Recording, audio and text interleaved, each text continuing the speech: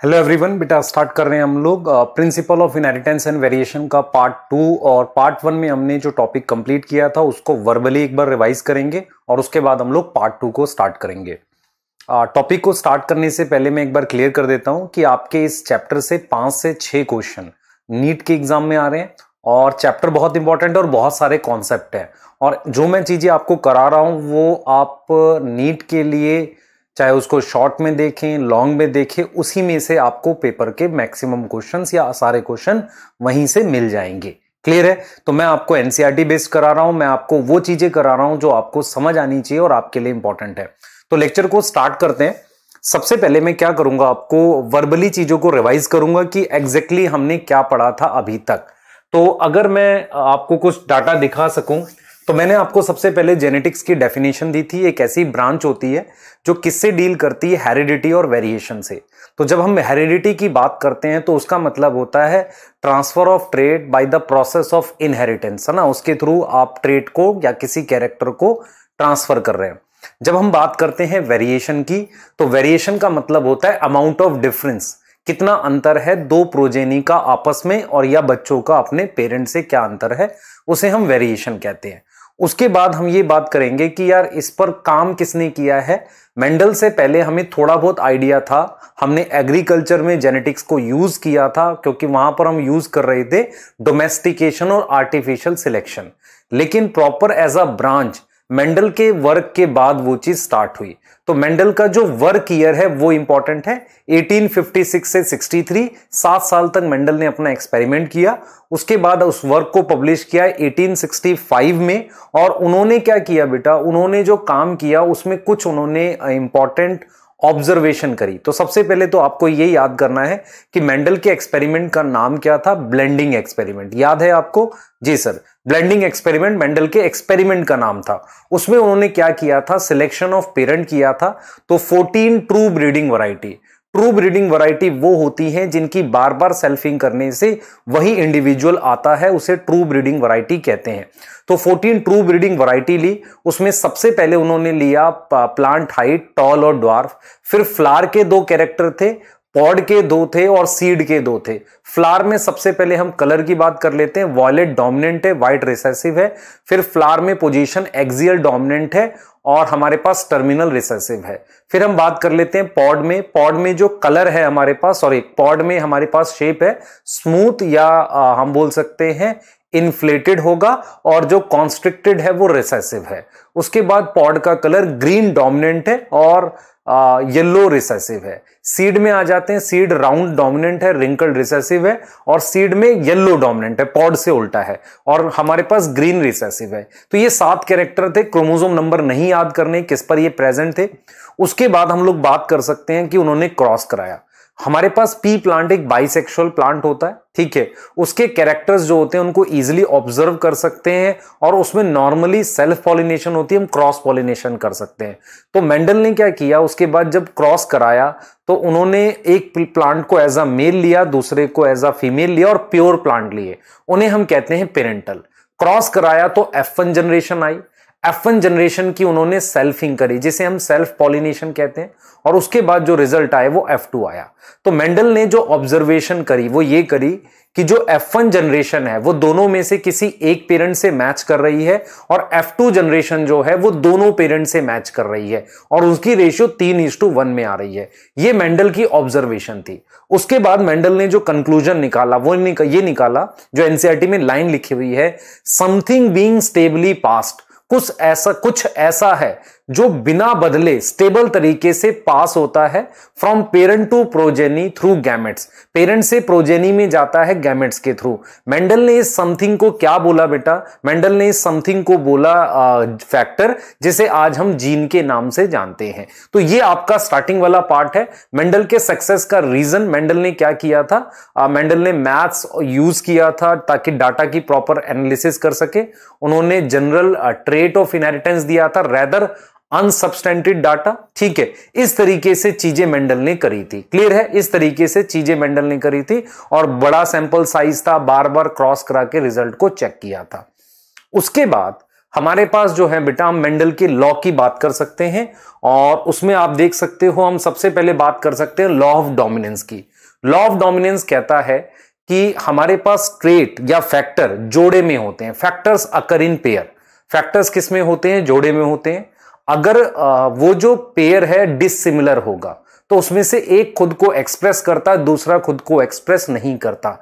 इसे हम कहते हैं बेटा लॉ ऑफ़ डोमिनेंस तो क्या हम लॉ ऑफ़ डोमिनेंस समझ पाए? हाँ तो trait is control by discrete unit called factor factor occur in pair and in dissimilar pair of factor एक एक्सप्रेस करेगा, दूसरा एक्सप्रेस नहीं करेगा। इसे हम कहते हैं लॉ ऑफ़ डोमिनेंस अब लॉ ऑफ़ डोमिनेंस क्या बातें एक्सप्लेन करता है कि F1 में क्यों टॉल आया और F2 और में टॉल और डॉर्फ की ratio three is to one क्यों आई? ये बातें कौन एक्सप्लेन करता है? लॉ ऑफ़ डोमिनेंस एक्सप्लेन करता है।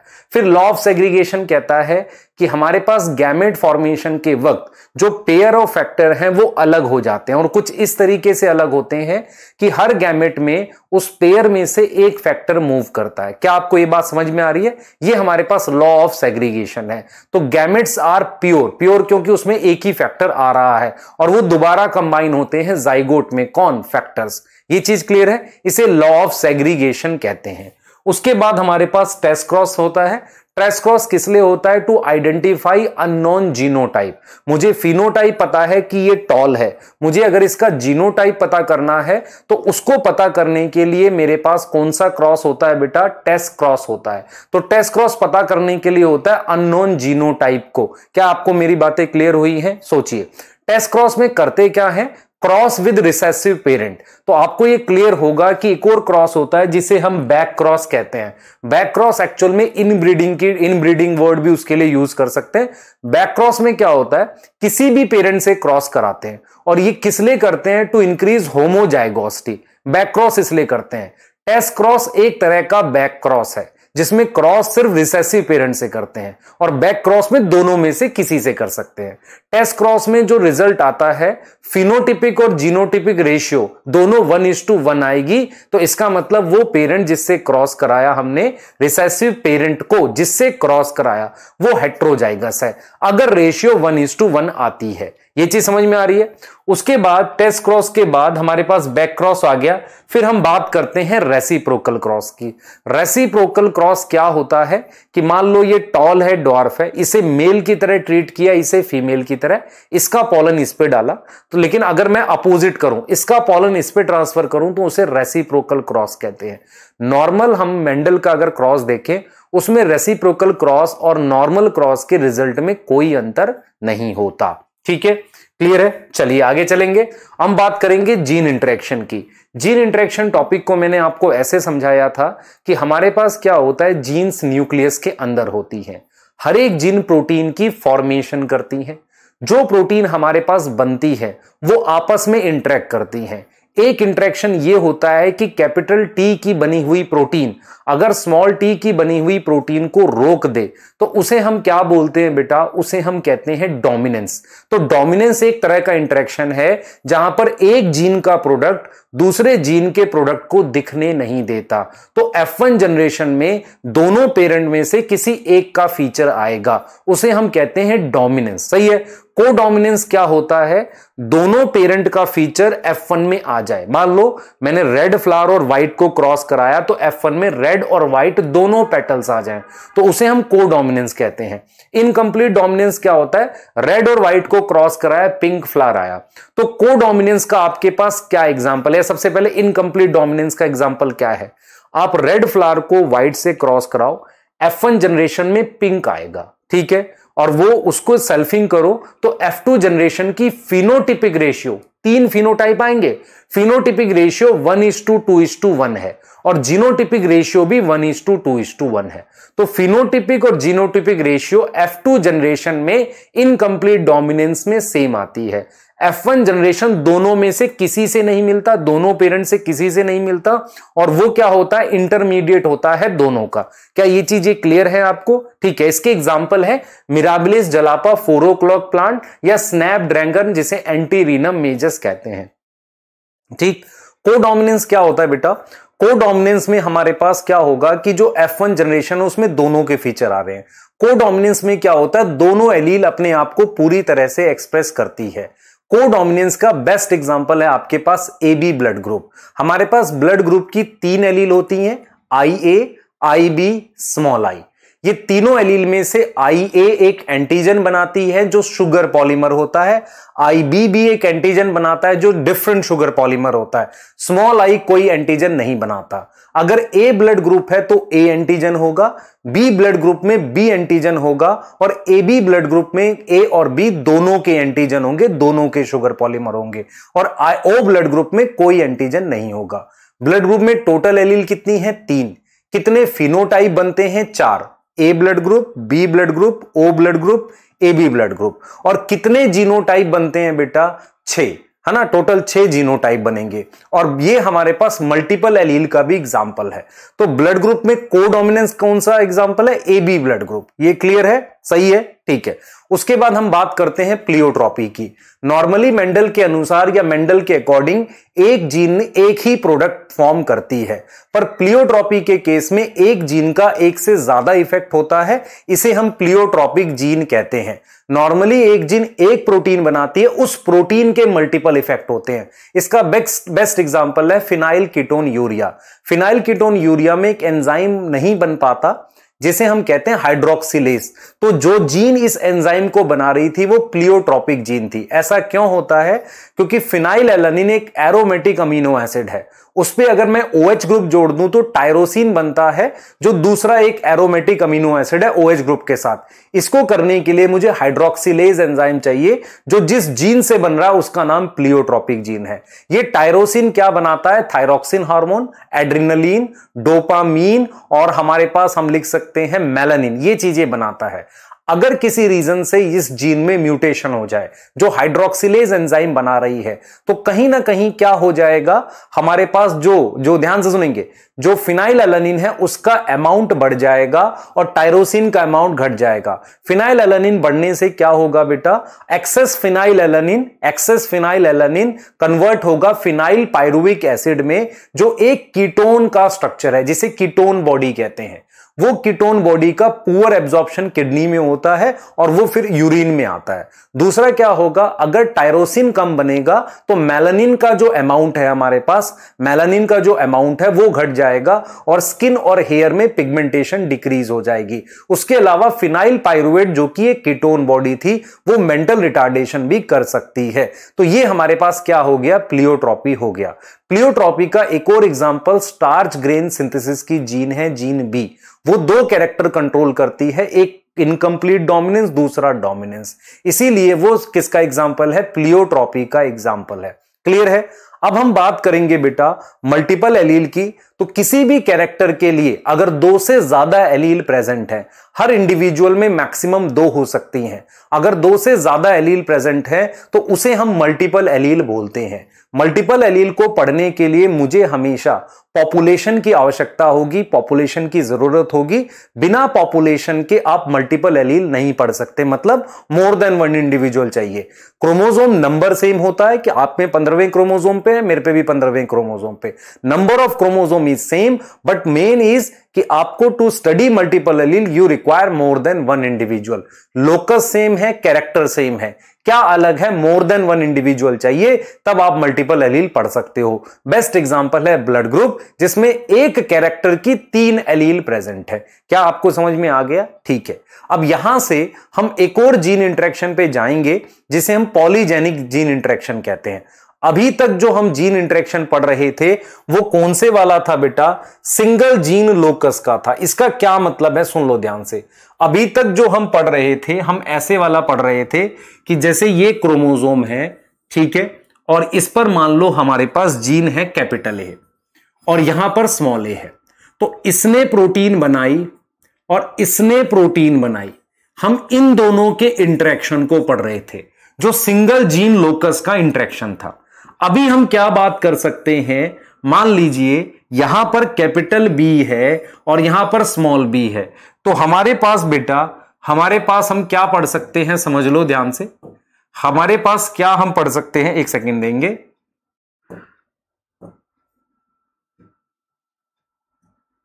हाँ देखें ध्यान से।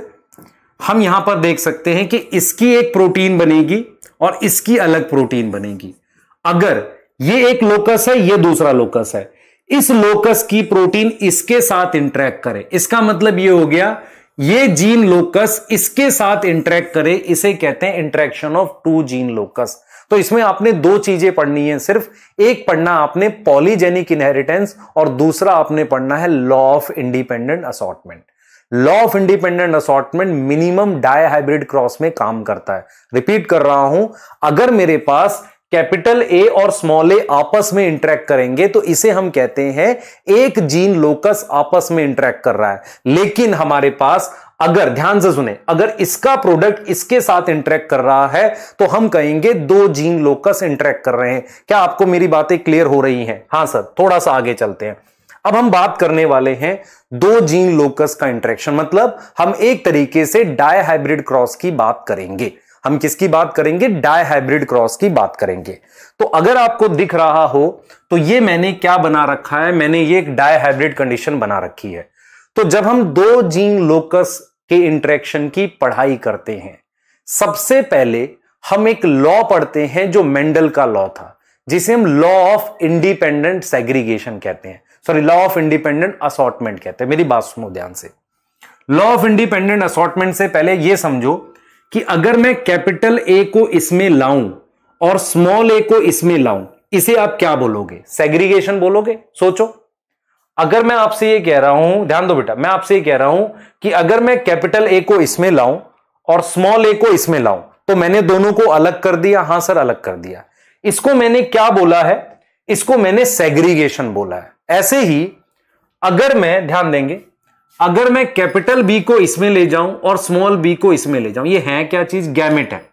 ये क्या है बेटा? गैमेट है। है ना? ये गैमेट है। तो ये चीज़ गैमेट है बेटा। ये गैमेट है। ये गैमेट है। ठीक है? तो मैं आपको यह समझा रहा हूँ कि अगर मैं कैपिटल ए को यहाँ लाया और इसको इधर लाया, इसे सेग्रीगेशन कह रहे हैं।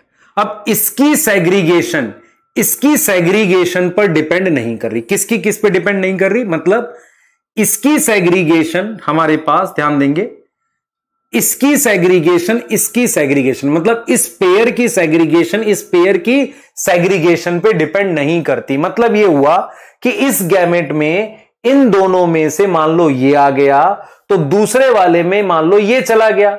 अब हो सकता है कि कैपिटल बी यहाँ आ जाए या कैपिटल बी इसके साथ भी जा सकता है। दोनों में से किसी के साथ भी, यहाँ भी आ सकता है, यहाँ भी आ सकता है। इसका सीधा सीधा मतलब यह हो गया कि इसकी सेग्रीगेशन इसकी सेग्रीगेशन पे डिपेंड नहीं करी। इसे हम कहते हैं लॉ ऑफ़ इंडिपेंडेंट असॉर्टमेंट जिसका मतलब है कि सेग्रीगेशन ऑफ़ वन पेयर मतलब क्या हुआ कि सेग्रीगेशन ऑफ़ वन पेयर इस पेयर का अलग होना, इस पेयर के अलग होने से पर डिपेंड नहीं करता। उससे क्या फ़ायदा होगा कि जैसे कैपिटल ए के साथ कैपिटल ए के साथ कैपिटल बी भी आ सकता है कैपिटल ए के साथ स्मॉल बी भी आ सकता है। स्मॉल ए के साथ कैपिटल बी और स्मॉल ए के साथ स्मॉल बी। इससे हमें डिफरेंट कॉम्बिनेशन मिलते हैं। तो segregation of one pair of trait समझ रहे हो? Segregation of one pair of trait मतलब इसका सेग्रीगेशन इसके सेग्रीगेशन पे डिपेंड नहीं करता। इससे डिफरेंट कॉम्बिनेशन बनते हैं गैमेट्स के। इसीलिए इसे हम कहते हैं लॉ ऑफ़ इंडिपेंडेंट असॉटमेंट क्या आपको ये बातें क्लियर हो गई? ये पहला एग्ज़ाम्पल है, दो जीन लोकस या एक तरीके से डाई हाइब्रिड क्रॉस में कोई चीज़ हम पढ़ रहे हैं। क्लियर हुआ? और लॉ ऑफ़ इंडिपेंडेंट असॉटमेंट का ये हमने क्या लिखा है? मीनिंग दिस इज़ मीनिंग क्या मतलब होता है? और उसका रिज़ल्ट क्या होता है? रिज़ल्ट रिज़ल्ट होता है डिफरेंट कॉम्बिनेशन फॉर्म क्या बनेंगे? डिफरेंट कॉम्बिनेशन किसके अंदर? कॉम्बिनेशन ऑफ़ फैक्टर या जीन किसके अंदर? इन गैमेट्स तो गैमेट्स के अंदर डिफरेंट हमारे पास क्या बनेंगे? कॉम्बिनेशन बनेंगे। तो इसे हमने क्या बोल दिया? इंडिपेंडेंट असॉर्टमेंट बोल दिया। अब हम बात कर रहे हैं पॉलीजेनिक इनहेरिटेंस की। अब हम बात कर रहे हैं पॉलीजेनिक इनहेरिटेंस की हम बात कर रहे हैं। मेरी बात बहुत ध्यान से सुनना बहुत इंपॉर्टेंट बात है। पॉलीजेनिक इनहेरिटेंस को समझने के लिए आपको सबसे पहले, देखो, अभी तक आप इनकम्प्लीट डोमिनेंस और को डोमिनेंस पढ़ रहे थे। उनमें क्या था बेटा? एक ही कैरेक्टर इन्वॉल्व था। Capital A small A involve है, या कैपिटल बी स्मॉल बी कोई ऐसी चीज़ इन्वॉल्व है जो एक लोकस एक तरीके का मोनोहाइब्रिड से रिलेटेड बात थी। कौन कौन सी? Incomplete dominance codominance pleiotropy वगैरह, सब मोनोहाइब्रिड टाइप की बात थी। जब हमने डाई हाइब्रिड की बात करी मतलब हमने दो अलग अलग कैरेक्टर को लिया, दो अलग अलग लोकस को लिया तो हमने बात करनी है, उसमें एक हमने मेंडल का लॉ पढ़ लिया। दूसरा हम क्या पढ़ेंगे बेटा? दूसरा हम पढ़ेंगे पॉलीजेनिक इनहेरिटेंस। पॉलीजेनिक इनहेरिटेंस को समझने से पहले मैं एक परिभाषा जानना चाहूँगा। What is qualitative and what is quantitative inheritance मेरी बात समझ में आई है? पॉलीजेनिक इनहेरिटेंस मैं पढ़ूँगा, पर उससे पहले मैं क्या जानना चाहूँगा? What is qualitative and what is quantitative inheritance मेरी तरफ़ बहुत ध्यान से देखें। देखो आपके पास, मेरे पास ये प्लांट मुझे कैसा दिख रहा है? टॉल दिख रहा है। तो इस टॉल का जीनोटाइप मैंने ये लिखा और ये लिख दिया और ये मुझे ड्वार्फ लिख रहा है, इसका जीनोटाइप ये लिख दिया। तो क्वालिटेटिव इनहेरिटेंस का मीनिंग ये है कि अगर आप ध्यान से देखो, इस टॉल में और इस टॉल की हाइट में कोई अंतर नहीं है। मान लो ये एक मीटर है तो ये भी एक मीटर है। भले इनके जीनोटाइप में फ़र्क है तो क्वालिटेटिव इनहेरिटेंस कहता है कि चाहे दो डोमिनेंट हो, चाहे एक डोमिनेंट हो, देख हो, इसके अंदर कितनी डोमिनेंट है? दो जीन है डोमिनेंट इसमें एक है। तो क्वालिटेटिव इनहेरिटेंस कहता है क्वालिटी वो कहता है कि मुझे number of dominant allele matter नहीं करती। Number of dominant allele matter नहीं करती। समझो इस बात को। Number of dominant allele not matter है ना, उससे क्या होगा? उससे यह होगा कि अगर ये क्वालिटेटिव इनहेरिटेंस है तो कैपिटल टी और कैपिटल टी स्मॉल टी का, इनका सेम फिनोटाइप आएगा। इनका फिनोटाइप कैसा आएगा बेटा? सेम आएगा। क्या ये बात समझ में आ रही है? फिनोटाइप सेम आएगा। तो ऐसे इनहेरिटेंस को हम क्या बोलते हैं? क्वालिटेटिव इनहेरिटेंस जहाँ पर कैपिटल टी कैपिटल टी और कैपिटल टी स्मॉल टी का जो फिनोटाइप है, एक जैसा है। भले ही दोनों में नंबर ऑफ़ डोमिनेंट एलील का फ़र्क है। क्वांटिटेटिव का क्या मतलब होता है कि जैसे मान लो ये टॉल है, ठीक है? ये सेमी टॉल है और ये मान लो डॉर्फ है। मेरा पॉइंट सिर्फ़ ये है कि मान लो इसका genotype capital A capital A है। इसका कैपिटल ए स्मॉल ए और इसका स्मॉल ए स्मॉल ए अब आप खुद ध्यान से देखो, इसमें कितनी डोमिनेंट एलील दो। इसमें कितनी है? एक और इसमें ज़ीरो डोमिनेंट मैं डोमिनेंट की बात कर रहा हूँ। तो दो डोमिनेंट अलील होने से हाइट ज़्यादा है। एक डोमिनेंट होने से कम है। तो इसका मतलब यहाँ पर इस बात का फ़र्क पड़ रहा है कि कितनी डोमिनेंट अलील है। ऐसे इनहेरिटेंस को क्वांटिटी क्वांटिटी समझ में आता? संख्या। क्वांटिटेटिव इनहेरिटेंस कहते हैं। तो इसमें number of dominant allele matter करती है। Number of dominant allele matter करती है। समझ में आ रहा है? जितनी ज़्यादा डोमिनेंट होंगी more is dominant, more is dominant, उतना ज़्यादा क्या होगा? मोर इज़ इफ़ेक्ट, उतना ज़्यादा इफ़ेक्ट होगा। जैसे अगर क्वालिटेटिव है तो इन दोनों का फिनोटाइप सेम होता है। लेकिन अगर क्वांटिटेटिव है तो क्वांटिटेटिव में इनका फिनोटाइप अलग होगा। क्वांटिटेटिव में क्या होगा बेटा? आप खुद देखो। क्वांटिटेटिव में इनका फिनोटाइप क्या होगा? डिफरेंट होगा। फिनोटाइप क्या होगा? डिफरेंट होगा। क्या आपको यह समझ में आ रही है कि नहीं? बताओ। क्या आपको समझ में आ रही है? तो what is qualitative and what is quantitative inheritance ये आपको क्लियर होना चाहिए। What is qualitative and what is quantitative inheritance अब यहाँ से हम आगे जाएँगे। यहाँ से हम आगे जाएँगे। मैं आपको कुछ चीज़ें समझा रहा हूँ। ध्यान से सुनेंगे। पॉलीजेनिक इनहेरिटेंस को समझने से पहले मैं आपको कुछ चीज़ें समझाऊँगा, उसको समझना। जब हमने, सबसे पहले आपको यह समझ में आ गया क्वालिटेटिव क्वांटिटेटिव क्या होता है? थोड़ा बहुत आइडिया लग गया? हाँ सर, अब सुनो। पॉलीजेनिक का क्या मतलब होता है कि किसी एक कैरेक्टर को कंट्रोल करने के लिए बहुत सारे जीन लोकस हो। नॉर्मली आपने जब मेंडल के बारे में पढ़ा था तो मेंडल ने कैसे कैरेक्टर पढ़ाए? या तो राउंड होगा या रिंकल्ड होगा, बीच का कुछ था? नहीं। या तो टॉल होगा या डॉर्फ होगा। बीच में कुछ आ रहा था, सेमी टॉल वगैरह नहीं। तो मेंडल ने जो कैरेक्टर की स्टडी करी, वो कैसे वाले थे? वो थे एक्सट्रीम वाले। या तो टॉल या डॉर्फ, या राउंड या रिंकल्ड, बीच का कुछ था? नहीं। पॉलीजेनिक इनहेरिटेंस में क्या होता है, जरा समझने की कोशिश करें, उससे आपको आइडिया लग जाएगा कि मैं क्या बोलने वाला हूँ। ध्यान से सुने। मेंडल ने क्या पढ़ाया था बेटा? मेंडल ने यह पढ़ाया था कि बहुत सारे जो कैरेक्टर होते हैं, जैसे कि ये ये टॉल है और ड्वार्फ है। इनकी दो ही फॉर्म है। तो अगर मैं आपसे कहूँ कि अकॉर्डिंग टू मेंडल ध्यान से सुनना इसे। अकॉर्डिंग टू मेंडल बहुत सारे ऐसे कैरेक्टर हैं मैनी कैरेक्टर, बहुत सारे ऐसे कैरेक्टर हैं, जिनकी दो एक्सट्रीम फॉर्म है। जिनकी दो एक्सट्रीम फॉर्म है। है ना? इनकी दो एक्सट्रीम फॉर्म है। या तो सिर्फ़ टॉल होगा ड्वार्फ होगा। कोई इंटरमीडिएट नहीं होता। नो इंटरमीडिएट ठीक है? लेकिन होता क्या है? In human and other organism कुछ और ऑर्गेनिज्म में, जैसे मैं बात करता हूँ, मान लो स्किन कलर की। हमारे पास, जैसे कि स्किन कलर उसमें मेरे पास रेंज होती है कैरेक्टर की। मेरे पास क्या होती है? रेंज ऑफ़ कैरेक्टर होती है। कैरेक्टर की पूरी की पूरी क्या होती है? रेंज होती है। तो आपको ये क्लियर होना चाहिए कि हम कहाँ पढ़ रहे हैं, हम क्या पढ़ रहे हैं? हम ये पढ़ रहे हैं कि व्हाट इज़ पॉलीजेनिक इनहेरिटेंस उसमें सबसे पहले मैंने आपको क्वालिटेटिव और क्वांटिटेटिव समझा दिया।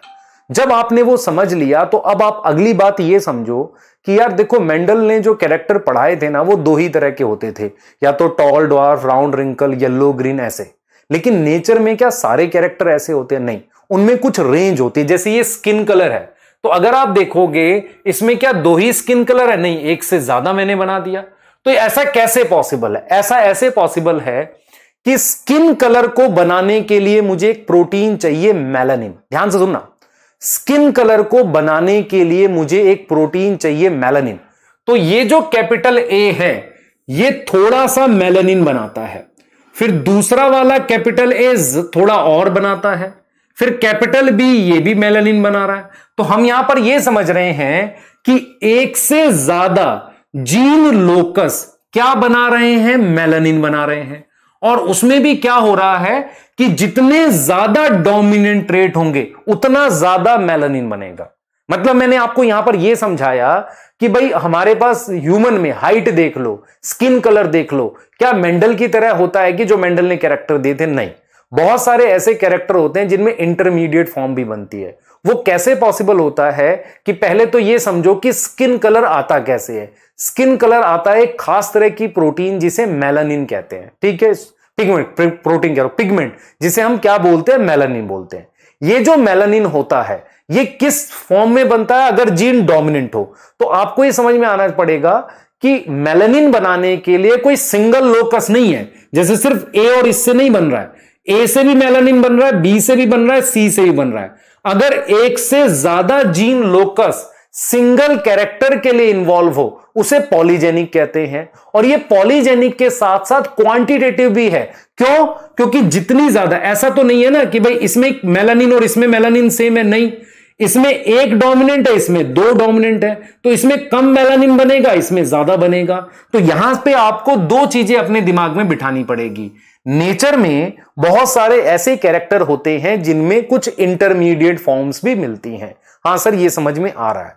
ऐसे जो इंटरमीडिएट फॉर्म्स होती हैं, वो नॉर्मली एक से ज़्यादा जीन लोकस से कंट्रोल होती हैं।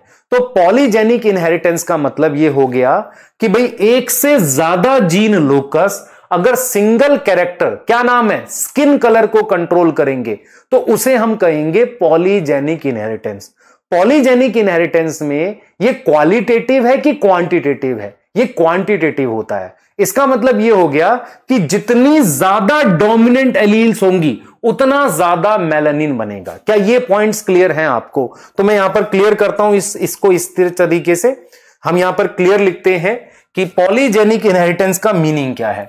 When when more than more than one gene locus more than one gene locus. Locus याद होना चाहिए बेटा आपको। लोकस का मतलब लोकेशन है पैरल लोकेशन। अगर कंट्रोल करता है, कंट्रोल सिंगल कैरेक्टर, नॉर्मली एक जीन लोकस एक कैरेक्टर कंट्रोल करता है। इसका एग्ज़ाम्पल है स्किन कलर या human height. Skin colour skin colour का क्या हो गया? देखो जरा। उसमें तीन जीन लोकस हैं ए बी और सी तीन लोकस हैं। और तीनों लोकस क्या बनाते हैं? मेलानिन बनाते हैं। जैसे यहाँ पे बना देते हैं, देखो। मान लो यहाँ कैपिटल ए जीन है, यहाँ कैपिटल बी है। यहाँ मान लो सॉरी कैपिटल ए है, यहाँ कैपिटल बी है कैपिटल बी है। यहाँ कैपिटल सी है कैपिटल सी है। तो मान लेते हैं, थोड़ा सा मेलानिन इसने बनाया। तो और कैपिटल आने से और बन गया। ये भी इसने भी मेलानिन बना दिया। तो इसने भी क्या बना दिया ये मेलानिन ये मेलानिन है। तो मेरा पॉइंट ये है कि सेम चीज़ को ये ये ये तीनों बना रहे हैं। तो इसका मतलब क्या हुआ? ये किसका एग्ज़ाम्पल हो गया? पॉलीजेनिक पॉलीजेनिक क्यों है? क्योंकि एक, दो और तीन लोकस इन्वॉल्व है। इसलिए पॉलीजेनिक है। और ये क्वांटिटेटिव क्यों है?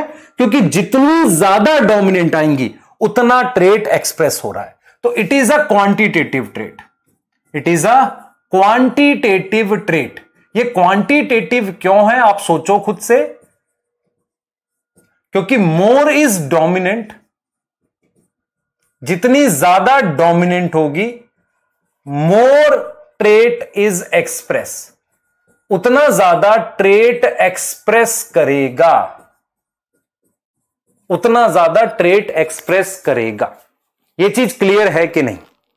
ये चीज़ क्लियर है? आपको समझ में आ रही है बात? तो इसको हम क्या बोलते हैं?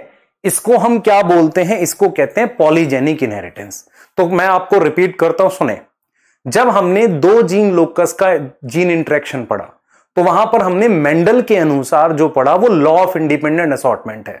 मेंडल ने कहा कि जब दो जीन आपस में इंटरेक्ट करती हैं तो उसमें क्या होता है? कुछ ऐसा इंटरेक्शन बनता है कि भाई एक लोकस जो एक जीन है, ध्यान सुनेंगे, उसका सेग्रीगेशन एक लोकस का सेग्रीगेशन मतलब कैपिटल ए स्मॉल ए का अलग होना, दूसरे पे डिपेंड नहीं करता। फिर हमने कहा कि भाई, आप कोई और चीज़ बताओ, दो जीन लोग डाईहाइब्रिड को लेके। उसे हम कहते हैं डेविएशन मेंडल से अलग जा रहे हैं। तो उसका एक एग्ज़ाम्पल है पॉलीजेनिक इनहेरिटेंस पॉलीजेनिक इनहेरिटेंस का सीधा मतलब यह है, देखो प्लियोट्रॉपी क्या था? एक जीन के multiple effect that is pleiotropy अब एक कैरेक्टर दैट इज़ प्लांट मान लो स्किन कलर उसको अगर एक से ज़्यादा जीन लोकस कंट्रोल कर रहा है उसे पॉलीजेनिक कह रहे हैं। और यह भी कौन सा ट्रेट है? क्वांटिटेटिव जिसमें कैपिटल ए और स्मॉल ए और कैपिटल ए कैपिटल ए का फिनोटाइप अलग आएगा।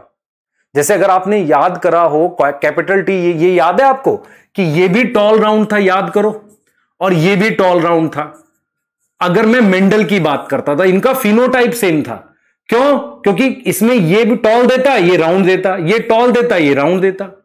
इनका फिनोटाइप सेम था। फिनोटाइप मतलब सेम टॉल राउंड था। लेकिन पॉलीजेनिक में ऐसा नहीं होता। वहाँ number of dominant allele matter करती है। अब आप जरा ऐसे देखो। मैं आपसे कहूँ कि स्किन कलर कितने तरह के हो सकते हैं, सात तरह के, कैसे? कितनी जीन कंट्रोल कर रही एक, दो, तीन जीन कंट्रोल कर रही है। हर जीन लोकस पर कितनी एलील होती है? दो। तो टोटल कितनी एलील हो गई जो स्किन कलर दे सकती है छह। तो मैं इसको ऐसे कह सकता हूँ कि टोटल सात फिनोटाइप कैसे बनेंगे? ध्यान सुनेंगे। टोटल मेरे पास क्या होगा बेटा? ये तीन जीन लोकस क्या कंट्रोल करेंगे?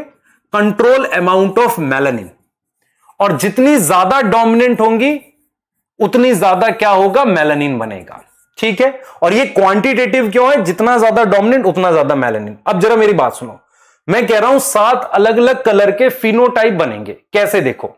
मुझे बताओ आप खुद से, इसमें कितने डोमिनेंट जीन है?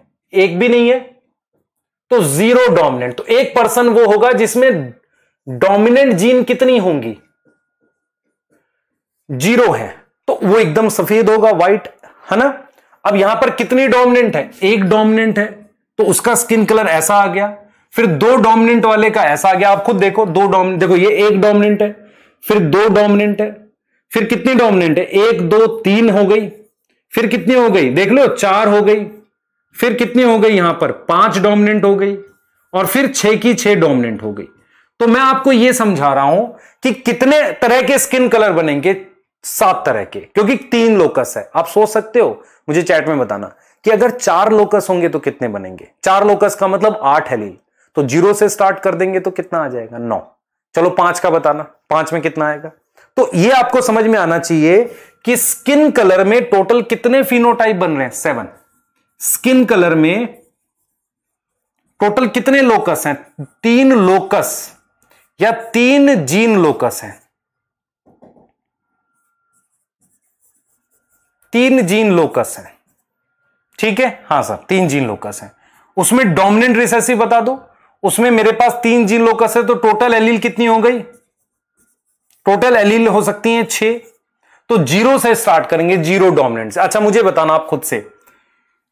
इस इस पर्सन का कलर किसमें आएगा? इसमें से। सर कैसे देखेंगे? देख काउंट कर बेटा। एक और दो। दो ही डोमिनेंट दो डोमिनेंट वाला कौन है ये? अच्छा इसका स्किन कलर सोचो। इसका स्किन कलर इसमें भी दो डोमिनेंट है, बिल्कुल ऐसा होगा। और इस वाले का स्किन कलर इसमें कितनी है? एक, दो, तीन, इस वाले में आ जाएगा। समझ में आ रहा है कि नहीं आपको? तो number of dominant allele matter करती हैं। जितनी ज़्यादा होंगी, ये पॉलीजेनिक है। पॉलीजेनिक के जो उदाहरण है, पहला है स्किन कलर जो आपकी एनसीआरटी e देती है। Human height human IQ IQ ठीक है? उसके अलावा milk production in animal clear है? ये कुछ ऐसे कैरेक्टर हैं जो एक से ज़्यादा लोकस से कंट्रोल होते हैं और इसमें रेंज मिलती है। क्या मिलती है? रेंज कर पाओगे? ठीक है। अब मैं आपको एक चीज़ क्लियर करता हूँ, जो क्वेश्चन के पर्पज से बहुत इंपॉर्टेंट है आपके लिए, कि जब आप पॉलीजेनिक पढ़ोगे, मेरी बात सुने ध्यान से, मेरी बात सुनो। डायहाइब्रिड क्रॉस का नॉर्मल रेशियो क्या होता है आपको पता है? डायहाइब्रिड क्रॉस में फिनोटिपिक रेशियो क्या आती है? नॉर्मल देखो डायहाइब्रिड की फिनोटिपिक मेंडल के अकॉर्डिंग फिनोटिपिक F2 में मेंडल के अकॉर्डिंग क्या रेशियो याद है आपको? मेंडल के अकॉर्डिंग। हाँ sir, nine three three one है। लेकिन पॉलीजेनिक वाले में, पॉलीजेनिक में डाई हाइब्रिड की F2 की रेशियो क्या आ जाएगी? वो आएगी one four six four one. इसका सम सिक्सटीन आ रहा है कि नहीं बताओ? इसका भी सम सिक्सटीन आ रहा है, ऊपर वाले का भी सम सिक्सटीन आ रहा है। और जो स्किन कलर है, वो ट्राई हाइब्रिड है। अगर स्किन कलर वाले की रेशियो देखोगे तो स्किन कलर वाले की जो रेशियो आएगी, ये याद करनी होती है बेटा। One six fifteen twenty fifteen six one अगर आप इसको याद करोगे स्किन कलर वाले को, इसका सम 64 आएगा, ये ट्राई हाइब्रिड है स्किन कलर वाले का। क्लियर है? ठीक है तो इतना हम करना होता है। तो पॉलीजेनिक आपके दिमाग में बैठ जाना चाहिए, क्या होता है? क्वालिटेटिव क्वांटिटेटिव बैठ जाना चाहिए। एक जगह और यूज़ करेंगे इसको सिक्कल सेल अनीमिया और थैलेसीमिया सब वाले में। वहाँ भी यूज़ करेंगे क्वालिटेटिव क्वांटिटेटिव क्लियर है ये चीज़? चलिए आगे बात करते हैं और एक बहुत इंपॉर्टेंट चीज़ पढ़ेंगे क्रोमोजोमल थ्योरी ऑफ़ इनहेरिटेंस इसको बताने से पहले एक छोटी सी आ, अपना बैकग्राउंड टॉपिक का जोड़ेंगे और उससे आपको आइडिया लग जाएगा। ठीक है? हाँ सर बताइए। अब देखो। मेंडल ने जो अपना एक्सपेरिमेंट किया, वो साल क्या थे? वो साल था 1856 से 63 सात साल तक एक्सपेरिमेंट किया सेवन ईयर्स तक। आफ्टर दैट एक्सपेरिमेंट उन्होंने अपना काम पब्लिश किया 1865 में। ये क्लियर है? हाँ सर ये क्लियर है। मेंडल ने फैक्टर्स खोजे पर मेंडल को यह नहीं पता था कि फैक्टर्स हैं कहाँ। मैं आपको कुछ चीज़ें क्लियर कर रहा हूँ बहुत ध्यान से सुनेंगे। मेंडल ने फैक्टर्स तो खोज लिए, पर उन्हें एग्जैक्टली exactly नहीं पता था कि फैक्टर्स कहाँ प्रेजेंट हैं, उनकी लोकेशन क्या है। सर, ऐसा क्यों? क्योंकि मेंडल के जो फैक्टर हैं, वो जीन है, और जीन एक्चुअल में क्रोमोजोम पे होती है। पर मेंडल के टाइम तक क्रोमोजोम की डिस्कवरी नहीं हो रखी थी। तो उनको कैसे पता फैक्टर कहाँ पर नहीं पता था। क्लियर है। तो क्रोमोजोमल थ्योरी ऑफ़ इनहेरिटेंस क्या है एग्जैक्टली exactly? वो यही बता रही है कि मान लो ये क्रोमोजोम है और फैक्टर कहाँ होते हैं? क्रोमोजोम पे। मेन समरी अपने दिमाग में ये बैठाओ क्लियर है? तो एक तरीके से मैं कहता हूँ ये फैक्टर है। फैक्टर की फ़िज़िकल प्रेजेंस कहाँ है? जिसे मैं कहता हूँ फिजिकली कहाँ प्रेजेंट है? क्रोमोजोम के ऊपर। ये थ्योरी मेनली यही बता रही है। तो क्रोमोजोमल थ्योरी ऑफ़ इनहेरिटेंस को समझने से पहले कुछ बैकग्राउंड आपको चाहिए। पहला मेंडल ने अपना काम कब पब्लिश किया? 1865 में। उस वक्त क्या कंडीशन थी? Chromosome was not discover chromosome के बारे में नहीं पता था। वॉज़ नॉट डिस्कवर्ड अब क्या हुआ? उनके काम को उतना रिकॉग्निशन नहीं मिला। उसके कुछ रीजन थे। मतलब मैं ये कह सकता हूँ कि मेंडल के काम को देखो, मेंडल सक्सेसफुल हुए, उन्होंने काम ठीक किया। उसके रीजन थे लार्ज सैंपल साइज़ ये सारा। मेंडल का काम फेल होने का मतलब कि लोगों ने उतना उसको माना नहीं। उसके कुछ सॉलिड रीजन है। पहला रीजन हम ये लिख सकते हैं कि नॉट वाइडली पब्लिसाइज्ड वो उतना ज़्यादा पब्लिश नहीं हुआ। कोई चीज़ पब्लिश कैसे हो सकती है बेटा? वो हो सकती है कि जब अच्छे न्यूज़पेपर में आए या बहुत ज़्यादा इंटरनेट पे चले तो हो सकते उस समय इंटरनेट भी नहीं था और जिस जगह उन्होंने पब्लिश किया तो वो वो उसकी उतनी रीच नहीं थी। तो पहला हो सकता उनका काम उतना पब्लिश नहीं हुआ। दूसरा रीजन क्या है? यूज़ किया maths to solve biological problem जो उस समय के साइंटिस्ट को ज़्यादा पसंद नहीं आया। ये हम कह सकते हैं ड्रॉबैक नहीं है बेटा एक तरीके से। उनके फेलियर के रीजन है। एक ये हो सकता है। हाँ सर, ये समझ में आ रहा है। तीसरा रीजन क्या है बेटा? ध्यान सुनेंगे। तीसरा रीजन क्या है?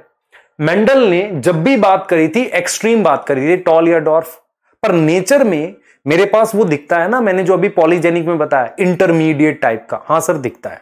अच्छा एक चीज़ और है बेटा। एपिस्टेटिस वगैरह की रेशियोज आती हैं, ये आते नहीं है topic epistasis complementary gene supplementary gene recently नहीं आ रहे हैं ये। इसलिए मैंने उसको छोड़ा है। यदि आप करना भी चाहो तो कहीं से उनकी रेशियोज याद कर सकते हो। और एक एक एग्ज़ाम्पल ठीक है, वो कर सकते हो आपकी मर्ज़ी, पर वो आएगा नहीं। यहाँ पे आ जाओ आप। देखो, दूसरा क्या था? मेंडल ने फैक्टर को क्या बोला था? मेंडल ने फैक्टर को बोला था डिस्क्रीट यूनिट। क्या बोला था? डिस्क्रीट यूनिट, जो क्या शो नहीं करती, नॉट शो ब्लेंडिंग। जो क्या नहीं शो करती, ब्लेंडिंग शो नहीं करती। क्लियर है? ब्लेंडिंग शो नहीं करती। बट जो उस समय के साइंटिस्ट थे, बट हमारे पास क्या है? मैनी एग्ज़ाम्पल है वेरिएशन के। मैनी एग्ज़ाम्पल हैं किसके? कॉन्टिन्यूस वेरिएशन के, जैसे स्किन कलर में ही बताया रेंज है ना वहाँ पर? कॉन्टिन्यूस वेरिएशन के एग्ज़ाम्पल हैं। उसको मेंडल एक्सप्लेन नहीं कर पाए भाई इतने सारे स्किन कलर कैसे है क्यों नहीं बिल्कुल ब्लैक और व्हाइट था? ये समझ रहे हो? तो ये चीज़ मेंडल एक्सप्लेन नहीं कर पाए। और लास्ट में बेटा मेंडल के काम में ये नहीं पता था। Mendel not able to explain physical presence not able to explain position physical presence of factor physical presence of factor physical presence मतलब कहाँ है? फैक्टर है कहाँ एग्जैक्टली exactly, ये एक्सप्लेन नहीं कर पाए। ठीक है सर, ये भी समझ में आ रहा है। तो ये कुछ बैकग्राउंड है हमारा मेंडल के काम को लेके। मतलब कुछ बैकग्राउंड हमारे पास बनने लगा कि मेंडल के काम को लेकर हम कैसे सोच रहे हैं। ये बहुत इंपॉर्टेंट बात थी जो सोच थी मेंडल की। यहाँ तक क्लियर है कि नहीं? बता दो, सोचो इस बात को।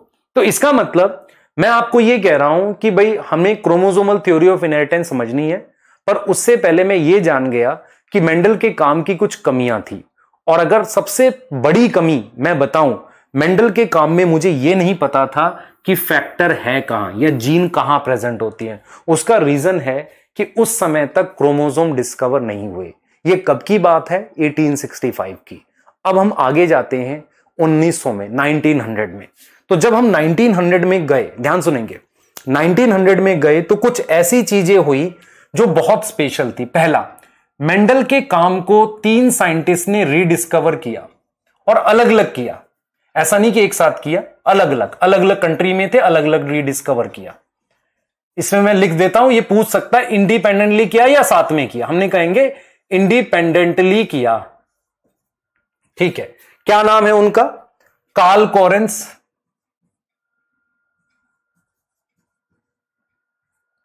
Tschermak Erich von Tschermak और डी वरिस। ये डी वरिस वो हैं जिन्होंने म्यूटेशन थ्योरी दी थी।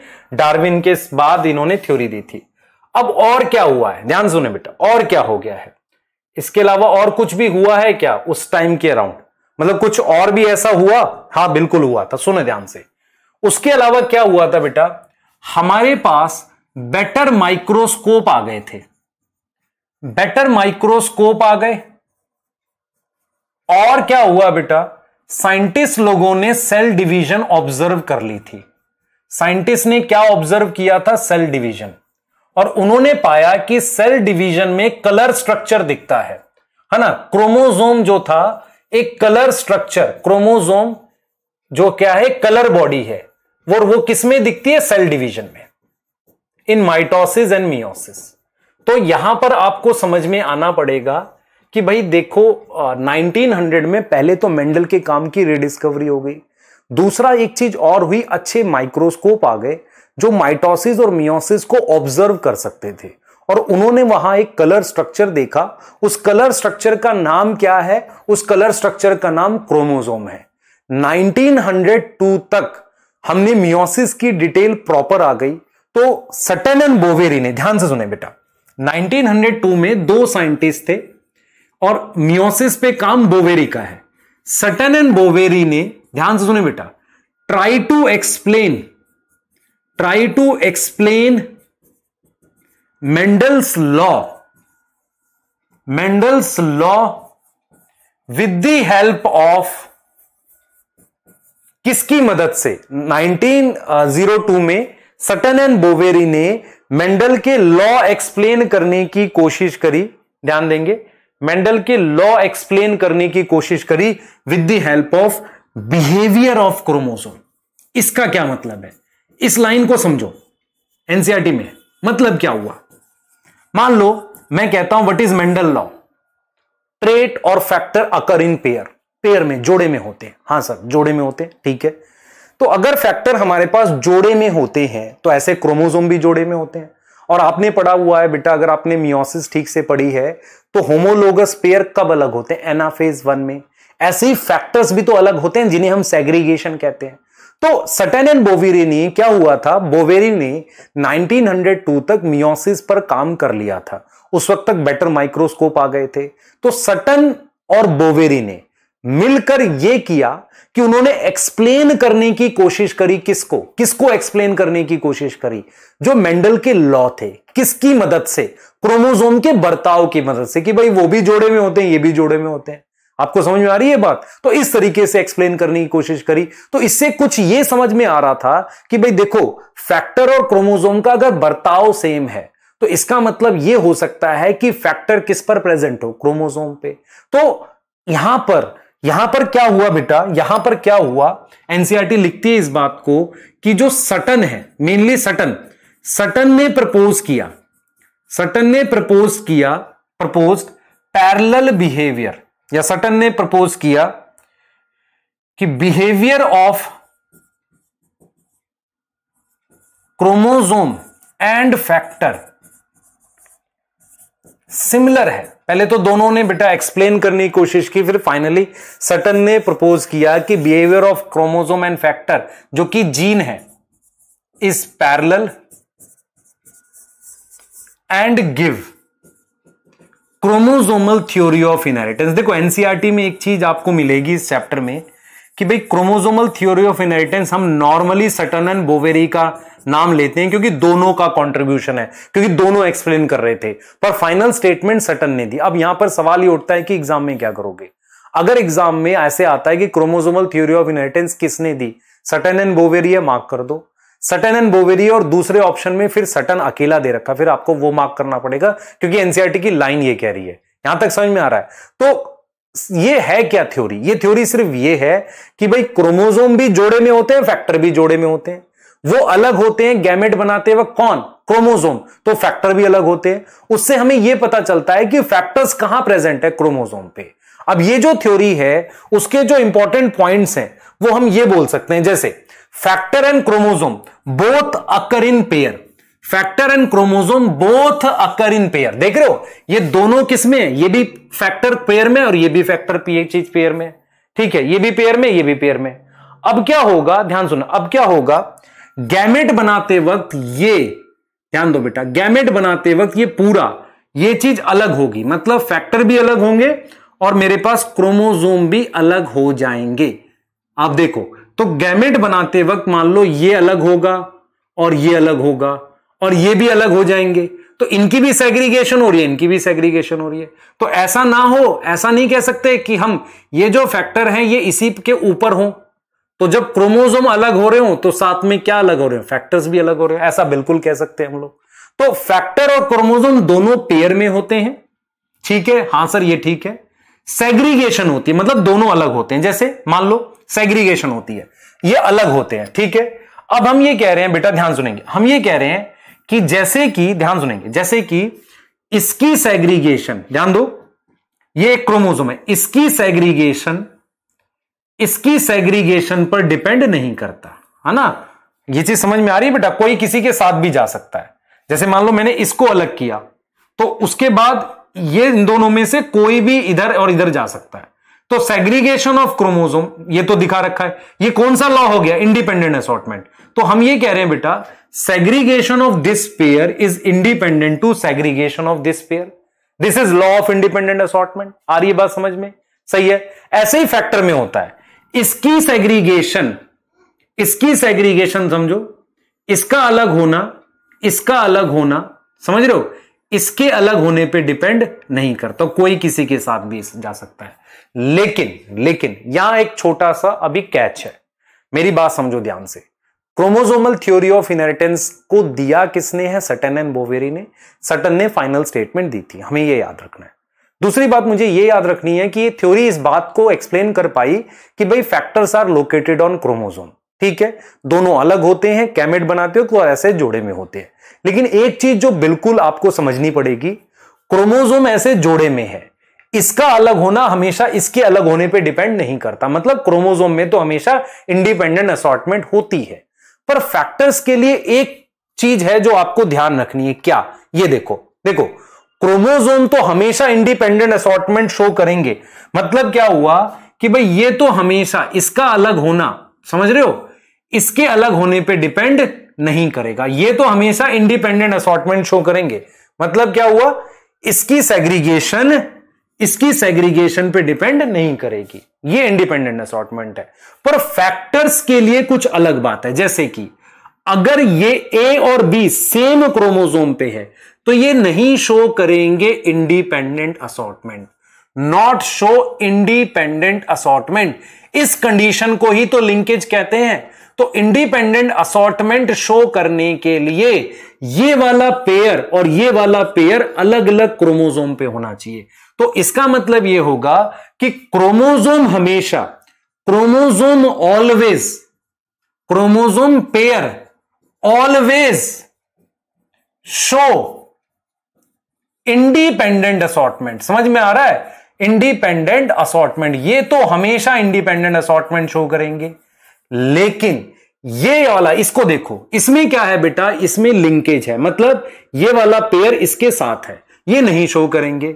ये शो करेंगे। तो इंडिपेंडेंट असॉर्टमेंट शो करने के लिए फैक्टर्स में क्या कंडीशन होनी चाहिए? वो अलग अलग क्रोमोजोम पेयर पे होने चाहिए। मतलब क्या हुआ?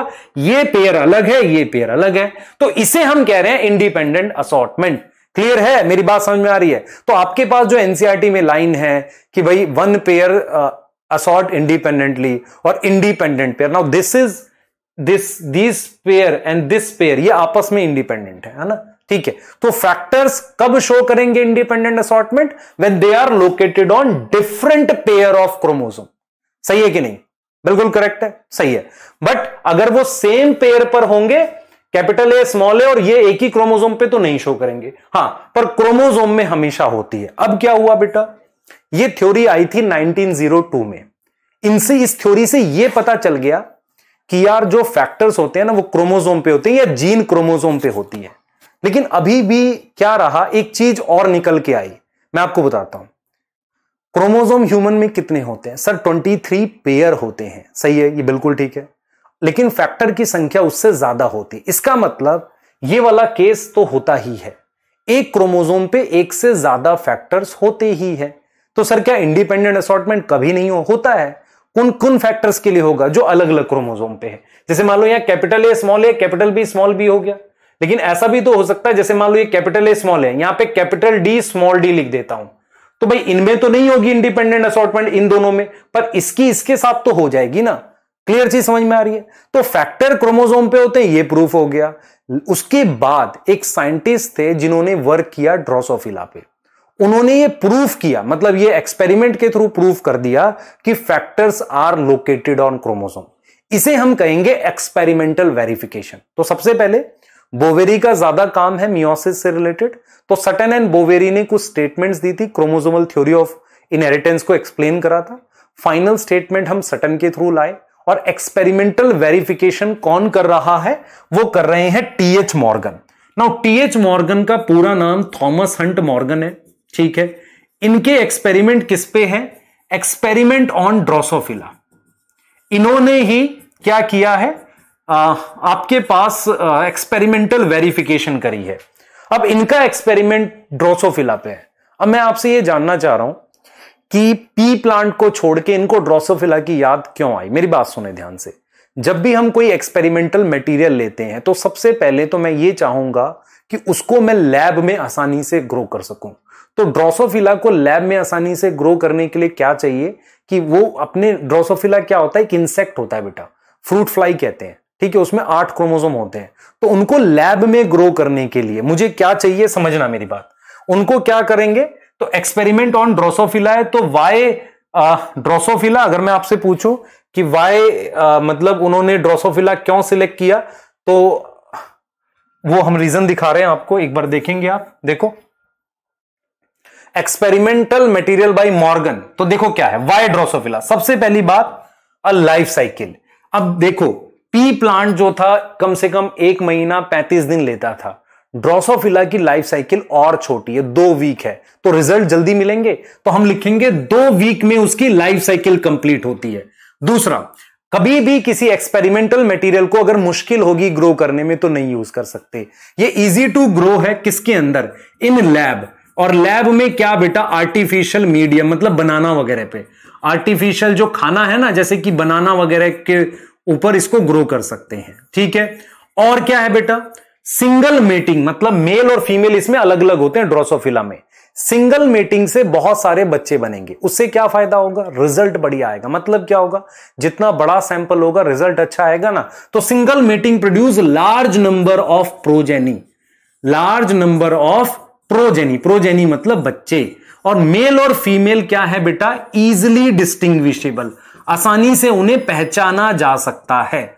है ना? फीमेल साइज़ में बड़ी होती है, यहाँ पर आसानी से पहचाना जाता है अलग अलग होते हैं। दूसरा क्या होता है? देखें वाई ही सिलेक्टेड ड्रोसोफिला पहला लाइफ साइकिल छोटी। आसानी है ग्रो करना। एक मीटिंग से बहुत सारे बच्चे बन जाते हैं। और इंपॉर्टेंट पॉइंट ये है बेटा हमारे पास कि इसमें क्या होती हैं जो हेरिडिटी वेरिएशंस हैं। हेरिडिटी वेरिएशंस मतलब ऐसी वेरिएशंस ध्यान से सुनेंगे, ऐसी वेरिएशंस जो ड्रोसोफिला में है, वो लो पावर माइक्रोस्कोप में दिख सकती है। हेरिडिटी वेरिएशन क्या है? इजिली विजिबल है इजिली विजिबल है लो माइक्रोस्कोप में। Visible in low power microscope low power microscope में विजिबल है। यह बात समझ में आ रही है? तो जो छोटे कम पावर के माइक्रोस्कोप होते हैं, उसमें कैरेक्टर्स दिख जाते हैं। और क्या चाहिए? ये क्लियर है कि नहीं? और क्या चाहिए? ये चीज़ क्लियर है बेटा? यहाँ तक समझ में आ गई? ठीक है, आगे चल सकते हैं? ठीक है। अब मैं आपको कुछ बता देता हूँ, ड्रोसोफिला क्या होता है, देख लो। ड्रोसोफिला हमारे पास एक फ्रूट फ्लाई है ऐसे। ठीक है, ड्रोसोफिला एक फ्रूट फ्लाई होती है। ठीक है, अब इसमें मेल फीमेल अलग अलग होता है। सबसे पहले इसमें कितने क्रोमोजोम है? आठ क्रोमोजोम है। ठीक है, अगर मेल होगा तो मेल में छह ऑटोजोम होंगे। छह क्रोमोजोम ऑटोजोम मतलब तीन पेयर और उसके अलावा एक्स वाई होता है। और फीमेल में क्या होता है? सेम आठ क्रोमोजोम है तो छह ऑटोजोम है मतलब तीन पेयर जैसे ह्यूमन में कितने ऑटोजोम होते हैं? बाईस पेयर होते हैं। और एक्स एक्स है। ठीक है? आठ क्रोमोजोम है मेल फीमेल में अंतर हम इजिली पता कर सकते हैं। अब क्या हुआ बेटा? मेरी बात सुनो। अब क्या हुआ?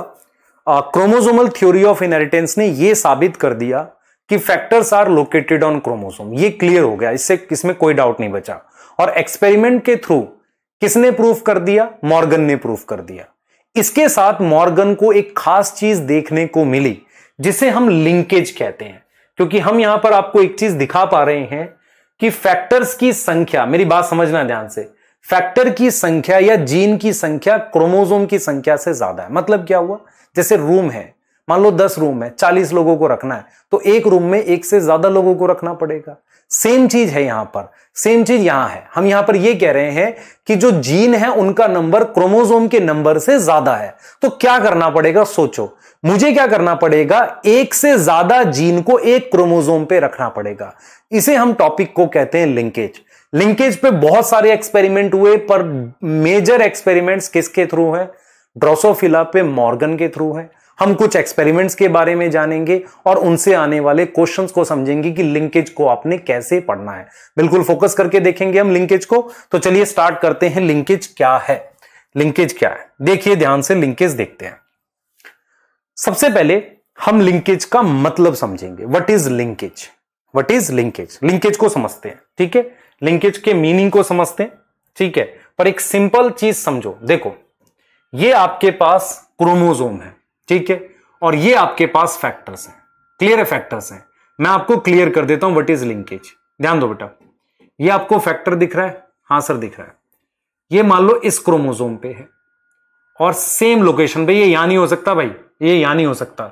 हमेशा ये पैरेलल लोकेशन पर होगा। मतलब ये दोनों पैरेलल होंगे सेम कैरेक्टर के लिए। ठीक है? मान लो मैंने इसको इस पे बना दिया। और इस वाले को इस पे बना दिया यहाँ। सही है? ठीक है, ये काम कर दिया। सही है? हाँ। ये यहाँ बना दिया। ठीक है?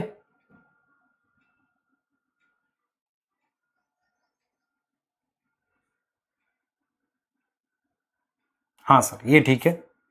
अब देखो। अब क्या है? अगर मैं इसको ले लेता हूँ इसको यहाँ बना देता हूँ और इसको यहाँ बना देता हूँ। ठीक है? ऐसे। ऐसा कर देता हूँ। तो आपको ये चीज़ समझ में आनी चाहिए, आपको ये चीज़ समझ में आनी चाहिए कि हमारे पास, ये देख रहे हो, ये लिंकेज है। मतलब क्या हुआ कि भाई कैपिटल ए और डी सेम क्रोमोजोम पे ये लिंकेज है। तो आपको ये क्लियर होना चाहिए कि number of factors number of factors ज़्यादा होते हैं। फैक्टर या gene is more than number of chromosome तो एक क्रोमोजोम पर एक से ज़्यादा जीन होंगी। On one chromosome on one chromosome एक से ज़्यादा जीन होंगी। देखो बेटा, on one chromosome more than one gene. More than one gene एक से ज़्यादा जीन होगी। तो इस चीज़ को मैं क्या बोल देता हूँ? लिंकेज बोल देता हूँ। This is linkage this is linkage ये लिंकेज है। क्या आपको मेरी बात समझ में आ रही है कि नहीं? सोचो सोचो, दिमाग लगाओ। तो लिंकेज क्या होता है? Number of factor number of chromosome से ज़्यादा होते हैं। इसलिए एक क्रोमोजोम पर अगर एक से ज़्यादा प्रेजेंट होंगे, जैसे इस क्रोमोजोम पर ये दो प्रेजेंट है, इसे लिंकेज कहते हैं। तो लिंकेज को सिंपल भाषा में बोलेंगे। What is meaning of linkage तो हम लिखेंगे genes are physically linked genes genes कौन सी? कैपिटल ए और B are physically linked physically समझ में आता है, एक साथ प्रेजेंट है। Physically linked and present on same chromosome present on same chromosome same chromosome पे प्रेजेंट होंगे। जरा समझो इस बात को। सेम क्रोमोजोम पे प्रेजेंट होंगे। जैसे कि यहाँ मान लो कैपिटल ए बना दिया, यहाँ स्मॉल ए है कैपिटल बी स्मॉल बी तो इस चीज़ को लिंकेज कह रहे हैं। अब लिंकेज का फ़र्क क्या पड़ेगा? ध्यान से देखो। अब मुझे बताओ। अगर मैं यहाँ कैपिटल ए यहाँ स्मॉल ए बनाऊँ, यहाँ कैपिटल बी स्मॉल बी बनाऊँ, ये दिख रहा है आपको? देखो ध्यान से। क्या ये लिंकेज है? नहीं।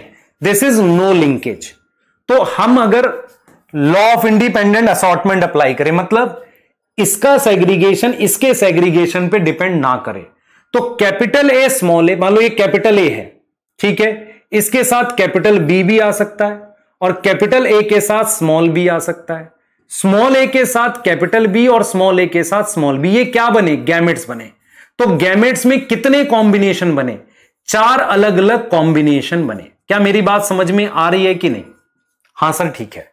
तो ये जो केस है, अगर हम बात करें आपको कहें what is effect of linkage तो मैं कह रहा हूँ कि ये वो केस है जिसे आप इंडिपेंडेंट असॉर्टमेंट कहते हो। तो इंडिपेंडेंट असॉर्टमेंट का मतलब है लिंकेज नहीं है अलग अलग क्रोमोजोम पे है। तो उस केस में कैपिटल ए के साथ कैपिटल बी और कैपिटल ए के साथ स्मॉल बी स्मॉल ए के साथ कैपिटल बी और स्मॉल ए के साथ स्मॉल बी तो गैमेट्स में हमारे पास कितने कॉम्बिनेशन बन जाएँगे? चार। क्या मेरी बात समझ में आई है कि नहीं? बोलो। क्या मेरी बात समझ में आई है? जल्दी बता दो। हाँ, ठीक है, बढ़िया। अब देखो। अब अगर मैं इसको लिंकेज कहता हूँ कैपिटल ए को लिखता हूँ, यहाँ स्मॉल ए और यहाँ कैपिटल बी और यहाँ स्मॉल बी अब देखो, इस ए और बी का सेम क्रोमोजोम पर होना मजबूरी है कि ये साथ जाएँगे। जब ये क्रोमोजोम जाएगा ए बी को साथ ले जाएगा और यहाँ स्मॉल ए स्मॉल बी तो यहाँ कितने कॉम्बिनेशन बने? सर, दो कॉम्बिनेशन बने। इसका मतलब यह हुआ लिंकेज क्या करता है? लिंकेज डिक्रीज करता है डिक्रीज डिफरेंट कॉम्बिनेशन तो सबसे पहले एक बेसिक बात समझ में आ गई कि लिंकेज का क्या इफ़ेक्ट होगा। सबसे पहले तो लिंकेज समझो, है ना? सबसे पहले लिंकेज समझो क्या होता है। लिंकेज का मतलब सेम क्रोमोसोम पे होना। उससे होगा क्या? अगर लिंकेज नहीं है तो इंडिपेंडेंट असॉटमेंट हो रही है। और लिंकेज है तो कॉम्बिनेशन घट जाते हैं। घट कैसे गए? लिंकेज नहीं होगी तो चार कॉम्बिनेशन देख रहे हो? और लिंकेज मतलब है तो दो कॉम्बिनेशन इस बात में डाउट नहीं रखेंगे, ये मैंने मेन पॉइंट बता दिया।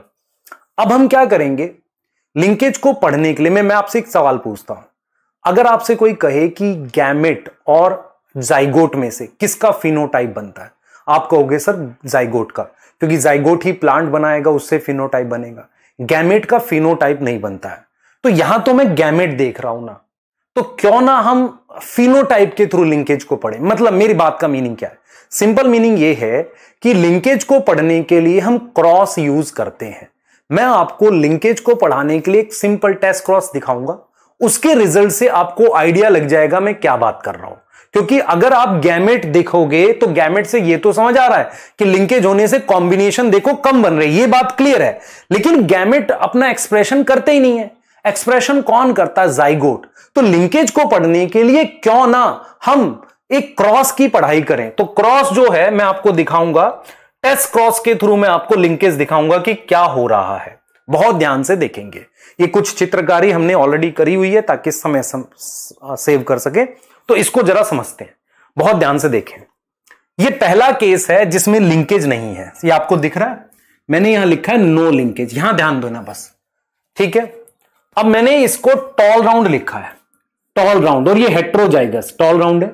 इसको डॉर्फ रिंकल से क्रॉस करा रहे हैं। कौन सा क्रॉस है? सर, ये टेस्ट क्रॉस है। ये क्या है? टेस्ट क्रॉस है। सही है, सर। टेस्ट क्रॉस करा रहे हो आप। टॉल राउंड को इसको डॉर्फ रिंकल रिसेसिव पेरेंट से क्रॉस करा रहे हो। अब मैंने लिखा लिंकेज नहीं है। तो आप देखो क्या होगा।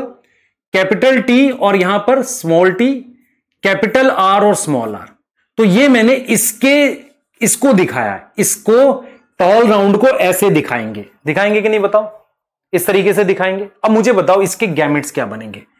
इसके गैमेट्स बनेंगे टी आर टी के साथ स्मॉल आर मतलब टी के साथ आर और टी के साथ स्मॉल आर स्मॉल टी के साथ कैपिटल आर और स्मॉल टी के साथ स्मॉल आर ये गैमेट्स बन गए। बताओ क्लियर है कि नहीं? नाउ दिस इज़ गैमेट ये गैमेट बन गए। हाँ सर ये ठीक है। ये देख रहे हो होमोजाइगस है। इसका एक ही गैमेट पॉसिबल है।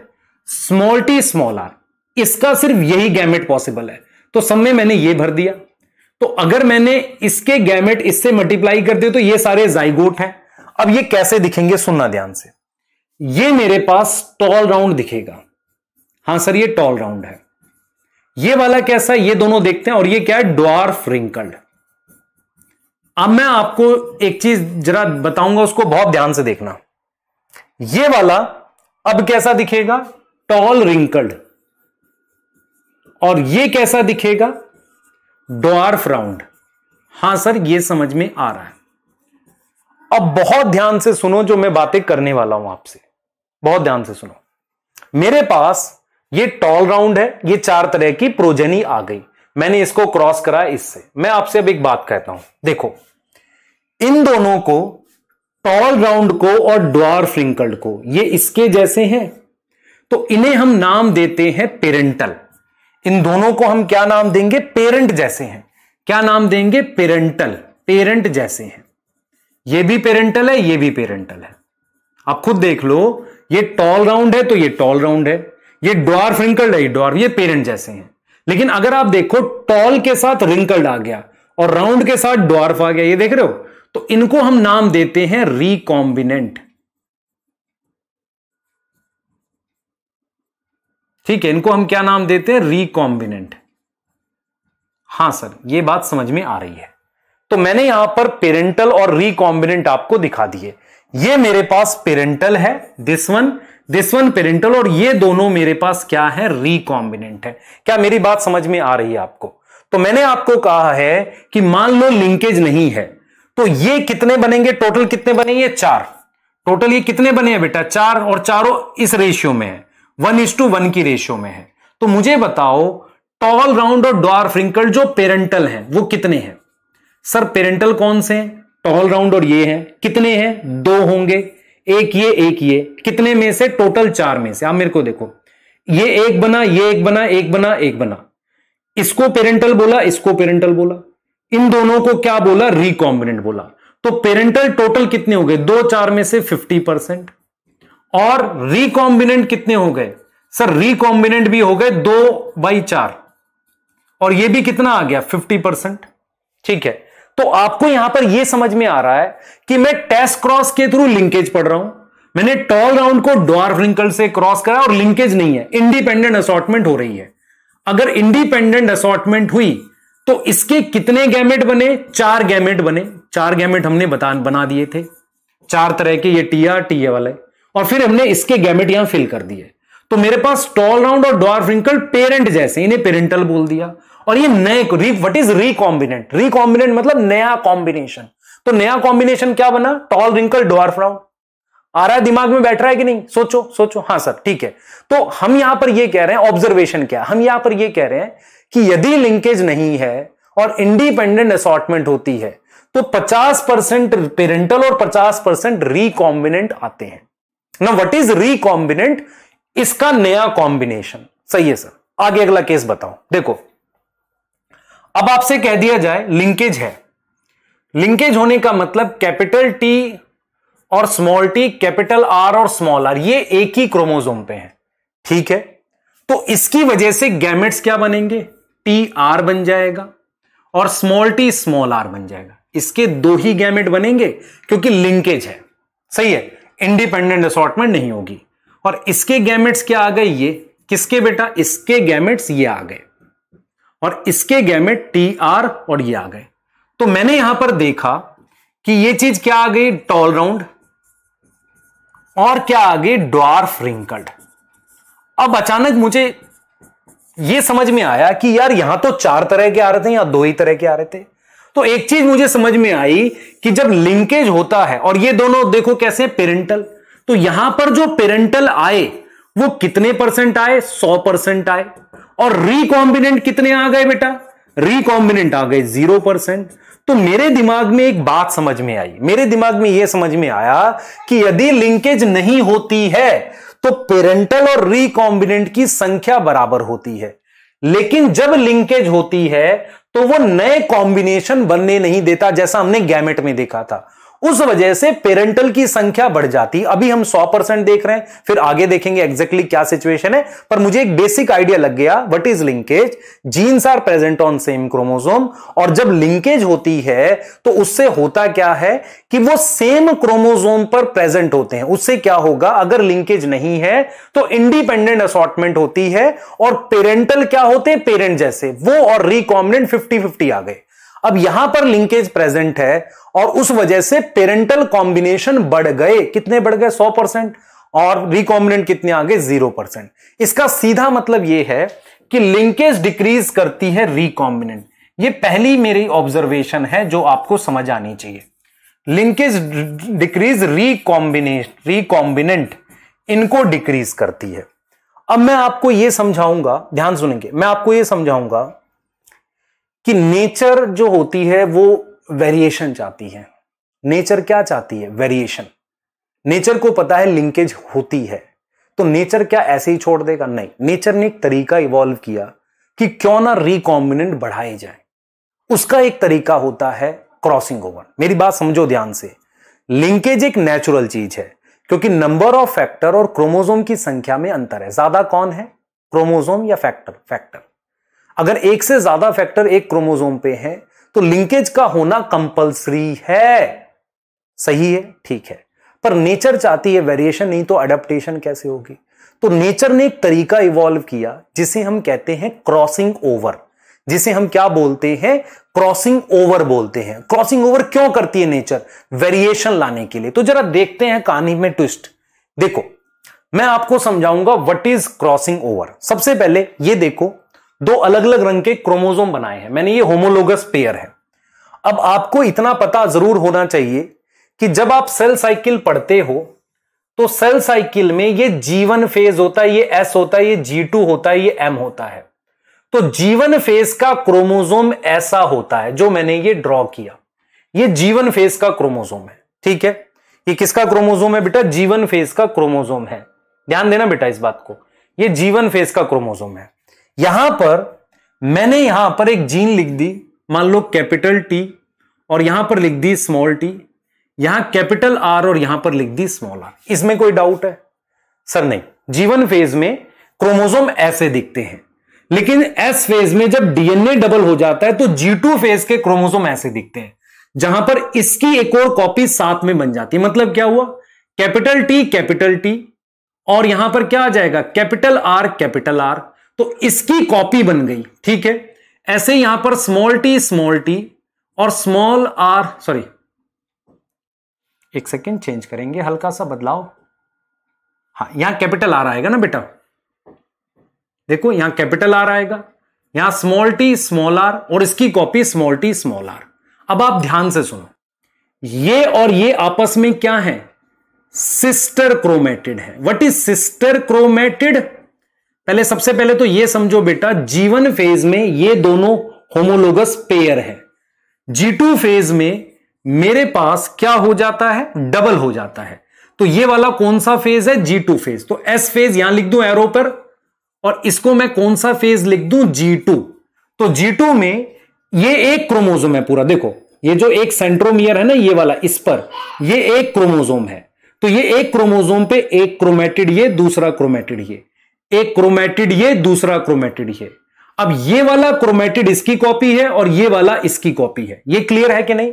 तो इन दोनों को हम सिस्टर क्रोमेटिड कहेंगे, इसको इसको। ये एक दूसरे की कॉपी होते हैं, देख रहे हो? ये इसकी कॉपी है, ऐसे ये वाला इसकी कॉपी है। क्लियर है कि नहीं? सोचो। हाँ सर, क्लियर है। तो मैं आपको यह समझाने की कोशिश कर रहा हूँ कि जीवन फ़ेज़ में जो भी क्रोमोजोम है, लिंकेज दिख रहा है आपको? हाँ, दिख रहा है। उनकी कॉपीज बन जाती हैं और ये दोनों को सिस्टर क्रोमेटिड कहते हैं। क्रॉसिंग ओवर क्या होता है? ये वाला इसके साथ सिस्टर है, देखो, इसका ये सिस्टर है, इसका ये सिस्टर है, क्योंकि कॉमन सेंट्रोमियर पर इस वाले सेंट्रोमियर पर ये दोनों है, इस वाले पर ये दोनों है। इन वाले को कहते हैं नॉन सिस्टर क्रोमेटेड तो नॉन सिस्टर क्रोमेटेड के बीच में पैकेटीन स्टेज में मियोसिस वन के पैकेटीन स्टेज में, है ना मियोसिस वन में प्रोफेज वन में मियोसिस वन के पैकेटीन में क्रॉसिंग ओवर होती है। किसके बीच में होगी? नॉन सिस्टर के में, इसका, इसके साथ क्रॉसिंग ओवर होगा। मतलब क्या हुआ? ये वाला पार्ट इसके साथ एक्सचेंज हो जाएगा। देखो ऐसा कुछ। जैसे मान लो यहाँ कैपिटल टी है तो यहाँ कैपिटल आर था, यहाँ कैपिटल टी था, यहाँ स्मॉल टी था, यहाँ स्मॉल टी था, यहाँ स्मॉल आर था। तो यहाँ कैपिटल टी के साथ ये कैपिटल आर था और यहाँ स्मॉल आर था। तो मैं यही चीज़ आपको समझा रहा हूँ, ये वाला पार्ट और ये वाला पार्ट आपस में एक्सचेंज हो रहा है। तो किसके बीच में हो रहा है? नॉन सिस्टर के बीच में। सिस्टर कौन सा? ये दोनों सिस्टर है। ये दोनों सिस्टर है। क्लियर है कि नहीं? अब इसे हम क्रॉसिंग ओवर कह रहे हैं। इसे हम क्या कह रहे हैं? क्रॉसिंग ओवर कह रहे हैं। अब आप ध्यान से देखो क्रॉसिंग ओवर की वजह से क्या हो गया? कैपिटल टी कैपिटल आर और कैपिटल टी के साथ यहाँ क्या आ गया? स्मॉल आर आ गया। यहाँ स्मॉल टी स्मॉल टी यहाँ स्मॉल आर है, पर यहाँ का क्या आ गया? कैपिटल आर आ गया। अब अगर आप ध्यान से देख सको, अगर क्रॉसिंग ओवर नहीं होती, मेरी बात सुनो, इनको ले लो। अगर क्रॉसिंग ओवर नहीं हुई होती तो इसमें गैमेट्स कौन से बनते देखो? ये टी आर एक बनता, ये वाला टी और आर और टी और आर ये वाला एक बनता, और small T small R small T small R दो ही टाइप के बने ना, एक टाइप ये हो गया, एक टाइप ये हो गया। अगर नो क्रॉसिंग ओवर होती, आपको समझ में आ रहा है? अगर नो क्रॉसिंग ओवर होती तो ऐसा होता। ठीक है नो क्रॉसिंग ओवर होती तो ऐसा होता। लेकिन क्रॉसिंग ओवर होने की वजह से क्या बना? टी आर ये वाला, और इस टी के साथ ये स्मॉल आर और स्मॉल टी के साथ कैपिटल आर स्मॉल टी के साथ कैपिटल आर और स्मॉल टी के साथ स्मॉल आर तो आप अगर ध्यान से देखो, ये नए कॉम्बिनेशन बन गए कि नहीं? तो आपको ये चीज़ समझ में आनी चाहिए कि भाई नेचर कहती है, देखो नेचर कहती है कि भाई अगर मेरे पास लिंकेज है तो नए कॉम्बिनेशन डिक्रीज हो रहे हैं। क्या लिंकेज को ओवरकम करने का तरीका है? हाँ क्रॉसिंग ओवर वो कब होती है? मियोसिस वन के पैकेटीन में होती है। तो क्रॉसिंग ओवर का मीनिंग है exchange exchange of genetic material किसके बीच में? एक्सचेंज ऑफ़ जेनेटिक मटेरियल किसके बीच में? Between non sister chromatid non sister chromatid के बीच में. क्या मेरी बात समझ में आ रही है कि नहीं? नॉन सिस्टर क्रोमेटिड के बीच में जो एक्सचेंज हो रहा है उसे हम क्या बोल रहे हैं? क्रॉसिंग ओवर बोल रहे हैं। क्या यह चीज़ क्लियर हो गई? समझ रहे हो इस बात को? इनके बीच में हो रहा है। अगर क्रॉसिंग ओवर होती है, ध्यान सुनेंगे। अगर क्रॉसिंग ओवर नहीं होती तो मेरे पास कितने कॉम्बिनेशन बने? सर जी, दो ही बने। एक ये देखो, ये दोनों एक ही तरह के ये दोनों तो एक और दो बने। लेकिन अगर क्रॉसिंग ओवर हो रही है तो चार बन रहे हैं, जिसमें ये बीच वाले दोनों नए हैं। तो सिंपल भाषा में यह समझ में आया कि जैसा रिज़ल्ट इंडिपेंडेंट असॉटमेंट से आता है, वो रिज़ल्ट किससे आता है? क्रॉसिंग ओवर से। लेकिन अभी भी एक बात है जो आपको बतानी ज़रूरी है। वो ज़रूरी बात आप देखेंगे। ध्यान से देखें बेटा। वो ज़रूरी बात आप देखें। देखो, ये आपको दिख रहा है कि मैंने दो अलग अलग क्रोमोसोम बना रखे हैं हाँ सर बना रखे हैं। आपको दिख रहा है कि टी और आर लिंक जीन है। ये देखो पहले क्रोमोसोम देखो। टी टी ये दोनों सिस्टर क्रोमेटिड है, ये और ये सिस्टर है, ये और ये सिस्टर है, ये और ये नॉन सिस्टर है नॉन सिस्टर अगर आप देखो, ध्यान से, इनके बीच में टी और आर के बीच में डिस्टेंस ज़्यादा है है ना? टी और आर के बीच में ज़्यादा डिस्टेंस है। सही है? अच्छा इसमें देखो ए और बी के बीच में डिस्टेंस कम है, ध्यान से देखो। इसमें लेस डिस्टेंस है। ए और बी के बीच में लेस डिस्टेंस है। अब मेरी बात समझना। वट इज़ क्रॉसिंग ओवर ये वाला पार्ट देख लो इन दोनों के बीच में और इन दोनों के बीच में एक्सचेंज होना है। ठीक है? समझो इस बात को। मतलब क्या हुआ? क्रॉसिंग ओवर का मतलब है इसके बीच में और इसके बीच में ये ऐसे कट लगना है। पर आपको यह चीज़ समझ में आना चाहिए, भाई कट किसके बीच में लगना है? कैपिटल टी कैपिटल आर और स्मॉल टी स्मॉल आर के बीच में ऐसे कट लगना है। तो अगर डिस्टेंस ज़्यादा होगा, आप देखो, अगर डिस्टेंस ज़्यादा होगा तो चांसेस ज़्यादा है ना कट लगने के मतलब एक्सचेंज होने के। अगर डिस्टेंस कम होगा तो क्रॉसिंग ओवर के चांस कम हो जाएँगे। ये बात समझ में आ रही है? भाई क्रॉसिंग ओवर एक बाई चांस इवेंट होता है। वो कहीं से भी हो सकता है, मुझे बताओ। अगर मैं ये वाला पार्ट एक्सचेंज कर लूँगा तो क्या कोई फ़र्क पड़ेगा? नहीं। फ़र्क तब पड़ेगा जब एक्सचेंज यहाँ और यहाँ के बीच में हो। ये चीज़ क्लियर है? मैं यही चीज़ आपको समझा रहा हूँ कि जितना ज़्यादा डिस्टेंस होगा उतने ज़्यादा चांस हैं क्रॉसिंग ओवर के। किसके बीच का डिस्टेंस इसके और इसके बीच का। क्योंकि बीच में से कट लगने के चांसेस ज़्यादा हो जाएँगे। तो जितना ज़्यादा जितना ज़्यादा more is distance more chance of crossing over उतने ज़्यादा चांस होंगे क्रॉसिंग ओवर के। और उतना ज़्यादा उतना ज़्यादा रिकॉम्बिनेंट बनेगा। मोर रिकॉम्बिनेंट फॉर्म मतलब मैं आपको यह समझा रहा हूँ बेटा, मैं आपको यह समझाने की कोशिश कर रहा हूँ कि लिंक जीन में जितनी दूरी ज़्यादा होगी तो एक्सचेंज इनके बीच में से, मान लो मैं रेंडमली काटता हूँ तो यहाँ इनके बीच में कट लगने के चांस बढ़ जाएँगे। मैं रेंडमली काटता हूँ, मान लो यहाँ कट लग जाए तो होगा ही नहीं कुछ। तो less is distance less chance of crossing over अगर कम चांस है क्रॉसिंग ओवर के तो क्या आप ये समझ पा रहे हो? लेस रिकॉम्बिनेंट बनेंगे। हाँ सर, ये बात समझ में आ गई। ये बात समझ में आ गई। अब इन बातों को समराइज करते हैं जितना मैंने बताया, पर आपको मोटा मोटा एक बात समझ में आ गई। What is linkage genes same chromosome पे होती हैं। अगर ऐसा होता है तो रिकॉम्बिनेंट घट जाते हैं। रिकॉम्बिनेंट को बढ़ाने के लिए मुझे क्रॉसिंग ओवर करनी पड़ती है। क्रॉसिंग ओवर किसके बीच में होती है? नॉन सिस्टर क्रोमेटिड के बीच में। और ये एक बाई चांस इवेंट होती है। चांस अगर डिस्टेंस ज़्यादा है तो कट लगने का बीच में से क्या ज़्यादा है? चांस ज़्यादा है। और chance of crossing over high होता है। अगर डिस्टेंस कम है तो चांस ऑफ़ क्रॉसिंग ओवर क्या होता है? कम होता है। क्या ये बात आपके दिमाग में बैठी कि नहीं? मुझे बताओ। सोचो इस बात को। तो चांस ऑफ़ क्रॉसिंग ओवर क्या होगा? हाई तब होगा जब डिस्टेंस ज़्यादा होगा। और उतने ज़्यादा क्या बनेंगे? रिकॉम्बिनेंट बनेंगे। क्या ये क्लियर बैठ गया? अब आओ जरा। चीज़ों को समराइज करते हैं इस तरीके से। ध्यान से देखना बेटा, ध्यान से देखना। अब मैं यहाँ पर आपको यह क्लियर कर रहा हूँ। देखो, मैं आपको यह क्लियर कर रहा हूँ कि आपने तीन केसेस समझे, तीन केसेस समझे। ध्यान से समझना बेटा। आपने तीन केसेस समझे। सबसे पहला केस आपने समझा कि लिंकेज नहीं है। लिंकेज एब्सेंट अगर लिंकेज नहीं है तो क्या होती है? इंडिपेंडेंट असॉटमेंट उस केस में पेरेंटल कितने आते हैं? 50 परसेंट और रिकॉम्बिनेंट कितने आते हैं? 50 परसेंट यहाँ तक समझ में आ रही है। ठीक है? क्लियर है? अब यह चीज़ हमेशा याद रखो यह मैक्सिमम वैल्यू है रिकॉम्बिनेंट की। इससे ज़्यादा रिकॉम्बिनेंट नहीं आ सकते। फिर हमने कहा आपको कि लिंकेज प्रेजेंट है।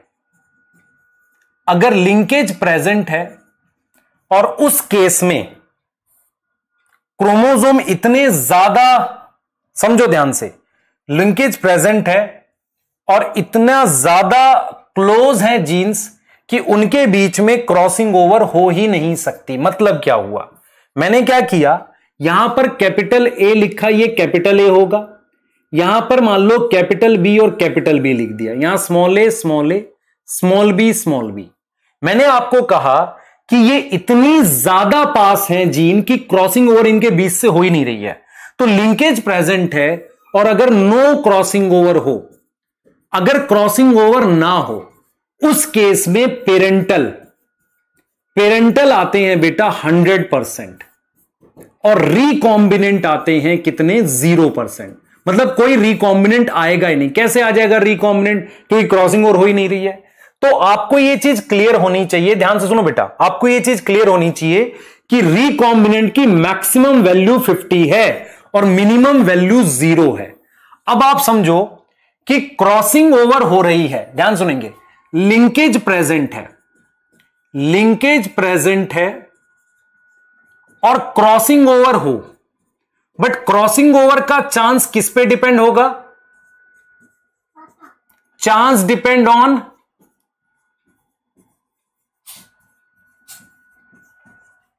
chance depend on किस पे डिपेंड करेगा चांस बताओ जल्दी से। चांस डिपेंड ऑन हाँ भाई, बताओ जल्दी जल्दी बताओ। चांस डिपेंड ऑन डिस्टेंस दूरी पे। तो अगर आप समझो, जितनी ज़्यादा दूरी होगी, समझो ध्यान से, जितनी ज़्यादा दूरी होगी, जैसे मान लो मैं दो केस दिखा देता हूँ आपको, दो केस दिखा देता हूँ। यहाँ देखना आप। ऐसे है दो अलग अलग क्रोमोजोम है। यहाँ देखो। यहाँ मान लो ए रख दू, यहाँ बी रख दू, यहाँ कैपिटल ए, कैपिटल बी यहाँ small A small B small A small B ध्यान से सुनेंगे। जितनी ज़्यादा दूरी हो, समझना, जितनी ज़्यादा दूरी हो, जैसे ये दूरी ये दूरी ज़्यादा है इसके और इसके बीच की। जितनी ज़्यादा दूरी होगी, उतना ज़्यादा उतना ज़्यादा क्या होगा? चांस होगा। जैसे मान लो, यहाँ पर दूरी यहाँ बना देते हैं। ये देखो जरा।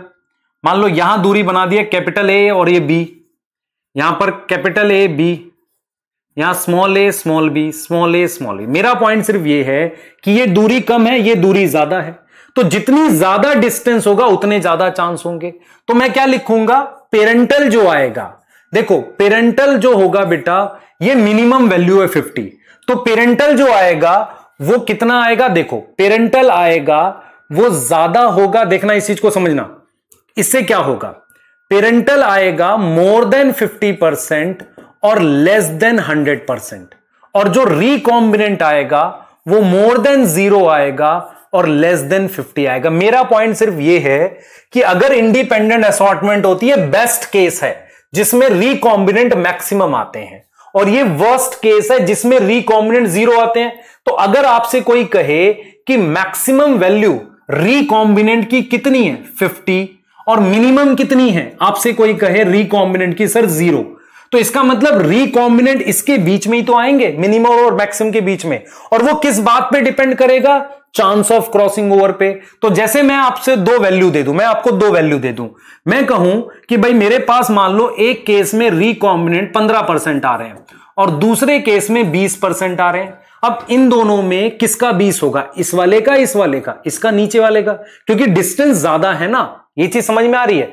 तो रिकॉम्बिनेंट की वैल्यू 50 से कम होगी ज़ीरो से ज़्यादा होगी। और वो किस बात पे डिपेंड करेगी? कितना डिस्टेंस है?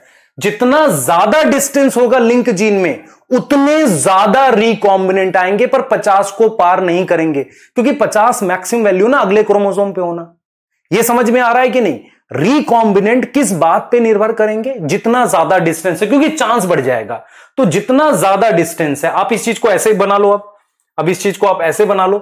इसका मतलब यह हुआ कि अगर आपके पास क्रोमोजोम है, देखिए ध्यान से, अगर आपके पास ये क्रोमोजोम मैंने बना लिए, देखो इस चीज़ को तो यहाँ आपने क्या किया? मान लो ये डिस्टेंस बना दिया।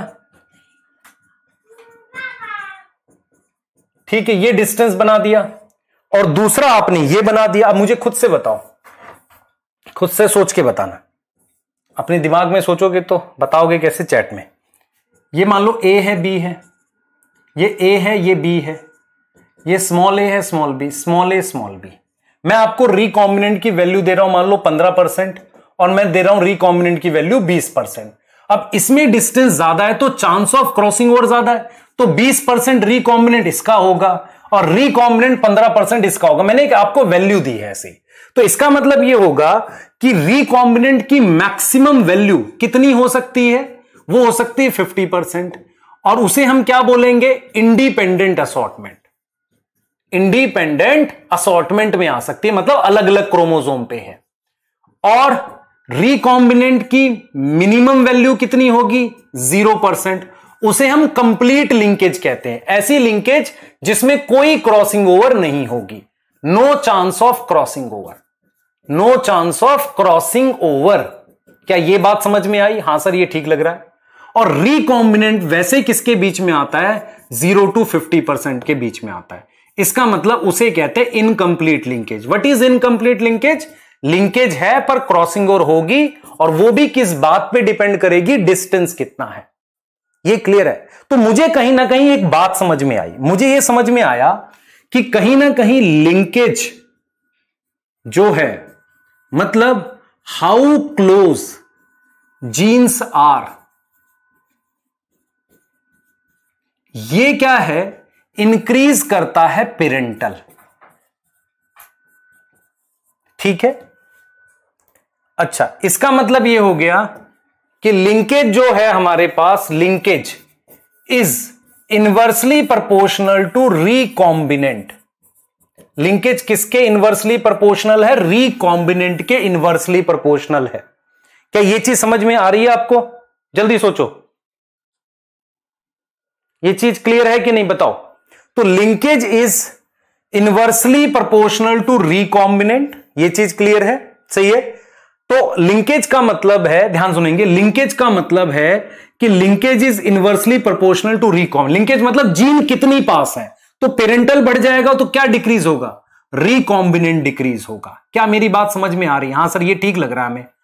अब मैं जो अगली बात आपको बोलने जा रहा हूँ, वो बहुत इंपॉर्टेंट है। अब मुझे बताओ अगर मैं आपसे लिखूं more is distance between link gene जितना ज़्यादा डिस्टेंस होगा लिंक जीन में more chance of crossing over more chance of crossing over और मोर परसेंटेज ऑफ़ रिकॉम्बिनेंट क्या यह समझ में आई कि नहीं बताओ सोचो, जितना ज़्यादा लिंक जीन के बीच का डिस्टेंस होगा, उतने ज़्यादा चांस होंगे क्रॉसिंग ओवर के, और उतने ज़्यादा क्या होंगे परसेंटेज ऑफ़ रिकॉम्बिनेंट होगा। उतनी ज़्यादा परसेंटेज होगी रिकॉम्बिनेंट की। मतलब यह है कि आपने कुछ समरी दिमाग में बैठानी है। सबसे पहले what is linkage same chromosome पे होना। लिंकेज अगर है और क्रॉसिंग ओवर ना हो complete linkage zero percent recombinant linkage है क्रॉसिंग ओवर हो रही है रिकॉम्बिनेंट बढ़ेंगे, पर एक लिमिट है रिकॉम्बिनेंट बढ़ने की। मैक्सिम कितना जा सकता है? फिफ्टी परसेंट तक। उसको पार नहीं कर सकता। सही है? कहीं ना कहीं मुझे यह समझ में आया कि जितना ज़्यादा डिस्टेंस है जितना ज़्यादा हमारे पास डिस्टेंस है लिंक जीन के बीच में, जितना डिस्टेंस बढ़ाओगे, उतने ज़्यादा चांस होंगे क्रॉसिंग ओवर के और उतना ज़्यादा रिकॉम्बिनेंट बढ़ेगा। इस चीज़ को यूज़ किया है एक साइंटिस्ट ने, जिनका नाम स्टर्टी वेंट है। आप समझो ध्यान से। जिनका नाम स्टर्टी वेंट है। स्टर्टीवेंट कौन थे? स्टूडेंट ऑफ़ मॉर्गन स्टर्टीवेंट कौन थे बेटा? क्या नाम था ये? ये स्टूडेंट ऑफ़ मॉर्गन थे। ये स्टूडेंट थे मॉर्गन के। क्लियर है कि नहीं? इन्होंने क्या किया? कहीं ना कहीं क्या किया बेटा? ध्यान सुनेंगे। डिस्टेंस बिटवीन लिंक जीन को डिस्टेंस बिटवीन लिंक जीन को रिलेट किया परसेंटेज ऑफ़ रिकॉम्बिनेंट से। इन्होंने बोला कि मान लो भाई जितना ज़्यादा डिस्टेंस है, उतने रिकॉम्बिनेंट बनेंगे। उन्होंने बोला कि मान लो एक परसेंट रिकॉम्बिनेंट है। तो मैं क्या करता हूँ? डिस्टेंस निकाल लेता हूँ। उससे एक आर्बिट्रेटी देखो, मैं आपको बताता हूँ। मान लो, अब मैं यहाँ खड़ा हूँ, आप वहाँ खड़े हैं। तो एब्सोलूट डिस्टेंस मान लो, मैं पाँच मीटर बोलता हूँ। क्या मैं रिलेटिव डिस्टेंस निकाल सकता हूँ? तीन लोग खड़े हैं, ऐसे तीन लोग खड़े हैं। इसके इसके बीच का जो डिस्टेंस है, उसको इससे कंपेयर कर ले। तो इन्होंने क्या किया? इन्होंने कहा कि भाई, एक percent recombinant is equal to एक सेंटी मॉर्गन एक क्या है? सेंटी मॉर्गन है। क्लियर है? तो एक परसेंट रिकॉम्बिनेंट को इन्होंने एक सेंटी मॉर्गन का डिस्टेंस कहा। सोचो इस बात को, दिमाग लगाओ। तो कहीं ना कहीं स्टर्टीवेंट जो है, जिनका जो स्टूडेंट ऑफ़ मॉर्गन थे, उन्होंने डिस्टेंस बिटवीन लिंक जीन के बीच में निकाला। जैसे कि मान लेते हैं, ये हम क्रोमोजोम बना लेते हैं। यहाँ पे मैंने ए जीन लिखी, ये बी जीन लिखी। इसमें पाँच परसेंट रिकॉम्बिनेंट आएँगे। मतलब क्या हुआ कि इनमें क्रॉसिंग ओवर होने के चांस कितने? पाँच परसेंट। तो जो पाँच परसेंट रिकॉम्बिनेंट है उसको उन्होंने नाम दिया पाँच री centimorgan five centimorgan की यूनिट। ऐसे मान लो बी और सी है, इसके बीच में पंद्रह परसेंट है तो बी और सी के बीच में मान लो फिफ्टीन परसेंट रिकॉम्बिनेंट को उन्होंने फिफ्टीन सेंटी मॉर्गन का नाम दिया। क्या ये बात सोच पा रहे हो? दिमाग लगाओ इसमें। ये क्या दिमाग में बैठ रही है बात? बिल्कुल बैठ सकती है। तो कहीं ना कहीं कहीं ना कहीं परसेंटेज ऑफ़ रिकॉम्बिनेंट क्योंकि दूरी पे डिपेंड कर रही ना, उसको हम किससे लिख रहे हैं? सेंटी मॉर्गन यूनिट से लिख रहे हैं। और इसके डायरेक्ट क्वेश्चन आ जाते हैं, आपको क्या करेगा? ए और बी की डिस्टेंस दे देगा बी और बी सी की देगा, फिर ए सी की निकालने के लिए कहेगा। पर ये डिस्टेंस क्या है? रिलेटिव है। इसकी मदद से एक मैप बनाए जाते हैं कि भाई क्रोमोजोम पर जीन कहाँ कहाँ पर है। उसे लिंकेज मैप करते हैं, कहते हैं। और वो ह्यूमन जीनोम प्रोजेक्ट में स्टार्टिंग में यूज़ होता है। क्लियर है कि नहीं? सही है? अब हम लिंकेज में एक बहुत इंपॉर्टेंट चीज़ जो डिस्कस करेंगे। अब मुझे बताओ, क्या आपको ये सारे पॉइंट्स क्लियर हुए? फिर मैं आपको वो क्रॉस बता रहा हूँ जो ड्रॉस ऑफ़ इलाका है। ठीक है, सबसे पहले देखो। जीन्स आर ध्यान देंगे जीन्स ऑफ़ डिफरेंट लोकस देखो, ध्यान से देखो two genes of different locus on same chromosome उसे लिंकेज कहते हैं। ये आपको खुद करना है। Due to linkage different combination of gamete increase और डिक्रीज खुद करना है इसको। इंक्रीज और डिक्रीज दूसरा in case of absence of linkage अगर लिंकेज नहीं है तो क्या होती है याद है? इंडिपेंडेंट असॉटमेंट इंडिपेंडेंट असॉटमेंट होती है। ठीक है इंडिपेंडेंट असॉटमेंट में पेरेंटल कितना आएगा? बताओ जल्दी। पेरेंटल फिल करोगे आप यहाँ पे पेरेंटल आएगा कितना? 50 परसेंट रिकॉम्बिनेंट 50 परसेंट और लिंकेज को हम कैसे ओवरकम कर सकते हैं? मतलब लिंकेज को कैसे हटा सकते हैं? क्या लिखूँगा मैं, बताओ? क्रॉसिंग ओवर इनको आप खुद से आंसर करने की कोशिश करना पहले। ठीक है, पहले खुद करना, फिर देखना। चांस ऑफ़ क्रॉसिंग ओवर किस पे डिपेंड करेगा? डिस्टेंस बिटवीन लिंक जीन पे। लिंक्ड जीन पे। If gene is so closely linked, so crossing over, then it is complete linkage complete linkage में क्रॉसिंग ओवर नहीं होगी। तो पेरेंटल कितना आ जाएगा? 100 परसेंट और रिकॉम्बिनेंट ज़ीरो परसेंट पढ़ो और आंसर करो खुद से। Recombinant is directly proportional to distance between link gene distance between linked gene और यही प्रोपोर्शनल है चांस ऑफ़ क्रॉसिंग ओवर ये इससे प्रोपोर्शनल है। Recombinant percentage directly link to chance of crossing over है ना? ये चीज़ समझ में आ रही है बेटा? अब मुझे बताओ रिकॉम्बिनेंट ज़ीरो कब होगा और ये कब ज़ीरो हो गए? देखो, ये कौन सा केस है? खुद लिखो यहाँ पर। और ये कौन सा केस है? ये लिखो। ठीक है? और पेरेंटल किसके बीच में आएगा? यहाँ लिखना और ये रिकॉम्बिनेंट क्लियर है? अब हम डिस्कस करेंगे आपका वो जो आपका एनसीआरटी में क्रॉस दे रखा ना ड्रोसोफिला उसको डिस्कस करते हैं। चलिए बेटा, फटाफट से हम लोग क्रॉस देख लेते हैं ड्रोसोफिला पे कि क्या हमें बनाना है। तो सबसे पहले मैं आपको ये क्लियर कर देता हूँ कि जो मॉर्गन ने ड्रोसोफिला पे काफ़ी सारे डायहाइब्रिड क्रॉस किए थे सिमिलर टू मेंडेलियन क्रॉस आप एनसीआरटी की पहली लाइन देखेंगे इस टॉपिक की तो यही लिखा हुआ है। कि मॉर्गन ने काफ़ी सारे डायहाइब्रिड क्रॉस किए थे। जब हम डायहाइब्रिड क्रॉस की बात करते हैं, इसका मतलब दो ट्रेड या दो कैरेक्टर एक साथ लिए थे। दूसरी बात यह है, बेटा, ड्रोसोफिला में टोटल आठ क्रोमोजोम होते हैं और मॉर्गन ने बताया था कि काफ़ी सारी ट्रेट एक्स क्रोमोजोम जैसे मेल में एक एक्स क्रोमोजोम है, फीमेल में दो एक्स क्रोमोजोम पर भी प्रेजेंट होती है। तो क्यों ना हम उस क्रॉस को देखते हैं, जो एनसीआरटी में दिया हुआ है, दो क्रॉस बने हुए उसे हम देख लेते हैं। सबसे पहले आपको यह समझना पड़ेगा कि ड्रोसोफिला में मेल में मेरे पास टोटल आठ क्रोमोजोम है और मेल हमारे पास एक्स वाई है। और फीमेल में भी आठ क्रोमोजोम है और फीमेल में दो एक्स क्रोमोजोम होते हैं। ये चीज़ समझ में आ रही है।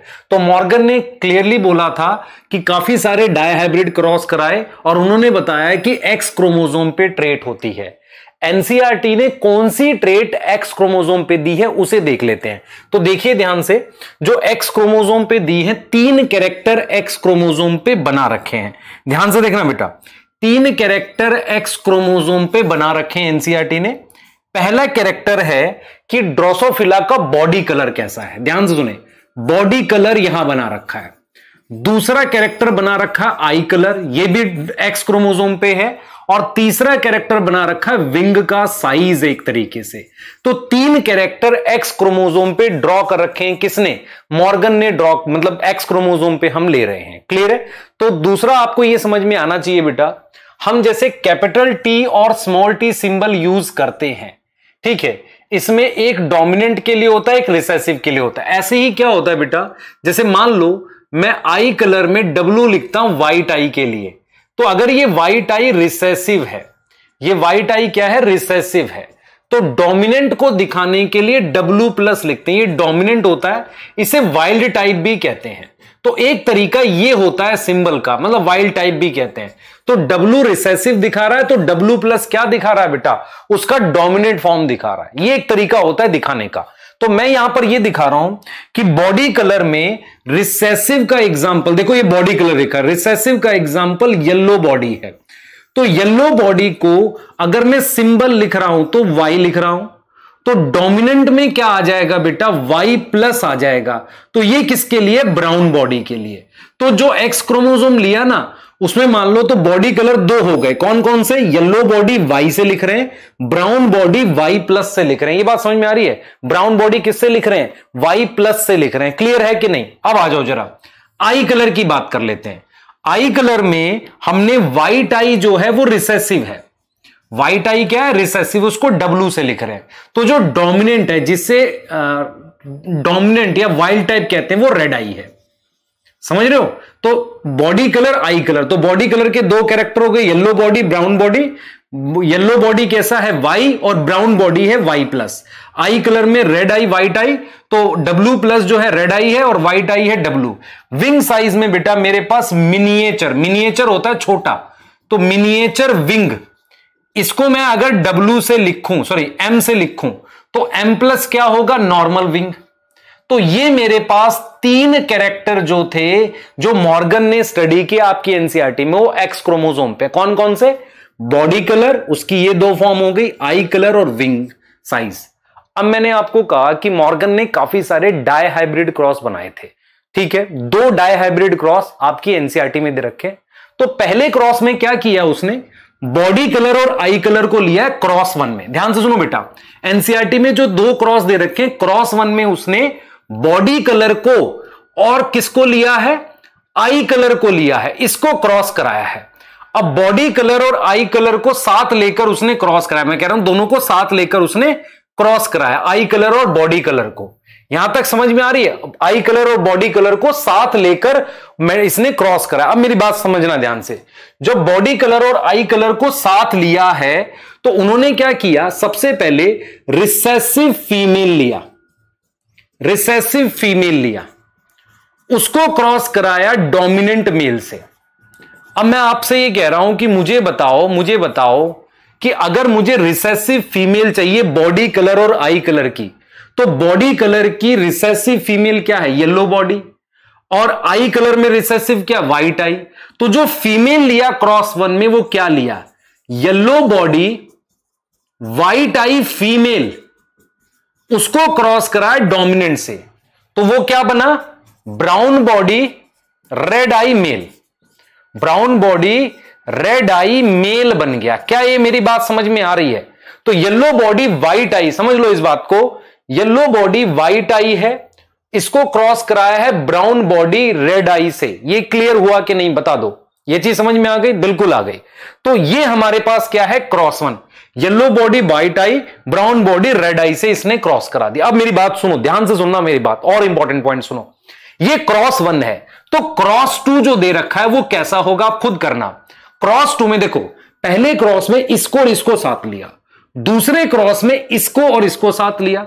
तो अगर आपसे कोई कहे कि क्रॉस टू बताओ क्या होगा रिसेसिव फीमेल ले लो। किसका रिसेसिव फीमेल आई कलर और विंग साइज़ का रिसेसिव फीमेल तो क्या लिखोगे?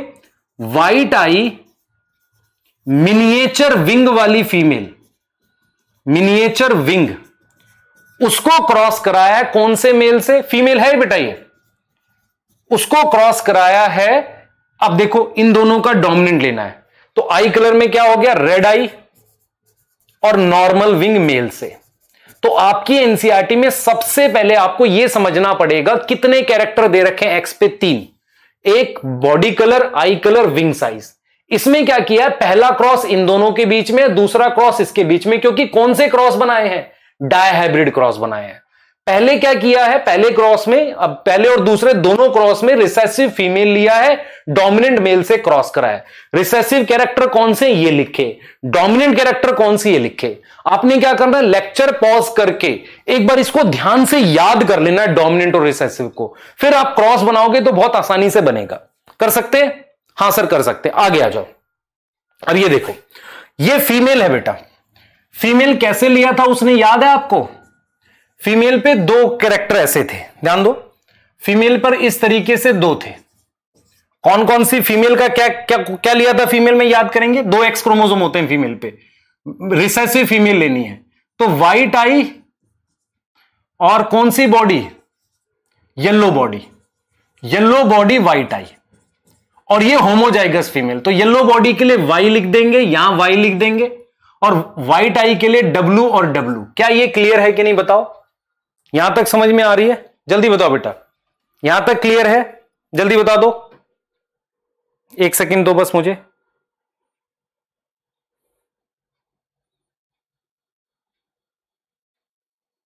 ठीक है क्लियर है? अब देखो। अब इसको डोमिनेंट मेल से क्रॉस कराएँगे। किससे क्रॉस करा रहे हैं? डोमिनेंट मेल से। क्रॉस करा दो बेटा। डोमिनेंट मेल चाहिए। तो येलो बॉडी का डोमिनेंट क्या आएगा भाई? वाई प्लस अच्छा देखो, ये वाई क्रोमोजोम है बेटा। वाई क्रोमोजोम पे कोई कैरेक्टर नहीं होता। ठीक है, ये वाई है। तो यहाँ पर होगा सिर्फ़ कैरेक्टर तो यहाँ आ जाएगा आपका वाई प्लस और यहाँ आ जाएगा डब्ल्यू प्लस अपनी एनसीआरटी चेक करो, यही क्रॉस है। तो ये कौन सी बॉडी हो गई? ये हो गई brown body brown body dominant हाँ सर डोमिनेंट है। और रेड आई ये क्या है? मेल है। ये इसका वाई क्रोमोजोम है, ये मेल हो गया। तो ये क्रॉस कराया। अब देखो क्या हुआ। इससे कितने तरह के गैमेट बनेगा? एक तरीका, कौन सा? वाई डब्ल्यू ये बना दिया मैंने। वाई डब्ल्यू बना दिया। और ये वाला जो है, वो इसके साथ लिख दिया। वाई प्लस डब्ल्यू प्लस क्योंकि भाई देखो, इस एक्स क्रोमोजोम के साथ ये जाएगा और इसके साथ ये जाएगा। तो सेम चीज़ आएगी, वो ये लिख दी मैंने। ये लिख दी। ये दोनों क्या, कौन से क्रोमोजोम है? एक्स क्रोमोजोम है। ये एक्स है और ये वाई है। तो वाई पर कैरेक्टर नहीं होता, याद करना, ये वाली ट्रेट नहीं होती। तो brown body red eye male जो है, उसको क्रॉस करा है रिसेसिव फीमेल से। देख रहे हो, ये रिसेसिव है। और ये वाइल्ड टाइप बोल सकते हैं इसको। डोमिनेंट है ना तो वाइल्ड टाइप बोलते हैं। तो ये जो जनरेशन आई है, ये एफ़ वन आई है। अब मुझे ध्यान से बताना, सोचकर। आपने लिंकेज भी पढ़ा है। आप मुझे सोच के बताओ। अब मैं क्या करूँगा? सेल्फिंग मेंडल के क्रॉस में क्या करते थे? सेल्फिंग करते थे। इसका मतलब ये ये मेल है। ये हमारे पास क्या है? मेल और ये क्या है? फीमेल मैं इन दोनों को क्रॉस कराऊँगा सेल्फिंग करूँगा। मुझे बताओ, इसके कितने गैमेट बनेंगे? सर, एक गैमेट एक्स क्रोमोजोम दूसरा वाई तो इसके कितने गैमेट बन गए? दो गैमेट बन गए। हाँ सर, इसके बन गए दो गैमेट इसके कितने बनेंगे? आप खुद बताओ। क्या मैं इसको ऐसे नहीं लिख सकता? Capital A small A capital B small B जैसे कैपिटल ए कौन सा? वाई प्लस ये वाई डब्ल्यू प्लस डब्ल्यू तो इसके कितने गैमेट बनते थे? चार बनते थे ना? ए के साथ बी फिर ए के साथ स्मॉल बी स्मॉल ए के साथ कैपिटल बी और स्मॉल ए के साथ स्मॉल बी चार बनते थे कि नहीं बताओ? ऐसे अगर मुझे इसके गैमेट बनाने हो तो सबसे पहले कैपिटल लो कौन सा? वाई प्लस ले लिया। ठीक है? उसके बाद साथ में क्या रख दो? इसका रखो। वाई प्लस डब्ल्यू प्लस देख रहे हो? वाई प्लस डब्ल्यू प्लस एक गैमेट ये हो गया। दूसरा गैमेट कौन सा हो गया? वाई डब्ल्यू ये लिख दिया। आप खुद देखो, अगर मैं आपको गैमेट इसके दिखाऊँ, कैसे बनेंगे? ध्यान से देखना बेटा। इसके अगर मुझे आपको गैमेट दिखाने पड़े तो मैं किस तरीके से दिखाऊँगा? एक बार समझने की कोशिश करें। एक सेकंड दो मुझे, बस एक स्लाइड ले लें आपके लिए। देखो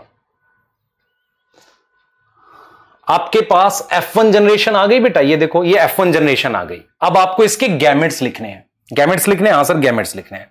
तो मैं आपको ये दिखा रहा हूँ कि भाई F1 जनरेशन ये है, आपके पास सर ये है और ये है। इस पे कौन कौन से गैमेट है? एक पे मेरे पास यहाँ Y और W है, यहाँ Y प्लस डब्ल्यू प्लस है। ये जीवन है ना? G2 में इसको डबल कर दूँगा? हाँ सर डबल कर सकते हैं ऐसे। है ना? इस तरीके से G2 में डबल करेंगे, तभी तो क्रॉसिंग ओवर होगी। अब मुझे बताओ, यहाँ पर क्या है? Y और W, Y और W, इन दोनों पे। पता है आपको Y plus Y plus W plus W plus अब मैं यहाँ पर एक्सचेंज करने वाला हूँ। अब मैं यहाँ पर क्या करने वाला हूँ? एक्सचेंज करने वाला हूँ। ध्यान सुनेंगे।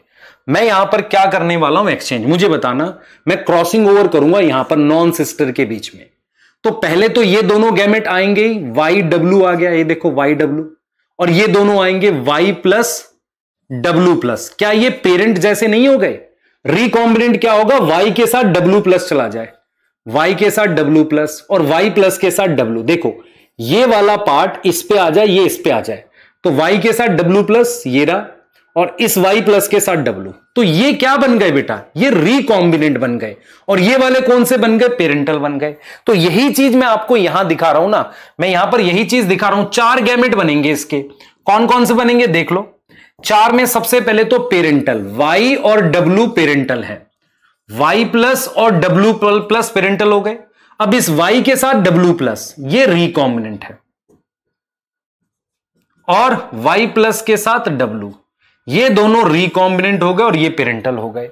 अब मैं क्या करूँगा? ये कितने गैमेट हो गए टोटल ये कितने हो गए? जल्दी बताओ। ये कितने हो गए? थोड़ा साफ़ सा बना देते हैं आपके लिए। एक हो गया वाई के साथ डब्लू और एक हो गया वाई प्लस डब्लू प्लस फिर वाई के साथ डब्लू प्लस और वाई प्लस के साथ डब्लू टोटल चार गैमेट हो गए ये। है ना? चार ही बन सकते हैं ऐसे, चार बन गए। अब इस चार को दो से मल्टीप्लाई करेंगे तो टोटल आठ प्रोजेनी आएँगी। अपनी एनसीआरटी जब देखोगे आप तो टोटल आठ प्रोजेनी बनी हुई है। क्रॉस कैसे स्टार्ट किया उसने? क्रॉस ऐसे स्टार्ट किया। देखो क्रॉस ऐसे स्टार्ट किया उसने कि उसने क्रॉस कराया किसके बीच में? व्हाइट आई देख रहे हो? Yellow body white eye female को क्रॉस कराया। ब्राउन बॉडी रेड आई इसका मतलब जो मेल लिया है, वो वाइल्ड टाइप लिया है डोमिनेंट लिया है।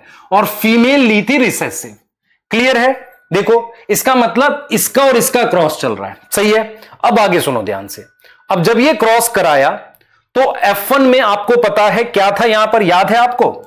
F1 में क्या था सर? Y था और W था और Y प्लस और W प्लस था। इसके चार गैमेट बने थे। इसके क्या थे? वाई डब्ल्यू बस और ये था। तो इसके जो चार गैमेट बने, वो कौन कौन से थे? दिखा देता हूँ मैं आपको। इसके चार गैमेट थे। वाई डब्ल्यू और वाई प्लस डब्ल्यू प्लस ये क्या है? पेरेंटल है? आप खुद बताओ। ये देखो, ऐसे बना लो इसको। ऐसे बना लो। ये पेरेंटल हो गए। ठीक है। अब आप खुद बताओ। मैं क्या करूँ? चार बार ये इसको फिर से ऐसा ड्रॉ कर दूँ। देखो। Y और w, y plus W plus क्या मैंने पेरेंटल फिर से बना दिए? बना दिए। अब क्या करो, इनके दोनों गैमेट लिख दो। देख रहे हो? दोनों गैमेट मतलब ये वाला वाई डब्ल्यू इनके सबके साथ लिख दो। मतलब ये वाला सबके साथ लिख दो वाई डब्ल्यू इसके साथ भी लिख दो। ऐसे करके। तो ये जो बन रहा है मेरे पास, आप समझने की कोशिश करना मैं क्या कर रहा हूँ। मैं आपको सिर्फ़ ये समझ, बेटा, रब इसलिए कर रहा हूँ ताकि आपको दिखे अच्छे से। मेरी बात सुनो। इसके टोटल कितने गैमेट बने? चार। एक बना वाई डब्ल्यू ठीक है? और एक बना हमारे पास वाई प्लस डब्ल्यू प्लस एक बना वाई और प्लस डब्ल्यू और एक वाई डब्ल्यू प्लस ये रिकॉम्बिनेंट है और ये दोनों पेरेंटल हैं। अब एक बार इसको इसके साथ मल्टीप्लाई करेंगे ना तो साथ लिख देंगे।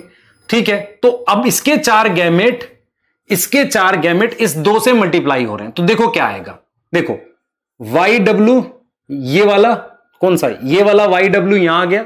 और इसके साथ इसका वाई डब्ल्यू तो एक ये बन गया। फिर दोबारा से वाई डब्ल्यू के साथ ये स्टिक आ गई।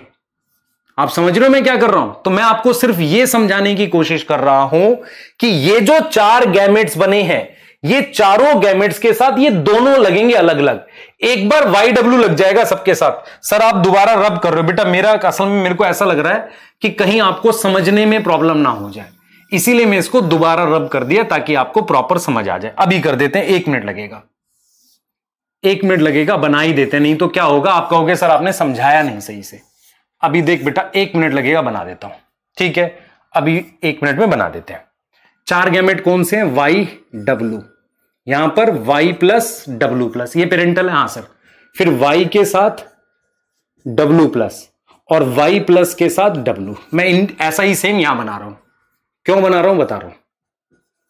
सर, इतना टाइम क्यों दे रहे हो? बेटा, समझाने के लिए बस। ताकि तुझे समझ आ जाए, क्योंकि ये कोई भी टीचर या कोई भी नॉर्मली बुक में अच्छे से समझाता नहीं। अब ये देख। इन सब के साथ एक एक तो ये पिंक वाली स्टिक लगा लो। इसका मतलब ये सारे मेल बन गए। हाँ, सर, मेल बन गए। और बाकी क्या करो? एक एक येलो वाला लगा दो ये। और ये येलो वाला कौन सा है? वाई डब्ल्यू है। ये वाला।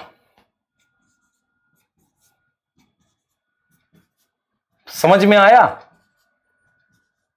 हाँ, सर। अब बीच में ये जो बने हैं, ये वाले, ये सब रिकॉम्बिनेंट है, क्योंकि सब में वाई डब्ल्यू प्लस या वाई प्लस डब्ल्यू है। और ऊपर वाले ये क्या है? पेरेंटल आपको दिखेगा, जो एनसीआरटी ने डाटा दिया हुआ है, उसने ये बोला हुआ है कि जो रिकॉम्बिनेंट बने हैं, वो 1.3 परसेंट है। समझ में आ रहा है आपको? कितना है? 1.3 परसेंट है। तो बचे हुए जो है पेरेंटल कितने आ गए? ये पेरेंटल है, ये पेरेंटल है, ये पेरेंटल है, ये पेरेंटल है। तो 100 में से माइनस कर दो 1.3 कितना बच गया आपका? आपका बच गया 98.7 इतने परसेंट पेरेंटल है। ठीक है? अब सिमिलर क्रॉस आप इसके बीच में ड्रॉ करो। मेरी बात सुनो ध्यान से। एनसीआरटी कहती है कि मैंने बॉडी कलर और आई कलर के बीच में क्रॉस ड्रॉ किया तो मेरे पास रिकॉम्बिनेंट आए 1.3 परसेंट और पेरेंटल आए 98.7 परसेंट अब सेम क्रॉस मैंने इन दोनों के बीच में किया। कैसे करोगे? बिल्कुल ऐसे, जैसे यहाँ पर था। तो यहाँ पर आपने ये व्हाइट आई देखो येलो बॉडी व्हाइट आई ले रखा है, पर आप उस वाले क्रॉस में क्या करोगे? व्हाइट आई मिनिएचर विंग लेके चलोगे, है ना? आप क्या लेकर चलोगे? देखो, इस वाले क्रॉस में क्या लेके चलोगे? आप लेके चलोगे white eye miniature wing female को क्रॉस कराओगे red eye red eye normal wing male से, ऐसे क्रॉस कराओगे। तो उसके बाद ये जो डिस्टेंस आएगा, ये जो डिस्टेंस आ रहा है, ये आ रहा है मान लो 32.8 परसेंट क्लियर है? या 32 पॉइंट शायद कुछ ऐसा ही है। चेक कर लेना अपने आप। मान लो 32.3 है या कुछ ऐसा ही है। मान लो 32.2 है या 7 है या क्या, पता नहीं क्या है। 32.8 है मान लो तो 62.2 आ जाएगा। जो भी आप ये चेक कर लेना, मैं डाटा बोल रहा हूँ। मेरी बात समझो ध्यान से। यहाँ ये रिकॉम्बिनेंट है, यहाँ पेरेंटल एक बार चेक कर लेना, उसमें ऐसा नहीं कि कमेंट करने लगो, आप चेक कर लेना। तो यहाँ पर 32.8 है या शायद 4 है, ऐसा कुछ है, जो भी आप देख लेना। मेरा सिर्फ़ पॉइंट ये है कि इन दोनों जीन के बीच में डिस्टेंस ज़्यादा है, इसलिए रिकॉम्बिनेंट ज़्यादा आया है। इन दोनों के बीच में डिस्टेंस कम है, इसलिए रिकॉम्बिनेंट कम आया है। ये समझ में आ रहा है? तो एक्स क्रोमोजोम पे तीन कैरेक्टर हैं। कौन कौन से? Body colour eye colour wing size का। इनके बीच में जब डायहाइब्रिड क्रॉस कराया तो रिकॉम्बिनेंट 1.3 परसेंट पेरेंटल इतना। और इन दोनों के बीच में जब डायहाइब्रिड क्रॉस कराया तो रिकॉम्बिनेंट इतना पेरेंटल इतना। तो कहीं ना कहीं आपको यह समझ में आएगा कि दूरी कम है और दूरी ज़्यादा है तो डिस्टेंस के हिसाब से रिकॉम्बिनेंट आ रहा है। क्रॉस वन में क्या किया? ये दोनों लिए। तो ये दोनों कैसे लिए? फीमेल रिसेसिव ली तो बॉडी कलर की रिसेसिव फीमेल क्या है? येलो बॉडी और इसकी रिसेसिव कैरेक्टर व्हाइट आई तो yellow body white eye female को क्रॉस कराया। हमारे पास brown body red eye male से। अगर इनमें क्रॉस कराओगे तो कैसे लिखोगे? White eye miniature wing female को क्रॉस कराया। किससे? व्हाइट का डोमिनेंट रेड आई मिनिएचर का डोमिनेंट नॉर्मल से। ऐसे करके आपने क्रॉस ड्रॉ करना है। एफ़ वन में क्या आएगा? दो प्रोजेनी आएँगी, फिर उनकी सेल्फिंग करनी है। अब उसमें से एक हेट्रोजाइगस है। हेट्रोजाइगस कौन सी थी? फीमेल आएगी हेट्रोजाइगस एफ़ में। उसके चार गैमेट बनेंगे और मेल के बनेंगे दो गैमेट इसलिए टोटल जो है वो आठ प्रोजेनी आ रखी है। एनसीआरटी में ऐसे बना रखा है। रिकॉम्बिनेंट ऐसे दे रखा है पेरेंटल ऐसे दे रखा है। मैं आपको ऐसे दिखा रहा हूँ, कोई फ़र्क नहीं पड़ता उससे। तो पेरेंटल और रिकॉम्बिनेंट आप देखेंगे तो एक में क्या होगा आपका? एक में पेरेंटल जो है वो कितना आ रहा है? इतना और रिकॉम्बिनेंट इतना। दूसरे वाले में पेरेंटल इतना है रिकॉम्बिनेंट इतना तो डिस्टेंस ज़्यादा है तो रिकॉम्बिनेंट ज़्यादा है। ठीक है, ये चीज़ क्लियर है? ये है आपका इसका क्रॉस कर लेंगे इसको? हाँ सर, कर लेंगे। आगे देखो। अब मैं आपको एक टॉपिक बताने जा रहा हूँ, जिसका नाम है सेक्स डिटर्मिनेशन जो एक अलग टॉपिक है। मैं फिर रिपीट करता हूँ। सेक्स डिटर्मिनेशन टॉपिक से मुश्किल क्वेश्चन नहीं आता। इसका इजी क्वेश्चन आता और ये एग्जैक्टली exactly है क्या? मेरी बात सुनो। हमने सबसे पहले आपको ये मैं कुछ सवाल पूछूँगा और आप इसकी अंडरस्टैंडिंग अपने दिमाग में बिठाओगे। मुझे ये अगर आपसे पूछना पड़े कि यार मुझे ये बताओ कि ए सेक्शुअल और सेक्शुअल रिप्रोडक्शन में पहले कौन से आई थी? आप कहोगे, सर, पहले ए सेक्शुअल रिप्रोडक्शन आई थी। ठीक है? फिर बाद में क्या आई? सेक्शुअल रिप्रोडक्शन सेक्शुअल रिप्रोडक्शन का मतलब होता है कि गैमेट फ्यूज करते हैं और वो जाइगोट बनाते हैं। मैं आपसे ये पूछना चाह रहा हूँ, क्या गैमेट बनाने के लिए ऑर्गेनिज्म का यूनिसेक्सुअल होना ज़रूरी है? बताओ जल्दी से, नहीं, ज़रूरी नहीं है। क्या बाइसेक्सुअल भी तो गैमेट बना सकते हैं? जैसे फ्लावर्स होते हैं, वो बाइसेक्सुअल होते हैं, वो भी गैमेट्स बना रहे हैं। या हार्मोफ्रोडाइट ऑर्गेनिज्म होते हैं बाइसेक्सुअल जैसे कि टेप वॉर्म वो भी गैमेट्स बना रहे हैं। तो मैं आपको ये समझा रहा हूँ कि सबसे पहले क्या आई? ए सेक्शुअल रिप्रोडक्शन आई। उसके बाद आई सेक्सुअल रिप्रोडक्शन सेक्सुअल रिप्रोडक्शन के बाद जो ऑर्गेनिज्म सेक्सुअल रिप्रोडक्शन करते थे, उनमें सेक्स ऑर्गन आए। अब एक ही ऑर्गेनिज्म में मेल और फीमेल दोनों सेक्स ऑर्गन हो, उसे बाइसेक्सुअल कहते हैं। लेकिन अगर वो अलग अलग हो, जैसे ह्यूमन में मेल और फीमेल सेक्स ऑर्गन अलग अलग ऑर्गेनिज्म में है तो उसे यूनिसेक्सुअल कहते हैं। ये जो टॉपिक है सेक्स डिटर्मिनेशन ये बात कर रहा है नॉर्मली यूनिसेक्सुअल ऑर्गेनिज्म की। मतलब क्या हुआ कि जैसे मान लो आपके पास ये फ्लार है, ये फ्लार बाइसेक्सुअल है तो क्या इसमें क्रोमोजोम के थ्रू जैसे ह्यूमन में होता है, मेल फीमेल बना सकते हैं, नहीं बना सकते। तो अगर मैं आपसे कहता हूँ सेक्स डिटर्मिनेशन सेक्स डिटर्मिनेशन का मतलब है कि कोई ऑर्गेनिज्म किस प्रकार से मेल या फीमेल बनेगा। हम जेनेटिक्स पढ़ रहे हैं बेटा तो जेनेटिक्स में कहीं ना कहीं हम डीएनए और क्रोमोजोम की बात करेंगे। तो हमारा जो इस टॉपिक को पढ़ने का लॉजिक है वो ये है कि हम ये जानना चाह रहे हैं कि किन ऑर्गेनिज्म में क्रोमोजोम के द्वारा मेल फीमेल बनना हो पाता है। तो मैं सिंपल लैंग्वेज में आपको यह कह रहा हूँ कि सेक्स डिटर्मिनेशन का मीनिंग क्या है कि how how sex of individual is determine मतलब किस तरीके से पता चलता है नेचर डिटरमाइन करती है। डिटरमाइंड बाई नेचर कैसे नेचर डिटरमाइन करती है कि वो मेल बनेगा कि फीमेल बनेगा? आप जरा ऐसे देखो। सबसे पहले मैं आपसे कहता हूँ कि ए सेक्शुअल रिप्रोडक्शन आई। हाँ, सर, ये सही लग रहा है। सबसे पहले ए सेक्शुअल रिप्रोडक्शन आई। उसके बाद हमारे पास कौन सी रिप्रोडक्शन आई? देखो, सबसे पहले ए सेक्शुअल रिप्रोडक्शन आई, उसके बाद हमारे पास क्या आई? सेक्सुअल आई। सेक्सुअल में उसके बाद मुझे गैमेट्स की ज़रूरत पड़ी, बिना उसके सेक्सुअल नहीं होगी। गैमेट्स रिक्वायर थे। फिर मेरे पास क्या बने? सेक्स ऑर्गन बन गए। तो सेक्स ऑर्गन ऐसी लोकेशन थी जहाँ गैमेट्स बनते थे। मान लो ऑर्गेनिज्म हैप्लॉइड है तो गैमेट्स कैसे बनेंगे? माइटोसिस से। गैमेट डिप्लॉइड है सॉरी ऑर्गेनिज्म डिप्लॉइड है तो गैमेट कैसे बनेंगे? मियोसिस से। तो मेरे पास सेक्स ऑर्गन डेवलप हुए। अच्छा सेक्स ऑर्गन डेवलप होने के बाद मेरे पास बाइसेक्सुअल ऑर्गेनिज्म आया। तो बाइसेक्सुअल ऑर्गेनिज्म का मतलब जैसे कि फ्लावर वगैरह, है ना? बाइसेक्सुअल ऑर्गेनिज्म आया। उसके बाद मेरे पास यूनिसेक्सुअल ऑर्गेनिज्म आए जिसमें मेल और फीमेल होता है। यूनिसेक्सुअल ऑर्गेनिज्म आए जिसमें मेल होता है और फीमेल होता है। और उसके बाद बेटा ये भी आया सेक्सुअल डायमॉर्फिज्म मतलब मेल फीमेल अलग अलग दिखते हैं। तो मैं अगर आज आपसे पूछूँ सेक्सुअल रिप्रोडक्शन के लिए मेल और फीमेल अलग अलग होना ज़रूरी है? नहीं। सेक्सुअल रिप्रोडक्शन के लिए सबसे ज़रूरी है गैमेट्स का होना।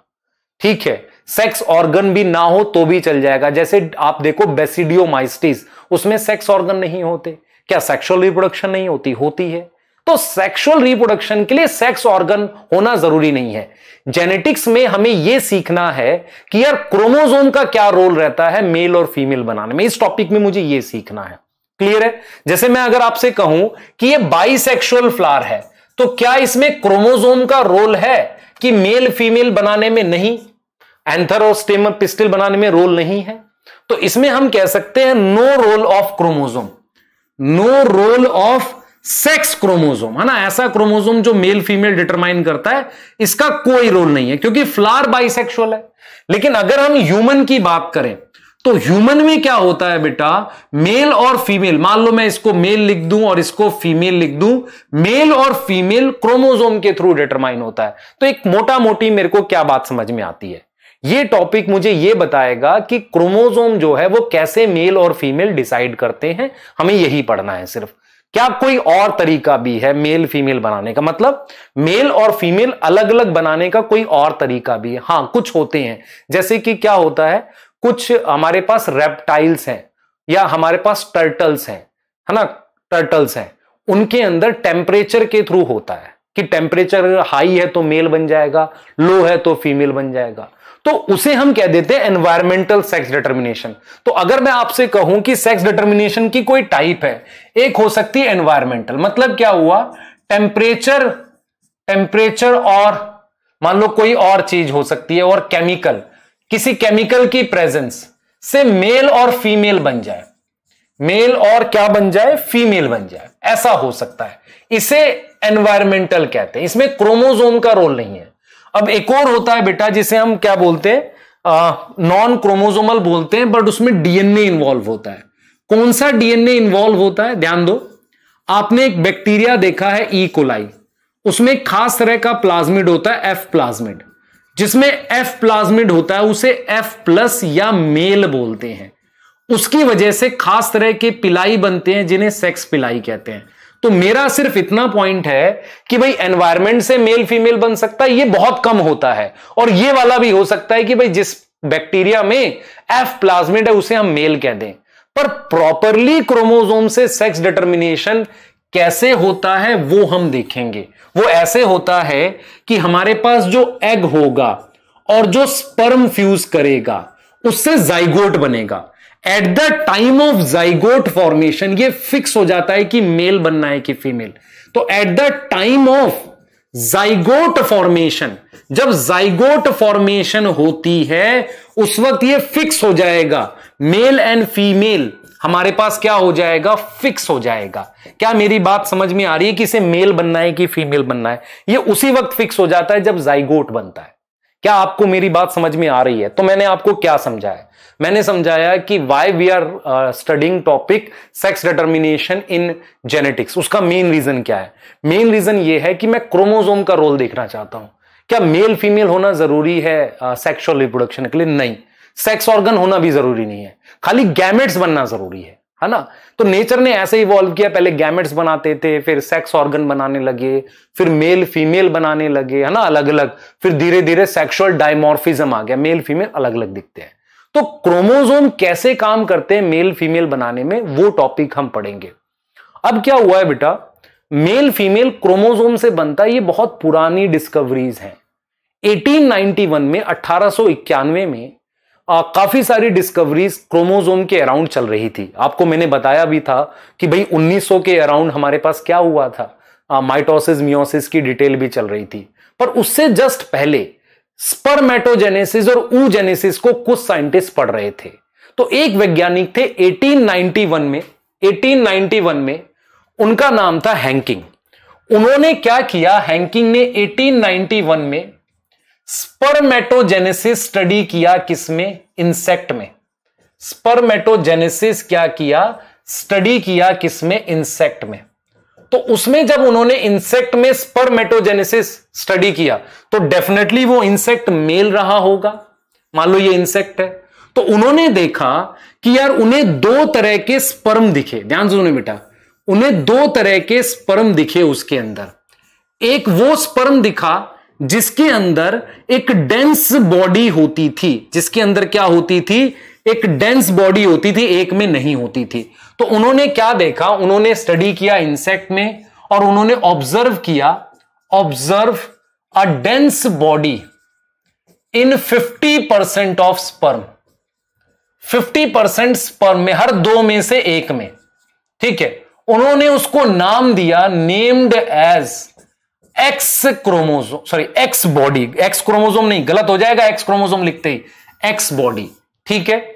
तो हैंकिंग एक वैज्ञानिक थे 1891 में वो अपना अपना मतलब क्या कर रहे थे स्टडी कर रहे थे क्या? स्पर्मेटोजेनेसिस इंसेक्ट में देख रहे थे माइक्रोस्कोप से। उन्होंने देखा कि 50 परसेंट स्पर्म में हमारे पास एक एक्स बॉडी नाम की चीज़ है 50 परसेंट पे। अब जरा इस बात को ऐसे समझो। क्या उन्होंने एक्स क्रोमोसोम खुद खोजा था? नहीं, उन्होंने सिर्फ़ एक्स बॉडी बोला था। तो बाद में बाद में जो डेंस बॉडी है, जिसे उन्होंने एक्स बॉडी बोला लेटर साइंटिस्ट ने बताया वो एक क्रोमोसोम है। Later scientist discovered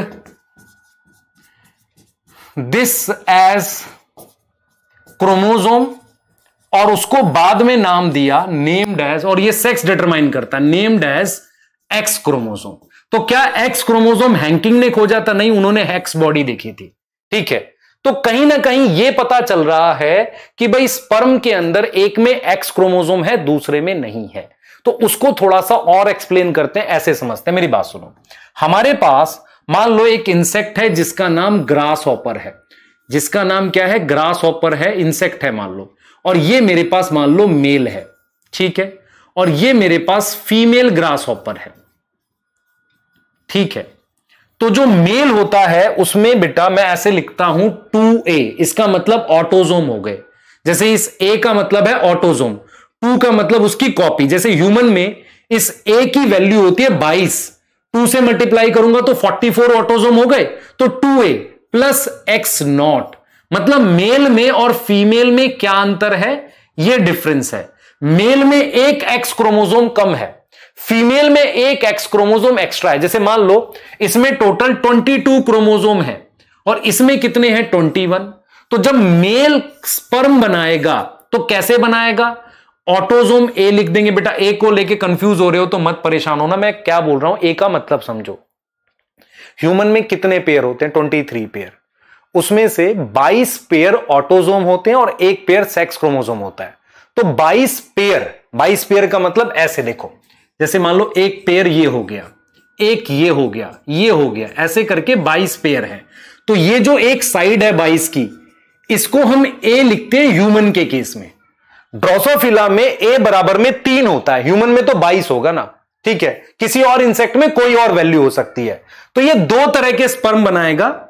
एक में ऑटोजोम होगा और कोई एक्स क्रोमोजोम नहीं होगा। और एक में ऑटोजोम के साथ एक्स क्रोमोजोम का ये देख लो। और ये क्या करेगा? एग बनाएगा। फीमेल एग बनाएगी। और कैसे बनाएगी? दोनों में एक्स क्रोमोजोम है। अब आप ध्यान से देखो। फीमेल ने female produce only only one type of egg देखो। One type of egg female ने एक ही तरह का एग बनाया है कि नहीं? और यहाँ पर मेल ने दो तरह के स्पर्म बनाए हैं। टू टाइप ऑफ़ स्पर्म तो ये क्या चीज़ है बेटा? ये है कॉन्सेप्ट सेक्स डिटर्मिनेशन का। हमेशा याद रखो कि मेल और फीमेल में से जो कोई एक, दो तरह के गैमेट्स बनाता है, कोई एक। कौन बनाएगा? मेल फीमेल में से कोई भी। उसे हम कहते हैं हेट्रोगेमेटिक तो हैंकिंग ने सिर्फ़ यह देखा था कि यार 50 परसेंट स्पर्म में एक डेंस सेन स्ट्रक्चर है, उसे एक्स बॉडी कहते हैं। बाद में पता चला वो एक्स क्रोमोजोम है। और फिर हमने ये पता किया कि जो ग्रास ऑपर है या कोई इंसेक्ट है, उसमें मेल में एक एक्स क्रोमोजोम कम होता है। ये हमने पता किया, हमें पता चला। तो मेल में अगर एक एक्स क्रोमोजोम हमारे पास कम होता है तो हम ऐसे लिख रहे हैं ए प्लस नॉट और ए प्लस एक्स तो मेल में दो तरह के स्पर्म बनेंगे। दो तरह के स्पर्म बनेंगे। एक बनेगा, ध्यान दे बेटा, एक बनेगा ए प्लस एक्स एक बनेगा ए प्लस एक्स और एक बनेगा ए प्लस नॉट तो मेल में दो टाइप के स्पर्म बनेंगे। दूसरा फीमेल में हमारे पास ए प्लस एक्स और ए प्लस एक्स हमारे पास only one type of egg बनेगा फीमेल में। क्या मेरी बात समझ में आ रही है कि नहीं? मेल और फीमेल को लेके समझ में आ गया। मेल में दो तरह के स्पर्म फीमेल में एक तरह का एग क्लियर है? और जब भी सेक्स डिटरमाइन करेगा, वो हमेशा हेट्रोगेमेटिक मेंबर करेगा। आ जाओ, मैं जरा आपको कुछ चीज़ें दिखाता हूँ। देखो, हमने क्या किया? हमने देखा कि अलग अलग ऑर्गेनिज्म में अलग अलग तरीके से मेल फीमेल बनता है। सुनना ध्यान से। सबसे पहली टाइप है इसे एक्सओ टाइप या एक्स एक्स एक्सओ टाइप कहते हैं। ये इंसेक्ट्स में होता है। कौन से इंसेक्ट्स में? मोस्ट ऑफ़ द इंसेक्ट में। मोस्ट ऑफ़ द इंसेक्ट्स में यही वाला होता है। इसमें क्या होता है? ध्यान सुनेंगे। मेल जो है, वो दो तरह के स्पर्म बनाता है। ए प्लस एक्स और ए प्लस नॉट इसका मतलब मेल हेट्रोगेमेटिक होता है। हेट्रोगेमेटिक मतलब दो तरह के गैमेट बनाता है। फीमेल क्या है? एक ही तरह के एग बनाती है। कौन से? ए प्लस एक्स वाला। तो अगर मैं इन दोनों को आपस में जोड़ूं फर्टिलाइज करूँ तो मेरे पास मेल बनेगा। क्लियर है? और मैं अगर इन दोनों को जोड़ूं तो फीमेल बनेगा। तो फीमेल में वापसी टू ए प्लस क्या आ जाएगा? एक्स एक्स आ जाएगा। आप खुद देख लो। फीमेल क्या आ जाएगा? Two A plus X X आ जाएगा। ये एक्स ये एक्स और ये टू ए हो गया। मेल क्या आ गया? Two A plus X not आ गया। आप खुद देख लो। तो male two A plus X not होता है, दो तरह के गैमेट बनाता है, और फीमेल क्या है? Two A plus X X है। अब ये वाला किसमें होता है बेटा? ये होता है सम इंसेक्ट में। सम इंसेक्ट जैसे कि ड्रोसोफिला है ना? सम इंसेक्ट तो इसका मतलब मोस्ट इंसेक्ट में ये वाला होता है, जैसे कि कॉकरोच में ये होता है। ऐसे सेक्स डिटर्मिनेशन करते हैं। कॉकरोच के अलावा हम लिख सकते हैं क्या? इसमें ग्रास हॉपर क्या लिख सकते हैं? ग्रास हॉपर लिख सकते हैं। हाँ सर ठीक है। इस वाले में सम इंसेक्ट में ड्रोसोफिला लिख सकते हैं। और क्या लिख सकते हैं? ह्यूमन आप देख लो ह्यूमन में देखो, खुद से देखो मेल मेल में क्या है? Two A plus X Y है। तो मेल क्या है? हेट्रोगेमेटिक है। सेक्स कौन डिटरमाइन करेगा? मेल फीमेल क्या है? Two A plus X X है। तो इसके कितने गैमेट बनेंगे? दो।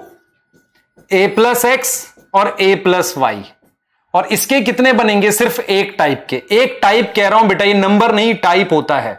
ये फ्यूज करेगा मेल और ये अगर इसके साथ फ्यूज कर रहा है तो फीमेल ऐसे समझो। तो हेट्रोगैमेटिक कौन है? इसमें मेल हेट्रोगेमेटिक है। तो अगर आपसे कोई कहे एक्स एक्स और एक्सो टाइप या एक्सो टाइप किसमें मिलती है? Most of the insect cockroach grass of X X X Y type इसकी मैच द फॉलोइंग आते हैं। वो किसमें मिलेगा? ड्रोसोफिला में। एक और टाइप होती है जेड जेड जेड डब्ल्यू इसमें मेल क्या होता है बेटा? होमोगेमेटिक होता है। होमो मतलब एक ही तरह के गैमेट बनाएगा। तो मेल जो होगा वो two A plus Z Z है। और फीमेल क्या है बेटा? फीमेल हेट्रोगेमेटिक है।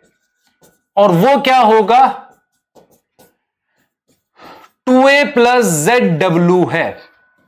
तो यहाँ पर और यहाँ पर, आप इस चीज़ को ध्यान से समझे।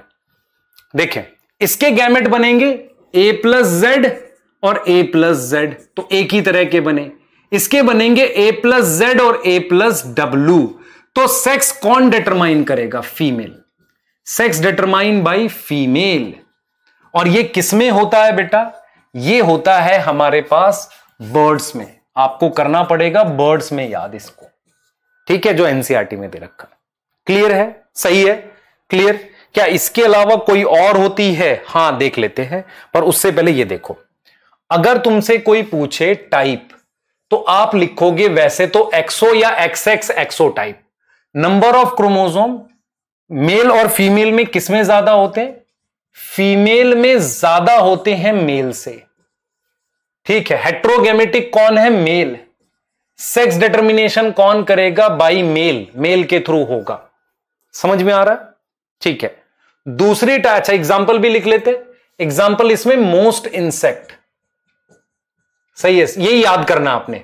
सेकंड एक्स वाई टाइप किसमें आएगा? इसमें मेल और फीमेल में क्रोमोजोम नंबर सेम होता है। हेट्रोगेमेटिक कौन है? मेल सेक्स डिटरमाइन कौन करेगा? बाई मेल मेल से के थ्रू गैमेट्स के थ्रू ये बनता है। थर्ड जेड डब्ल्यू टाइप इसमें मेल और फीमेल के क्रोमोजोम नंबर बराबर होते हैं। हेट्रोगेमेटिक कौन है? फीमेल तो सेक्स डिटरमाइन कौन करेगा? बाई फीमेल तो जो हेट्रोगेमेटिक होता है, दो तरह के गैमेट बनाता है, वही सेक्स डिटरमाइन करता है। ये इंपॉर्टेंट टेबल है। इसके अलावा, हम एक चीज़ और बताते हैं। जिसे हम हैप्लोडिप्लॉइडी कहते हैं। सेक्स डिटर्मिनेशन जिसे हम क्या बोलते हैं? हैप्लोडिप्लॉइडी हैप्लोडिप्लॉइडी कहते हैं। ठीक है? नंबर ऑफ़ क्रोमोजोम मेल में मान लो 16 है तो फीमेल में 32 है। आधे का फ़र्क है। ठीक है? हेट्रोगेमेटिक और होमोगेमेटिक की हम बात नहीं करेंगे। अभी सेक्स डिटर्मिनेशन देख लेते हैं कैसे होता है। ठीक है? चलो देखते हैं। आ जाओ। हैप्लोडिप्लॉइडी किसमें होता है इसमें? हनी बी में होता है बेटा। हैप्लोडिप्लॉइडी किसमें होता है? हमारे पास हनी बी में होता है हनी बी में। क्लियर है ये? हनी बी में होगा। हनी बी में कैसे होगा इसको समझो। इसको समझो। हमारे पास हैप्लोडिप्लॉइडी हनी बी में होता है। कैसे होगा समझो। ये मेरे पास एक ड्रोन है। ड्रोन क्या होता है? मेल होता है। इसमें कितने क्रोमोजोम होते हैं? ये हैप्लॉइड होता है, सोलह क्रोमोजोम होते हैं। ये मेरे पास क्वीन है। क्वीन में two N is equal to thirty two chromosome होते हैं। अब मान लो, इसने स्पर्म बनाए। तो स्पर्म बनाने के लिए स्पर्म हैप्लॉइड होंगे। तो कौन सी डिवीज़न करेगा? माइटोसिस आ रहा समझ की नहीं? खुद देख लो माइटोसिस करेगा। हाँ सर ठीक है। अब ये क्वीन है। क्वीन क्या करेगा बेटा? क्वीन को क्या करना पड़ेगा? मियोसिस मियोसिस से वो क्या बनाएगा? ऐसे एग बनाएगा। ये क्या बन गए? एग बन गए। एग को लिखेंगे N is equal to sixteen अब मेरा पॉइंट ये है बेटा, मेरा पॉइंट ये है कि कुछ एग जैसे ये वाले, कुछ एग की पार्थिनोजेनेसिस होती है। पार्थिनोजेनेसिस मतलब उस एग से डायरेक्टली ड्रोन बन जाते हैं। ये डायरेक्टली क्या बन गए? ड्रोन जिसमें N is equal to male बन गया डायरेक्टली और कुछ एग इसके साथ फर्टिलाइजेशन शो करते हैं। और उससे क्या बन जाता है? जाइगोट बनता है। अब जाइगोट में क्या है बेटा? हमारे पास डिप्लॉयड है 32 क्रोमोसोम है। अब ये जाइगोट क्या है? दो चीज़ें बना सकता है। एक तो ये क्वीन बना सकता है, जिसमें 32 क्रोमोजोम होंगे, और ये वर्कर बनाता है जिसमें क्या होगा, two N is equal to thirty two. तो ये स्टीराइल फीमेल है। तो आपको ये समझ में आएगा कि क्रोमोजोम नंबर मेल और फीमेल में आधे का फ़र्क है। ठीक है, अब जरा इसको ऐसे समझो। हैप्लोडिप्लॉइडी क्यों है? क्वीन डिप्लॉइड है, वो फिर मेल बना रही है जो हैप्लॉइड है। हैप्लॉइड मेल से दोबारा डिप्लॉइड क्वीन बन रही है। आप खुद देखो देखो। क्वीन क्या है? सर, क्वीन डिप्लॉइड है। उससे हम मेल बना सकते हैं, क्या? हाँ, बना सकते हैं। कैसे बना रहे हैं? पार्थिनोजेनेसिस से। मेल कैसा हैप्लॉइड है। मेल से दोबारा क्वीन बना सकते हैं? हाँ, बना सकते हैं। कैसे बनाओगे? एग से। ये क्वीन होगी यहाँ पर। उससे एग बनेगा, उससे बना सकते हैं। ठीक है? तो कैसे बन गया हमने क्वीन बना दी? तो ये डिप्लॉइड था, आप खुद देखो। This is diploid this is haploid again diploid इसे हैप्लोडिप्लॉइड कह रहे हैं। अगर आप ध्यान से देखो, इस मेल के ऊपर फादर नहीं है, सीधे मदर है। लेकिन, ध्यान सुनेंगे ध्यान सुनेंगे। अब देखो, अब ये जो मेल है, ध्यान सुनेंगे, अब देखो, इसको ऐसे समझेंगे। इस मेल के ऊपर फादर नहीं है, सीधे मदर है। पर क्वीन बनाने के लिए उसके ऊपर तो फादर इस क्वीन के ऊपर फादर है ना? तो हम ऐसे लिखेंगे कि जो ड्रोन है, उसका फादर नहीं होता, पर ग्रैंड फादर होगा। कैसे ग्रैंड फादर होगा? क्योंकि क्वीन बनाने के लिए तो फादर चाहिए ना। आपको समझ में आ रहा है? तो इस मेल का फादर नहीं है। ग्रैंड फादर है। नाना जी बोलोगे ऐसे तो आप। ग्रैंड फादर होगा। ठीक है? ऐसे ही इस मेल का सन नहीं होगा। डॉटर है ना क्वीन पर ग्रैंड सन होगा। मतलब वो, पोता नहीं, वो क्या बोलते हैं उसे? नाती। है ना? वैसा कुछ। सही है? ठीक? बढ़िया। समझ में आ गया? तो हैप्लोडिप्लॉइडी भी एक सेक्स डिटर्मिनेशन है, जिसमें मेल और फीमेल में आधे का फ़र्क होता है। पहले डिप्लॉयड क्वीन से हैप्लॉयड मेल बनता है और हैप्लॉयड मेल से डिप्लॉयड क्वीन बनती है। क्या ये चीज़ समझ में आ रही है? ठीक है सर। तो ये बेटा सेक्स डिटर्मिनेशन का टॉपिक है जो आपने करना है। उसके बाद मैं आपको टॉपिक बताने जा रहा हूँ म्यूटेशन क्या होता है। ठीक है? क्या बताने जा रहा हूँ म्यूटेशन क्या होता है? बहुत इंपॉर्टेंट टॉपिक है। क्लियर है? एक सेकेंड दो।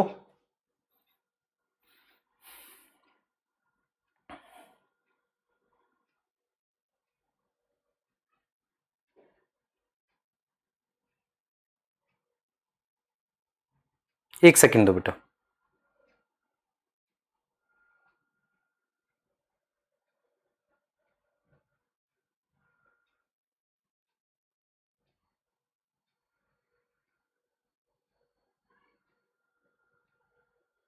ठीक है? अब देखो मैं क्या पढ़ा रहा हूँ। अब मैं आपसे कह रहा हूँ कि म्यूटेशन है हमारे पास। व्हाट इज़ म्यूटेशन म्यूटेशन की बात कर लेते हैं। ठीक है व्हाट इज़ म्यूटेशन उसकी हम लोग बात कर रहे हैं। ठीक है? क्लियर है?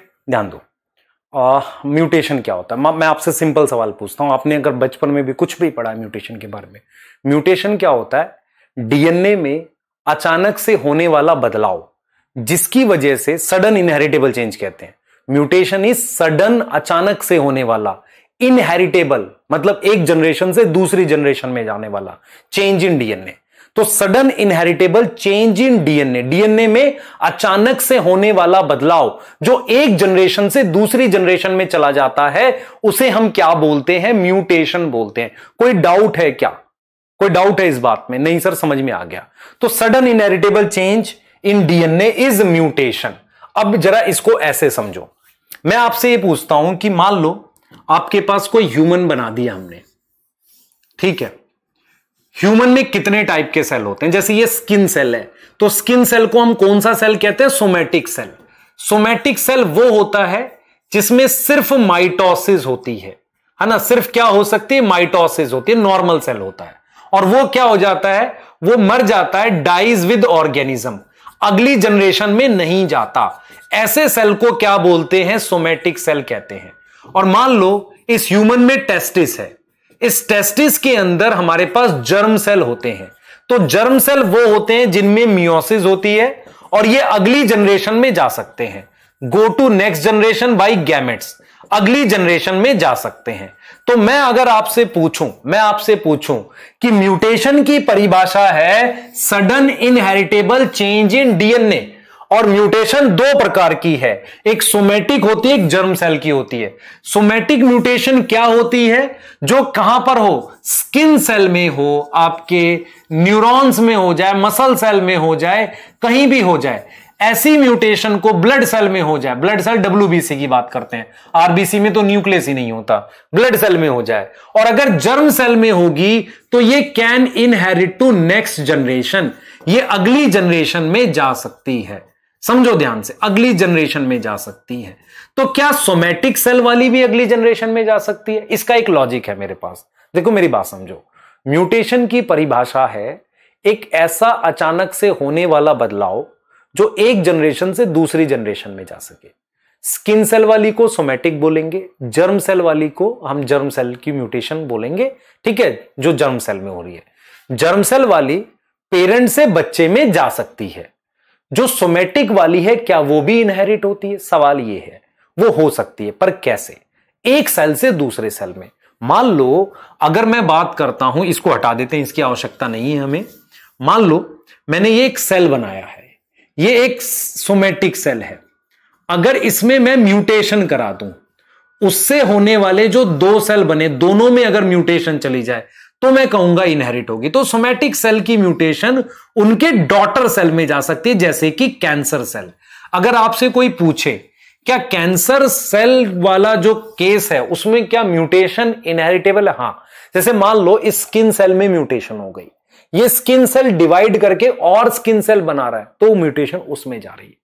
तो म्यूटेशन की सिंपल परिभाषा है कोई भी डीएनए में बदलाव जो अगली जनरेशन में जा सकता है। अगली जनरेशन के दो अर्थ हैं, दो मीनिंग है। पेरेंट से बच्चे में जाना, ठीक है, जो कि टेस्टिस में बने हुए स्पर्म सेल के थ्रू जाएगा। दूसरा क्या हो सकता है? सोमेटिक सेल की म्यूटेशन जो एक सेल से दो सेल में जा सकती है, लेकिन उस ऑर्गेनिज्म के साथ वो मर जाएगी। इतनी बात क्लियर है क्या? और म्यूटेशन करने वाले केमिकल्स को हम म्यूटाजेंस कहते हैं। वो कुछ भी हो सकते हैं। केमिकल्स हो सकते हैं रेडिएशन हो सकती हैं। ये टॉपिक कहाँ से पढ़ना है आपने? कार्सिनोजन पढ़ना है। ये टॉपिक आपने पढ़ना ह्यूमन हेल्थ एंड डिज़ीज़ से। जो भी कैंसर करने वाले एजेंट्स हैं, वो सारे म्यूटाजेंस भी होते हैं। मतलब स्टेटमेंट ये है कि ऑल कार्सिनोजन आर म्यूटाजन सारे कैंसर करने वाले म्यूटाजन ही है। पर सारे म्यूटेशन कैंसर नहीं करती। All mutagen not cause cancer मेरी बात क्लियर है कि नहीं? बताओ।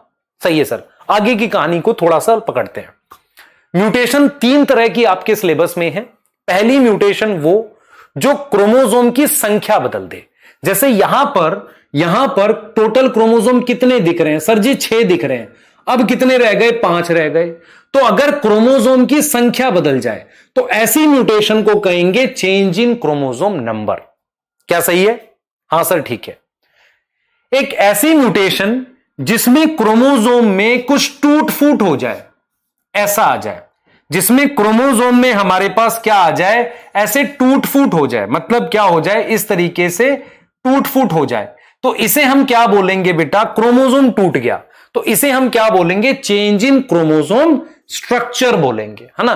चेंज इन क्रोमोजोम स्ट्रक्चर बोलेंगे। तो म्यूटेशन कैसी कैसी हो सकती है? नंबर चेंज हो सकता है।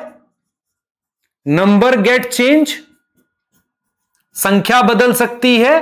नंबर स्ट्रक्चर चेंज हो सकता है, जिसे हम कहते हैं क्रोमोजोमल एबरेशन स्ट्रक्चर कैसे? ये पार्ट टूट गया। तो इसे कहते हैं क्रोमोजोमल एबरेशन अपनी एनसीआरटी चेक करोगे, ये मेन रीजन है कैंसर का। This is main reason of cancer ये मेन रीजन है किसका? कैंसर का मेन कारण यही होता है। यही वाली म्यूटेशन कैंसर का मेन कारण होता है। क्लियर है? मेन कारण होता है। उसके बाद हमारे पास ये डीएनए है। ये डीएनए है। ठीक है, ये मैंने क्या बना दिया? डीएनए ध्यान से देखना बेटा। ध्यान से देखना। ये मैंने क्या बना दिया? डीएनए बना दिया। अब डीएनए जो मैंने बनाया है, ध्यान से देखेंगे बेटा। ध्यान से देंगे। क्लियर ध्यान दो डीएनए बनाया। अगर इस डीएनए में हमारे पास कुछ चेंज हो जाए, ये चेंज हो जाए, यहाँ क्या हो जाए some changes some changes occur अगर डीएनए में चेंज हो, जैसे मान लो यहाँ ए टी था ए की जगह जी और टी आ जाए मतलब चेंज हो जाए, उसको हम कहेंगे सीक्वेंस में चेंज होना। तो म्यूटेशन तीन तरह की होती है, पहला नंबर बदलना स्ट्रक्चर में बदलाव और डीएनए में बदलाव, ठीक है? ये तीन तरह की म्यूटेशन होती है। सबसे पहली वाली म्यूटेशन कौन सी है? इस पे बात कर लेते हैं।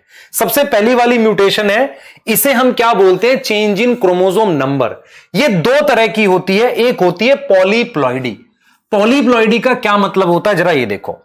आपने बेटा एक स्टेज पड़ी हुई है आ उसमें। ध्यान से सुनना। एक स्टेज पड़ी है। किसमें पड़ी है बेटा ये? जिसमें मान लो ये आ, मैं आपसे कह रहा हूँ एक स्टेज पड़ी है आपने। ध्यान देना। जिसमें क्या होता है ये जो क्रोमोजोम है ध्यान देना बेटा इस बात को। क्रोमोजोम के जो सिस्टर क्रोमेटिड है, वो एक दूसरे से ऐसे अलग हो जाते हैं इस तरीके से। ऐसे अलग हो जाते हैं। ये कब होता है? एनाफेज में होता है। होता है कि नहीं? एनाफेज में सिस्टर क्रोमेटिड अलग हो जाते हैं, ऐसे। बीच में से अलग हो जाते हैं। तो नंबर ऑफ़ क्रोमोजोम डबल हो सकते हैं। तो पॉलीप्लॉइडी का सिंपल मीनिंग क्या होता है? आप इस चीज़ को समझे, मैं आपको क्या बताने की कोशिश करूँगा। पॉलीप्लॉइडी का मतलब होता है कि अगर मैं मेटाफेज के दौरान ड्यूरिंग मेटाफेज मैं क्या करूँ? एक केमिकल अप्लाई कर दूँ। अगर मैं क्या अप्लाई कर दूँ? कॉल्ची सीन लगा दूँ। तो कॉल्ची सीन लगाने की वजह से स्पिंडल असेंबली नहीं होती। स्पिंडल असेंबली नहीं होगी। अब उससे क्या होगा? नॉट अकर स्पिंडल असेंबली नहीं होगी। उससे क्या होगा? जो क्रोमोजोम है ना बेटा वो बीच में से तो अलग हो जाएँगे। मान लो ये बीच में से तो अलग हो गए, पर ये अलग अलग उसमें नहीं जाएँगे। अलग अलग सेल में नहीं जाएँगे। जैसे अभी ये एक क्रोमोजोम था, अभी ये कितने हो गए? एक था, अब ये एक और दो हो गए तो क्रोमोजोम का नंबर बढ़ जाता है। समझ हो? एनाफेज में वो अलग तो हो गए अलग अलग सेल में नहीं गए। तो इसकी वजह से क्रोमोजोम डबल हो जाते हैं। जैसे फॉर एग्ज़ाम्पल ये सेल है, इस सेल में माइटोसिस चल रही है। मान लो इसमें टोटल क्रोमोजोम 20 थे। तो आपने अगर इस पे कॉल्चीसिन अप्लाई कर दिया तो इसमें क्रोमोजोम की संख्या बढ़कर 40 हो गई। है ना? क्रोमोजोम के नंबर बढ़ के क्या हो गए? 40 हो गए। तो क्रोमोजोम डबल होने को क्या बोलते हैं? पॉलीप्लॉइडी बोलते हैं। तो यहाँ पर डबल होता है। पॉलीप्लॉइडी बेटा प्लांट में सरवाइव करता है, एनिमल में नहीं। मैं रिपीट कर रहा हूँ। पॉलीप्लॉइडी हम कैसे इंड्यूस कर सकते हैं? केमिकल से, जिसका नाम कॉल्चिसिन है। कॉल्चिसिन क्या करता है? स्पिंडल बनने नहीं देता। उससे क्रोमोजोम टूट के अलग तो हो गए, पर अपोजिट पोल पे नहीं जा पाए। इससे क्रोमोजोम की संख्या डबल हो जाती है। 20 से 40 हो गया। तो polyploidy survive only in plant not in animal only in plant सिर्फ़ प्लांट में सर्वाइव करते हैं नॉट इन एनिमल एनिमल में नहीं। क्लियर है कि नहीं? सोचो। तो पॉलीप्लॉइड्स जो है सिर्फ़ प्लांट में सरवाइव करते हैं एनिमल में सरवाइव नहीं करते। क्लियर है कि नहीं? एन्यूप्लॉइडी का क्या मतलब है? ये समझो। देखो इधर एन्यूप्लॉइडी का मतलब समझो। आपके पास, ये देखो, ये एक सेल है, ठीक है? इसमें ये क्रोमोजोम है। कितने हैं? आठ। अब जरा ये देखना। एन्यूप्लॉइडी का मतलब है एक क्रोमोजोम ज़्यादा होना या कम होना। अब देखो, मान लो मैं इस तरीके से आपको और बना दूँ। ये मैंने बना दिया। ध्यान देना। ठीक है? हाँ, सर, बना रहे देखो, यहाँ पर मैंने ऐसे बना दिया। अभी कितने क्रोमोजोम है? सात है। एक कम हो गया। तो इसे हम कहते हैं two N minus one. Aneuploidy का मतलब एक क्रोमोजोम कम या ज़्यादा होना। Two N minus one. या इस कंडीशन को कहते हैं मोनोसोमिक मोनोसोमिक का मतलब एक क्रोमोजोम कम हो गया। आप कितने रह गए? यहाँ सात रह गए, यहाँ आठ थे। अब जरा ये देखो। अगर मैं इसमें देखो ऐसे। ये देखो। एक ये वाला गायब है। और एक ये वाला गायब है। इसको लिख सकते हैं टू एन माइनस वन इसके लिए और माइनस वन इसके लिए। इसको कहते हैं डबल मोनोसोमिक। Double monosomic. आ रहा समझ? Double monosomic. ऐसे कह सकते हैं। दो गायब हैं इसमें। है ना? क्लियर है? मान लो मैं क्या करूँ? और देखो। और देखो बेटा। मान लो मैं ऐसे बना दूँ। खुद से देखना। ये देखो, ये मैंने ऐसे बना दिया, ये बना दिया, ये बना दिया। अब ये पूरा पेयर गायब कर दिया ये वाला। ये पूरा पेयर गायब कर दिया। अब इसको कैसे लिखोगे? Two N minus two. अगर पूरा पेयर चला गया तो टू एन माइनस टू, उसे कहते हैं नलीसोमिक। तो एन्यूप्लॉइडी कब होती है यह बताऊँगा मैं आपको, पर एन्यूप्लॉइडी का मतलब समझ लो। एक क्रोमोजोम कम होना, दो कम होना या बढ़ना। बढ़ कैसे जाएगा? मान लो मैं यहाँ पर ऐसे कर दूँ, ध्यान देना बेटा। मान लो मैं यहाँ पर इस तरीके से ड्रॉ कर दूँ आपके लिए। देखो। तो इस तरीके से ड्रॉ कर दूँ ऐसे। देखो।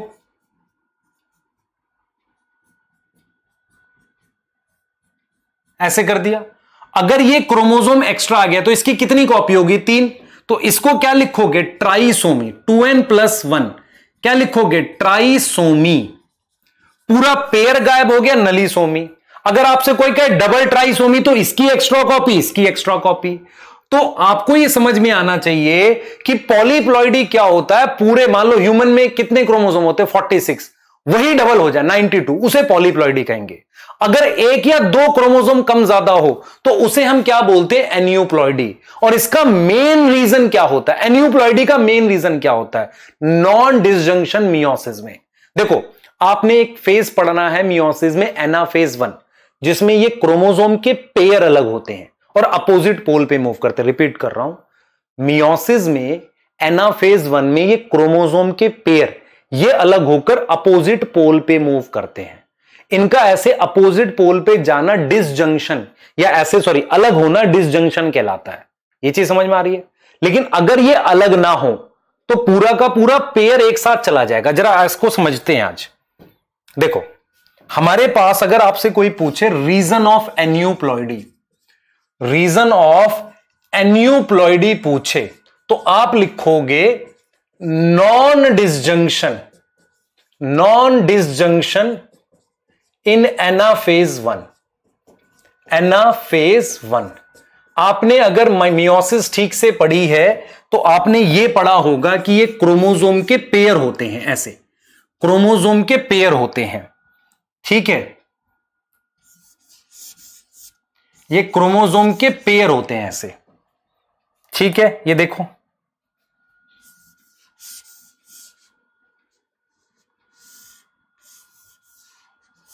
इस तरीके से पेयर होते हैं। और इस पर ऐसे स्पिंडल फाइबर लगा रहता है। तो नॉर्मली क्या होते हैं? क्रोमोजोम ऐसे अपोजिट पोल पे मूव करते हैं। एक इधर चला जाता है, एक इधर चला जाता है। ऐसे मूव करते हैं। एक इधर आ जाएगा। देखो, ऐसे पूरा का पूरा टूट गया है, कोई बात नहीं। टूट फूट चलती रहती है, म्यूटेशन पड़ रहे हैं। कोई दिक्कत की बात नहीं है। देखो, ये ऐसे चला गया। जा भाई, तू भी जा। अपोजिट पोल पे मूव कर रहे हैं। तो इन्हें हम कहते हैं ऐसे। अपोजिट पोल पे मूव कर रहे हैं। तो पहले जुड़े हुए थे अलग होके ऊपर ऐसे मूव कर रहे हैं। लेकिन कई बार क्या होता है ये दोनों सेम पोल पे चले जाते हैं। मान लो ये पूरा का पूरा वैसे तो अलग अलग जाना चाहिए सेम पोल पे चले गए। अगर ये अलग ये देखो ये ऊपर चला जाता ये नीचे चला जाता तो तीन क्रोमोजोम यहाँ तीन क्रोमोजोम यहाँ। ह्यूमन के केस में कितने होते हैं? फोर्टी सिक्स ट्वेंटी थ्री ऊपर ट्वेंटी थ्री नीचे। लेकिन अगर ये पूरा का पूरा ऊपर चला जाए तो इसमें एक, एक क्रोमोजोम एक्स्ट्रा नहीं हो गया। तो ऐसे ही इस केस को हम क्या बोलते हैं? नॉन डिसजंक्शन तो नॉन डिसजंक्शन का मतलब होता है इनका अलग ना होना। यहाँ जुड़े रह गए। नॉन डिसजंक्शन की वजह से क्या होगा? Both chromosome move to same pole उससे क्या होगा? ह्यूमन में एक गैमेट में 24 क्रोमोजोम दूसरे में 22 आ रहा समझ? Both chromosome move to same pole ये सेम पोल पे चले गए। उससे क्रोमोजोम का जो नंबर है वो बढ़ जाता। तो ये ये रीजन है एन्यूप्लॉइडी का, है ना? Reason for aneuploidy non disjunction in anaphase one of meiosis one आ रहा समझ? बढ़िया। आगे देखो। आगे देखो। अगर आप इनके आंसर कर पा रहे हो तो आपको टॉपिक समझ में आ गया। पी प्लांट में चौदह फोर्टीन क्रोमोजोम है। आफ्टर पॉलीप्लॉइडी कितने होंगे? 28 डबल हो जाएँगे। अगर ह्यूमन में आफ्टर ट्राइसोमी ट्राइसोमी क्या होता है? टू एन प्लस वन तो 46 प्लस वन कितने? 47 क्रोमोजोम हो गए। नलीसोमी क्या होता है? टू एन माइनस टू कितने हो गए? 44 हो गए। टू एन टू एन मतलब 46 minus two double trisomy two N plus one plus one कर सकते हो कि नहीं? 48 double monosomy two N minus one minus one कितना आ गया? Forty four monosomy, two N minus one, monosomy बेटा फोर्टी फाइव, एक कम किया हमने। मोनोसोमी मतलब एक कम, डबल मोनोसोमी मतलब minus one minus one. Nullisomy मतलब सीधे दो कम कर दिए। ठीक है? तो ये बेटा आपको मैंने म्यूटेशन के बारे में बताया। अब हमने क्या पढ़ा था सुनो। हमने पढ़ा है चेंज इन नंबर। नंबर दो तरीके का हो सकता है। एक हो सकती है पॉलीप्लॉइडी पूरी की पूरी कॉपी एक्स्ट्रा बन जाए। दूसरा हो सकता है एन्यूप्लॉइडी एक या दो क्रोमोजोम कम ज़्यादा हो। तीसरा सॉरी सेकंड टॉपिक है चेंज इन क्रोमोजोम स्ट्रक्चर इसमें जो क्वेश्चन आता है, वो ये आता है, आप सुनना ध्यान से, मेरे पास ये क्रोमोजोम मैंने ड्रॉ कर रखा है। ध्यान से देखना, ये क्रोमोजोम मैंने ड्रॉ कर रखा है। इस क्रोमोजोम पर जीन बना रखिए A B C D P Q R ये मैंने जीन बना रखी है। क्या आपको जीन दिख रही है? हाँ सर जीन दिख रही है। अब मैं जो आपको यहाँ पर बोलने जा रहा हूँ, उसको बहुत ध्यान से आप सुनेंगे। उसको आप बहुत ध्यान से सुनेंगे। मैंने यहाँ पर ये जीन बना रखी है इस पे, और मैंने यहाँ पर क्या कर रहा हूँ मैं, आपको ये बता रहा हूँ चेंज इन क्रोमोजोम स्ट्रक्चर हो रहा है। अब जरा समझो ध्यान से। अगर मैंने ये यहाँ पर जीन लिख दी, देखो क्या क्या लिखी हुई है, देख, खुद से देखना। मैंने यहाँ ए लिखी है बी लिखी है सी लिखी है डी लिखी है। बिल्कुल ऐसा कोई दिक्कत नहीं है। सही है, सर। यहाँ मैंने पी और क्यू लिख दी।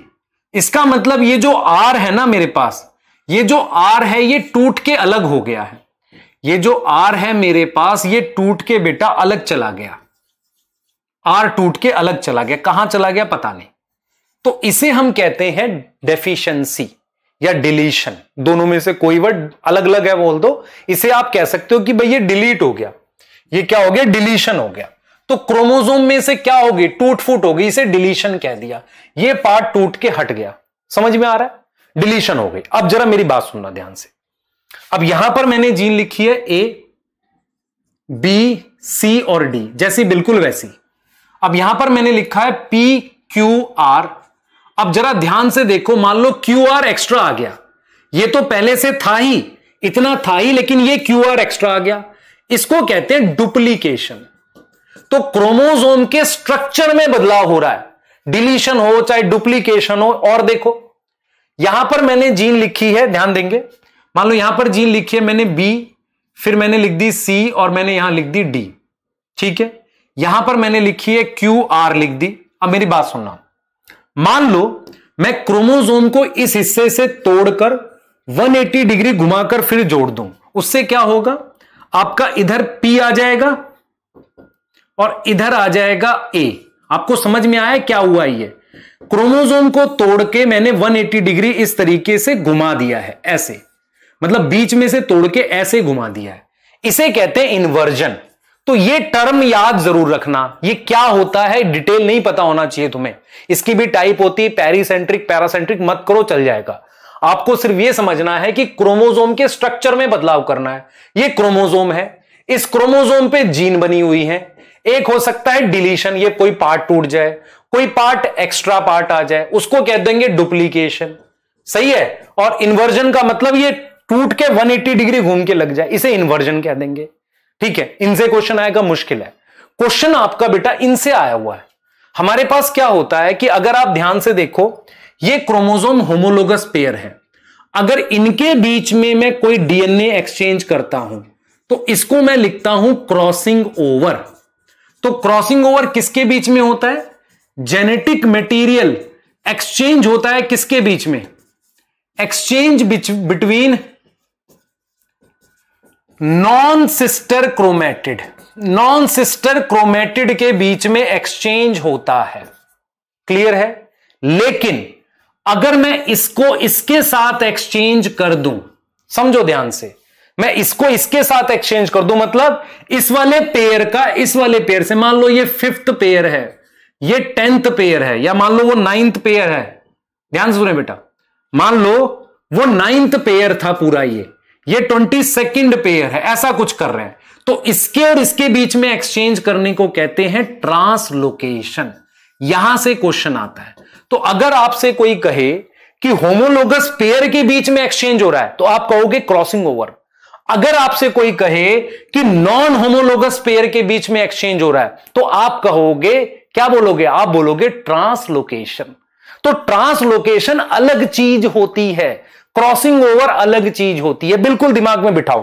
ट्रांसलोकेशन डिफरेंट है क्रॉसिंग ओवर डिफरेंट है. क्लियर है कि नहीं? बताओ. जल्दी बताओ बेटा. ट्रांसलोकेशन अलग है क्रॉसिंग ओवर अलग है. क्रॉसिंग ओवर होमोलोगस पेयर के बीच में होगी. ट्रांसलोकेशन किसके बीच में होगी?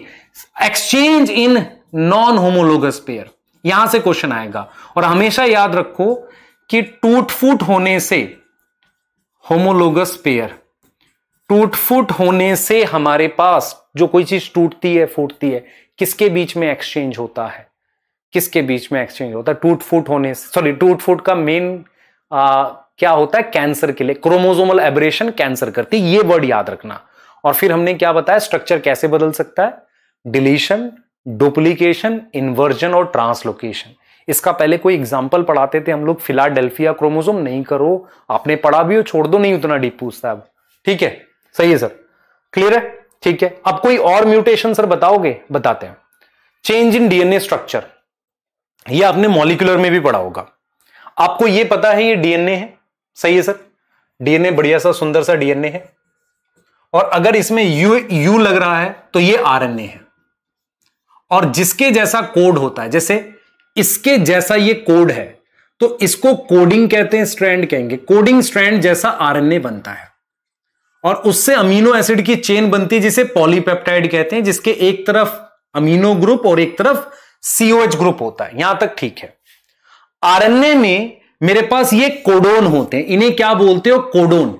हमेशा याद रखो, कोडोन का मतलब क्या होता है? तीन न्यूक्लियोटाइड ऑन आरएनए तीन न्यूक्लियोटाइड इन आरएनए को हम क्या बोलते हैं? कोडोन बोलते हैं।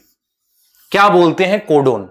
और एक कोडोन कितने अमीनो एसिड के बराबर होता है? एक अमीनो एसिड के बराबर होता है। तो तीन न्यूक्लियोटाइड का एक कोडोन होता है और एक कोडोन एक अमीनो एसिड के बराबर होता है। क्या इस बात में कोई डाउट है आपको? जल्दी बताओ बेटा, क्या इस बात में कोई डाउट है? सोचो ध्यान से। नहीं सर, ठीक लग रहा है। आगे चलो। अब मैं आपको बताने जा रहा हूँ व्हाट इज़ पॉइंट म्यूटेशन क्या आपको ये खूबसूरत सा बना हुआ डीएनए दिख रहा है? सर, बिल्कुल दिख रहा है। मज़ा आ रहा है देख के। ये देखो ए के सामने टी टी के सामने लाल रंग का ए बना रखा है। अब ये डीएनए है। अब हम, मैं आपको ये समझा रहे हैं what is point mutation point mutation का मतलब सिंपल सा ये होता है कि किसी एक न्यूक्लियोटाइड पर म्यूटेशन हो रही, मान लो यहाँ हो रही हो या यहाँ हो रही, कहीं एक हो रही हो। अब ये किस तरह की हो सकती है, ये समझना है मुझे।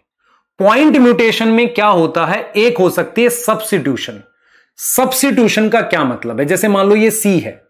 इस सी को हटाकर, ध्यान दे बेटा, इस सी को हटाकर हम सी हटा दें और इसकी जगह ए लगा दें। आप समझो। सी को हटा के अगर हम ए लगा दें तो इसे सब्सिट्यूशन कहते हैं। सब्सिट्यूशन मतलब क्या किया मैंने? खुद देखो। ये सी है और रेड कलर का ए है। तो मैंने सी को हटाया और उसकी जगह ए लगा दिया। आप देख पा रहे हो ए लगा दिया। तो उसे कहते हैं सब्सिट्यूशन तो सब्सिट्यूशन किसमें होता है? ऑन डीएनए होगा। ऑन डीएनए वन न्यूक्लियोटाइड को बदल देते हैं। न्यूक्लियोटाइड को चेंज करेंगे। चेंज करते हैं दूसरे न्यूक्लियोटाइड से। उससे क्या होता है? सिंगल चेंज होता आरएनए पे भी। Single change on RNA. RNA पर भी एक ही बदलाव होता है। है ना? आरएनए पर भी क्या होगा? एक ही बदलाव होगा। ये चीज़ क्लियर है। तो सब्सिट्यूशन क्या है आपको समझना पड़ेगा? ठीक है। सब्सिट्यूशन क्या है आपको समझना पड़ेगा कि ऑन डीएनए, ध्यान दे, ऑन डीएनए हमारे पास एक न्यूक्लियोटाइड चेंज होता है कहाँ से? दूसरे न्यूक्लियोटाइड से। सिंगल चेंज होगा आरएनए में और एक अमीनो एसिड पॉलीपेप्टाइड में। One amino acid on polypeptide. क्या इसका कोई एग्ज़ाम्पल हमारे सिलेबस में है? सिक्कल सेल अनीमिया तो सिक्कल सेल अनीमिया कौन सी म्यूटेशन है? सब्सिट्यूशन सिक्कल सेल अनीमिया कौन सी म्यूटेशन है? सब्सिट्यूशन जिसमें हमारे पास एक न्यूक्लियोटाइड बदलता है। जैसे ये है है ना? ये सी की जगह मैंने ये बदला था। ये समझ में आ रहा है? सी की जगह मैंने ए लगा दिया था। ठीक है? अब कोई और म्यूटेशन है, देखो। आप क्या करो, इसको हटाई दो। हटाने से क्या होगा? सी के बाद सीधे टी पड़ेंगे। तो इसे हम कहते हैं डिलीशन। इसे हम क्या कहते हैं? डिलीशन। या क्या करो? चलो, इसको रहने ही देते हैं। ध्यान दो बेटा। इसको रहने ही देते हैं यहाँ पर। बीच में कोई एक्स्ट्रा न्यूक्लियोटाइड लगा लेते हैं। इसे कहते हैं एडिशन आपको समझ में आ रहा है? तो हम यहाँ पर क्या कर रहे हैं? हम यहाँ पर क्या कर रहे हैं? पॉइंट म्यूटेशन का मतलब है सिंगल पोजीशन पर। यह दो तरीके का हो सकता है। एक हो सकता है सब्सिट्यूशन बदल दो। बदल दिया, ठीक है। दूसरा हो सकता है एडिशन और डिलीशन एडिशन का मतलब आप क्या कर रहे हो? बीच में कोई दूसरा न्यूक्लियोटाइड सी लगा दे यहाँ पर, इसके बीच में। एक्स्ट्रा लगा दिया। ठीक है? तो जब कॉपी बनाएगा तो ये अपने सामने अभी तो नहीं, बाद में कॉपी एक्स्ट्रा बना देगा एक और। मान लो ये सी है तो अपने सामने जी बनाएगा इस वाले पे, बाद में। ठीक है? तो या तो एडिशन कर दो। समझ में आ रहा है? या तो आप क्या करो? एडिशन कर दो, या आप डिलीशन कर दो। उससे क्या होगा बेटा? उससे क्या बदलाव होंगे वो देखो। उससे क्या बदलाव होंगे? अगर आप डिलीशन और एडिशन करते हो, देखो, मेरी बात सुनो। आपने देखा है कि आरएनए पर ऐसे कोड्स होते हैं। तो अगर आप सब्सटीट्यूशन करोगे तो सब्सटीट्यूशन में मान लो आपने डीएनए में चेंज किया, ये डीएनए है, इसमें चेंज किया तो क्या होगा? आपको ज़्यादा ज़्यादा क्या होगा? इस जी की जगह, मान लो सी लग जाएगा। हमने कहा ठीक है जी की जगह सी लग गया। तो क्या मेरे पास कोई बड़ा चेंज हुआ? नहीं। एक कोडोन में ही तो बदलाव हुआ, ये सब्सिट्यूशन है। लेकिन अगर मैं डिलीशन कर दूँ डिलीशन कैसे करूँगा? मान लो मैंने इसको हटाई दिया, देखो। मान लो मैंने इसको हटाई दिया तो अब क्या होगा? आप कोड को ऐसे रीड करोगे। यूजीसी और सीसीयू मतलब क्या हुआ? पहले जी को पढ़ रहे थे, तब ये पढ़ रहे थे। लेकिन अब क्या होगा? देखो, ये तीन तीन को ऐसे फ्रेम बोलते हैं। तो मैंने क्या किया है? मैंने क्या किया? डिलीशन सब्सिट्यूशन किया। तो अगर जी को सी से सब्सिट्यूट कर दिया तो एक सिंगल कोड में बदलाव आया सिर्फ़ इसमें। बाकी सेम रह गया। ये चीज़ क्लियर है? ये चीज़ समझ में आ रही है बेटा? बाकी क्या रह गया? सेम रह गया। आप देखो, बाकी सेम है। यस बाकी सेम है। लेकिन, अगर मेरे पास मान लो कोड ऐसे ऐसे है, इस तरीके से है,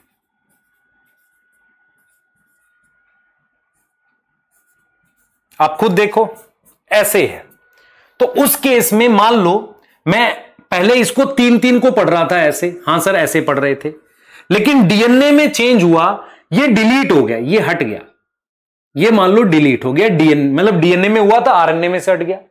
अगर ये आरएनए में से हट गया तो अब मैं कैसे रीड कर रहा हूँगा? ए जी जी जी ए यू ए सी जी ए सी सी ऐसे रीड कर रहा हूँगा। ये चीज़ क्लियर है कि नहीं? ये चीज़ क्लियर है। तो ये आपके पास जो चीज़ें हैं, आपको समझ में आनी चाहिए कि चेंज इन डीएनए स्ट्रक्चर है हमारे पास। चेंज इन डीएनए स्ट्रक्चर है। तो हमारे पास ये डीएनए है।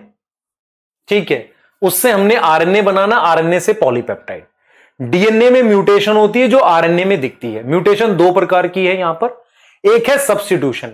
जी को रिप्लेस किया सी से तो ये डीएनए में हुआ होगा आरएनए में। तो इसमें सिर्फ़ एक कोडोन बदला है। इसका मतलब एक अमीनो एसिड बदलेगा। लेकिन अगर मैं डिलीट कर दूँ, हटाई दूँ या ऐड कर दूँ तो आगे के सारा फ्रेम बदल गया।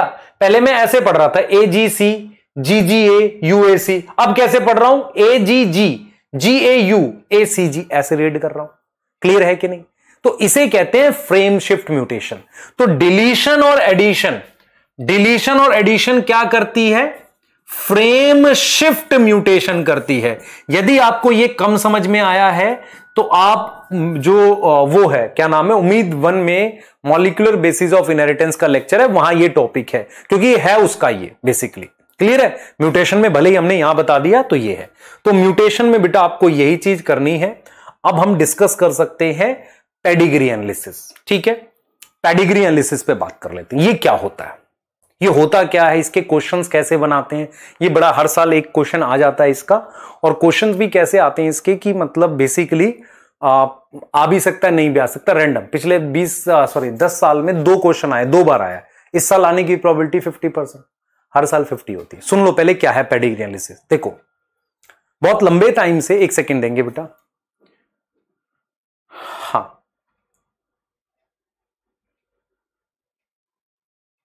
सुन लो ध्यान से। बहुत लंबे टाइम से हमें यह पता था कि बहुत सारी बीमारियाँ डिज़ीज़ ह्यूमन में होती हैं जो जेनेटिक है। मतलब बहुत सारी ऐसी डिज़ीज़ हैं जो ह्यूमन में एक जनरेशन से दूसरी जनरेशन में जाती हैं और जिसे मैं जेनेटिक डिसऑर्डर कहता हूँ, ये बहुत लंबे समय से हमें पता था। यहाँ तक कोई डाउट है? नहीं सर ये ठीक लग रहा है। अब क्या हुआ? ध्यान सुनेंगे। अब क्या हुआ? हमने ये देखा कि यार वो जेनेटिक ट्रेट जेनेटिक ट्रेट मान लो किसी ऐसे इंडिविजुअल में, जैसे मान लो कोई एक नॉर्मल इंडिविजुअल है, उसमें वो ट्रेट है कि नहीं है, मैं पता कैसे करूँगा? क्योंकि अगर प्लांट में कोई ट्रेट पता करनी है तो हम टेस्ट क्रॉस करा सकते हैं बैक क्रॉस करा सकते हैं। पर क्या ह्यूमन में कोई अपनी मर्ज़ी के क्रॉस थोड़ी होते हैं? तो आपको यह समझ में आना चाहिए कि बहुत पुराने समय से हमें यह तो आइडिया था कि बहुत सारी ऐसी डिज़ीज़ या ट्रेट जैसे कान है हमारे, कुछ के ये फ्री हैं, कुछ के ऐसा फ्यूज होते हैं। तो फ्यूज और फियर फ्री ईयर लोब भी एक जेनेटिक ट्रेट है। कुछ लोग जीभ को ऐसे मोड़ सकते हैं, टंग रोलर वो भी एक जेनेटिक ट्रेट है। तो ऐसी ट्रेट होती हैं, हमें पता था, लेकिन उनको ट्रेस कैसे करें, पता कैसे लगा ये बहुत मुश्किल काम था। तो इसके लिए हमने क्या किया बेसिकली हमने इसके लिए कुछ टेक्निक सोची हमने। हमने कहा कि यार इसका एक ही तरीका है, क्यों ना हमें अगर कोई ट्रेट पता करनी है तो हम एक फैमिली ट्री बनाए। फैमिली ट्री मतलब हम पता करें कि भाई उसके माँ बाप में थी, उसके दादा दादी में थी कि नहीं थी, ऐसे करके एक पूरा ट्री बनाए। ट्री का मतलब एक पूरा चार्ट बनाए। उससे आइडिया हो जाएगा कि वो डिज़ीज़ है कि नहीं है। सही है? तो पेडिग्री एनालिसिस जिसे ही कहते हैं वाई वी नीड पेडिग्री हमें क्या ज़रूरत है? सुन लो ध्यान से।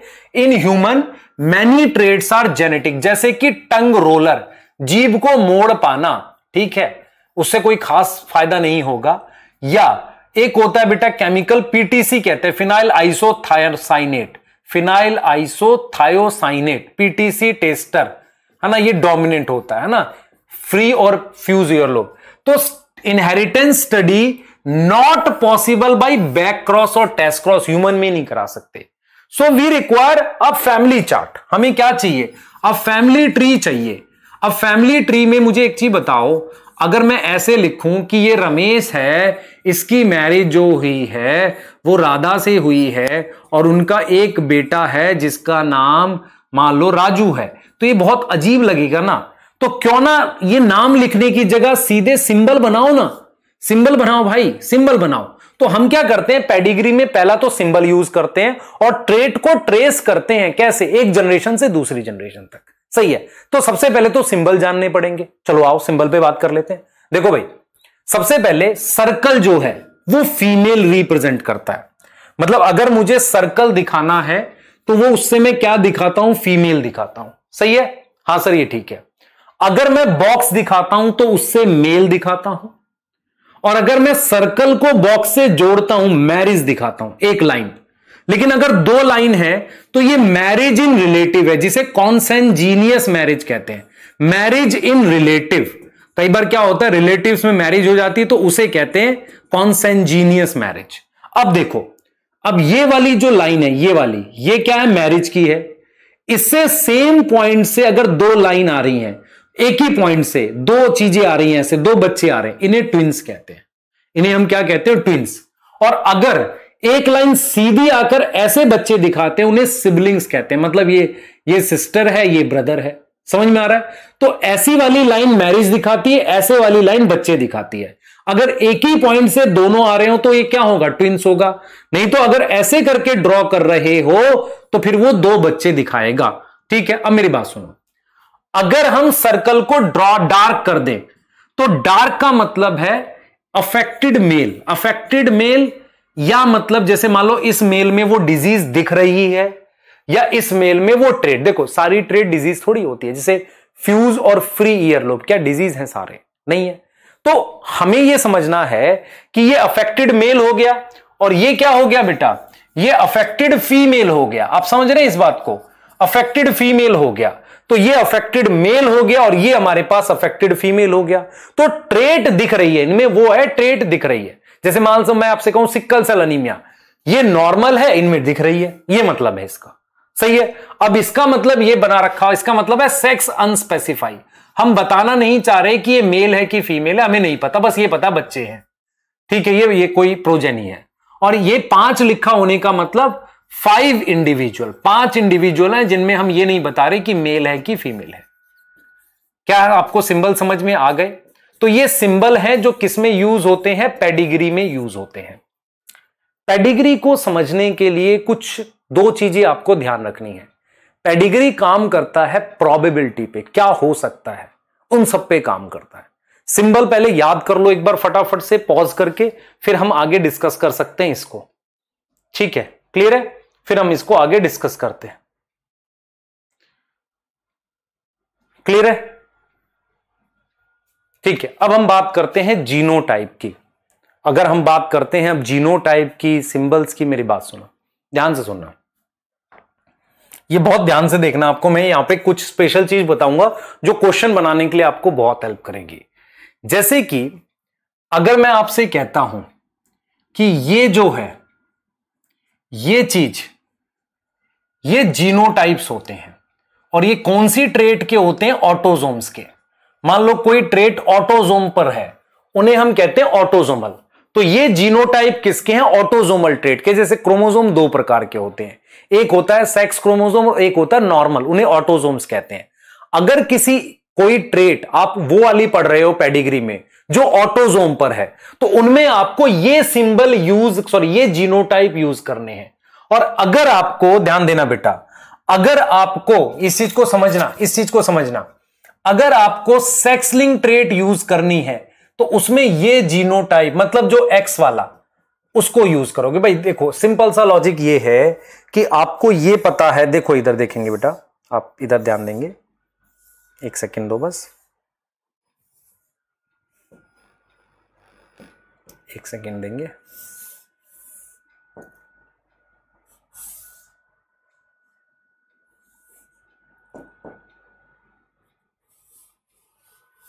हाँ एक सेकेंड दो बेटा।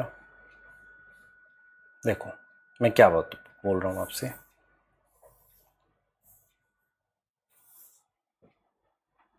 मैं आपसे सिर्फ़ ये बोल रहा हूँ कि आपके पास क्रोमोजोम दो तरह के होते हैं। एक ये है। ठीक है, और एक मान लो ये है। एक्स और वाई ये क्रोमोजोम है। इनको आप ऑटोजोमल कहते हो कि नहीं, बताओ। इन क्रोमोजोम्स को आप क्या बोलते हो? ऑटोजोम्स कहते हो। तो अगर कोई कैरेक्टर ऑटोजोम्स पर है, जैसे मान लो कोई भी कैरेक्टर तो उसके लिए अगर आप जीनोटाइप यूज़ करोगे तो capital A capital A capital A small a ये वाले जीनोटाइप यूज़ करोगे। और अगर कोई कैरेक्टर इन पे है, जिन्हें आप सेक्स क्रोमोजोम कहते हो एक्स पर हो या वाई पर हो तो यहाँ पर जो जीनोटाइप आप यूज़ करोगे मतलब उनके लिए, किसी भी ऑर्गेनिज्म के लिए, वो एक्स एक्स और एक्स वाई यूज़ करोगे। जैसे मान लेते हैं थैलेसीमिया ऑटोजोमल डिज़ीज़ है। तो उसके लिए जीनोटाइप आप ये यूज़ करोगे। समझ में आ रहा है? सिक्कल सेल अनीमिया एक ऑटोजोमल डिज़ीज़ है। आप ये जीनोटाइप यूज़ करोगे उनको दिखाने के लिए। लेकिन अगर आप के पास कलर ब्लाइंडनेस है, जो सेक्स लिंक डिज़ीज़ है, उसके लिए आप ये वाले जीनोटाइप यूज़ करोगे। तो जीनोटाइप को लेके ये बात बताई मैंने। तो ये सेक्स लिंक के लिए। अच्छा सिंबल क्या यूज़ करना देखो। जैसे ये वाला सिंबल है और ये वाला। ये नॉर्मल का है। मतलब ये नॉर्मल लोगों के लिए है। और अगर मैं इनको डार्क कर दूँ, आपको पता है, डार्क कर दूँ तो ये किसके लिए हो गया? अफेक्टेड के लिए। क्या आपको इतनी बात समझ में आई? अब जरा मैं आपको एक चीज़ समझाता हूँ। देखो, मान लो, आपसे कोई कहे, ध्यान सुने, आपसे कोई कहे कि डिज़ीज़ ऑटोजोम पर है। ध्यान देना बेटा। डिज़ीज़ ऑटोजोम पर है और रिसेसिव है। समझना इसको बहुत इंपॉर्टेंट है डिज़ीज़ ऑटोजोम पर है और रिसेसिव है। कैसी है? रिसेसिव है। क्या मेरी बात समझ पा रहे हो? हाँ सर आ रही है। ऑटोजोम पर है और रिसेसिव है। तो इसका जो जीनोटाइप है, इसका जो जीनोटाइप है नॉर्मल वाले का कैसे लिखोगे? देखो, अगर कोई चीज़ रिसेसिव है तो मुझे बताओ किस स्टेज में दिखेगी? सर होमोजाइगस स्टेज में दिखेगी। भाई होमोजाइगस रिसेसिव स्टेट में दिखेगी कि नहीं? खुद बताओ। अगर कोई डिज़ीज़ ऑटोजोम पे, चलो रिसेसिव है तो कब दिखेगी? होमोजाइगस स्टेज में। तो नॉर्मल वाले का genotype capital A capital A और कैपिटल ए स्मॉल ए होगा कि नहीं बताओ? और जिसको डिज़ीज़ है उसका क्या होगा? स्मॉल ए स्मॉल ए होगा। क्लियर है कि नहीं? अब खुद सोचो कि अगर कोई नॉर्मल है और डिज़ीज़ रिसेसिव है तो कैसे दिखेगी? स्मॉल ए स्मॉल ए पे दिखेगी। इसका मतलब यह हुआ कि नॉर्मल वाले का सिंबल ये होगा और इसके नीचे अगर आपको जीनोटाइप लिखने हैं तो आप ये लिख सकते हो, इनमें से कोई भी। किसमें? ऑटोजोमल रिसेसिव में। और अफेक्टेड वाले में आपके लिए सिंबल ये होगा। और इनके लिए अगर आप जीनोटाइप लिखोगे अफेक्टेड में तो सिर्फ़ ये आएगा। तो ये चीज़ सिंबल होती है और ये जीनोटाइप होता है। मेरी बात समझ में आ रही है कि नहीं? तो ऑटोजोमल जो है, इसको ध्यान से पढ़ना। ऑटोजोमल रिसेसिव रिसेसिव मतलब डिज़ीज़ रिसेसिव है। तो रिसेसिव डिज़ीज़ को अगर आप दिखाओगे तो स्मॉले स्मॉले से ही तो दिखाओगे। और अफेक्टेड का सिंबल ये होता है। क्लियर है? मान लो आपसे कोई कहे ऑटोजोमल डोमिनेंट डिज़ीज़ है। मेरी बात सुनो। अगर डिज़ीज़ डोमिनेंट है तो इसमें भी दिखेगी और इसमें भी दिखेगी। तो ये तो जीनोटाइप हो गया डोमिनेंट का। और डिज़ीज़ दिख रही है, इसका मतलब ये वाले और ये वाले। तो ये अफेक्टेड का सिंबल है। समझ रहे हो? ये अफेक्टेड का क्या है? सिंबल है। ये अफेक्टेड का क्या है? सिंबल है। है ना? और ये अफेक्टेड का जीनोटाइप हो गया। क्लियर है बात? समझ लो ध्यान से। दूसरी बात क्या है बेटा? दूसरी बात क्या है? दूसरी बात क्या है? स्मॉल स्मॉल ठीक है। और ये हमारे पास क्या हो गया? जीनोटाइप हो गया। ये कैसा होगा? ये नॉर्मल है। ऐसे वाला। समझो। अगर कोई डिज़ीज़ डोमिनेंट है, मुझे बताओ टॉल डोमिनेंट है, कब दिखता है? Capital T capital T capital T small t ये देखो। Capital A capital A capital A small a dominant और उसका सिंबल कैसे दिख मतलब डिज़ीज़ डोमिनेंट है तो डार्क भी करेंगे। अच्छा तो नॉर्मल वाले को कैसे लिखोगे? स्मॉल ए स्मॉल ए लिखोगे। इसका उल्टा है कि नहीं? जस्ट क्लियर है कि नहीं? अब मान लो सेक्स लिंग रिसेसिव है। सेक्स लिंग रिसेसिव का मतलब ये हो गया कि अगर ये फीमेल नॉर्मल है है ना? तो नॉर्मल फीमेल जो है, उसके दो जीनोटाइप हो सकते एक नॉर्मल एक्स एक्स या एक्स के साथ एक्स सी समझ रहे हो? मतलब उस पर एक डिज़ीज़ वाली जीन तो है। पर वो नॉर्मल है क्योंकि डिज़ीज़ रिसेसिव है। तो जो फीमेल डिज़ीज़ होगी, जिसको डार्क सर्कल से लिखूँगा, उसके दोनों एक्स पर ट्रेट होगी अफेक्टेड वाली। एक्ससी और एक्ससी दोनों पर होगी। तो ये वाली अफेक्टेड फीमेल है तो दोनों एक्स पर है। और नॉर्मल वाले पे ये ये ये देख रहे हो अनअफेक्टेड है, और ये कैरियर कहते हैं इसे। मेल के केस में दो ही पॉसिबिलिटी है। या तो वो नॉर्मल होगा तो नॉर्मल कैसे लिखोगे? एक्स और एक्स वाई और अफेक्टेड वाले को कैसे लिखोगे? सॉरी एक्स एक्स वाई लिख दिया हमने। देखो बेटा सीधे एक्स वाई लिख दिया। और अफेक्टेड वाले को क्या लिखोगे? एक्स सी और वाई तो मेल में कैरियर नहीं होता। और वाई लिंक क्या होगा? उसमें एक ही पॉसिबिलिटी है। वाई पर ट्रेट होना। तो ये उसको ऐसे दिखा दोगे डार्क करके। और वाई पर नहीं है तो ऐसे। तो मैं आपको क्या समझा रहा हूँ? सिंबल समझा रहा हूँ। समझो ध्यान से। सबसे पहले आपको सिंपल भाषा में ऐसे समझो। अगर आपको यह समझ कम आया तो आपको फिर से ऐसे समझो। देखो मान लो मैं कहता हूँ डिज़ीज़ रिसेसिव है। मैं आपसे कहता हूँ डिज़ीज़ रिसेसिव है। आप मुझे खुद से बताओ रिसेसिव कैरेक्टर कब दिखता? होमोजाइगा स्टेट में तो ये इसका जीनोटाइप आ गया। और डिज़ीज़ होने का मतलब आप उसे क्या करोगे? डार्क करोगे। तो इसका मतलब नॉर्मल वाले फिर कैसे हो जाएँगे? वो ये वाले आ जाएँगे। आ रहा, समझ नहीं आ रहा ये वाली बात? हाँ, सर। और अगर डिज़ीज़ या कोई भी ट्रेट डोमिनेंट है तो डोमिनेंट वाली चीज़ कैसे दिखती है? सर होमोजाइगस और हेट्रोजाइगस दोनों में? तो ये हो गया। और डिज़ीज़ का मतलब इसको डार्क करोगे, इसको डार्क करोगे। और नॉर्मल का मतलब क्या हो गया? ये वाला क्या हो गया? स्मॉले स्मॉले हो गया। बस, यही तो समझना है मेन और फीमेल में अगर एक्सलिंग रिसेस सेक्सलिंग रिसेसिव है तो दोनों एक्स पर होगा। और अगर अगर वाई लिंक्ड है तो वाई पर होगा। क्लियर है कि नहीं? बताओ जल्दी बेटा। क्लियर है? ठीक है? इसको ध्यान रखेंगे। अब यहाँ से हम आगे जाएँगे और कुछ आपको जीनोटाइप लिखना सिखाएँगे। ध्यान से सुने। मैंने आपको कंडीशन दी है ऑटोजोमल रिसेसिव अगर आपको मेरी बात समझ में आए ऑटोजोमल रिसेसिव इसका मतलब ये वाला इंडिविजुअल अफेक्टेड है और ये वाले इंडिविजुअल नॉर्मल है। क्या आपको मेरी बात समझ में आई कि नहीं? क्योंकि मैंने डिज़ीज़ को क्या लिखा है? रिसेसिव रिसेसिव कब दिखता है? होमोजाइगा स्टेट में। इसका मतलब यह हुआ कि आप इसको स्मॉले स्मॉले लिखोगे। बाकी के बचे हुए को आप क्या लिख सकते हो? कैपिटल ए कैपिटल ए और कैपिटल ए स्मॉल ए। इन सबको लिख सकते हो। जैसे इसको भी क्या लिख सकते हो? Capital A capital A capital A small इसको भी लिख सकते हो। पर मैं आपसे एक सवाल पूछना चाह रहा हूँ। अगर मुझे यहाँ स्मॉल ए चाहिए तो यहाँ से स्मॉल ए आना भी तो चाहिए। भाई, इसका एक स्मॉल ए इसमें आएगा, एक इसका स्मॉल ए इसमें आएगा। तो इसको फिर कैपिटल ए स्मॉल ए लिखेंगे ना, ये तो हो ही नहीं सकता। आया समझ में नहीं आया? सोचो ध्यान से। सिंपल ये समझो कि ऑटोजोमल रिसेसिव का क्या मतलब है? ये वाला इंडिविजुअल अफेक्टेड है। अफेक्टेड का मतलब डार्क इसका जीनोटाइप लिखो पहले तो। मान लो आपसे कोई कहे कि ऑटोजोमल डोमिनेंट है।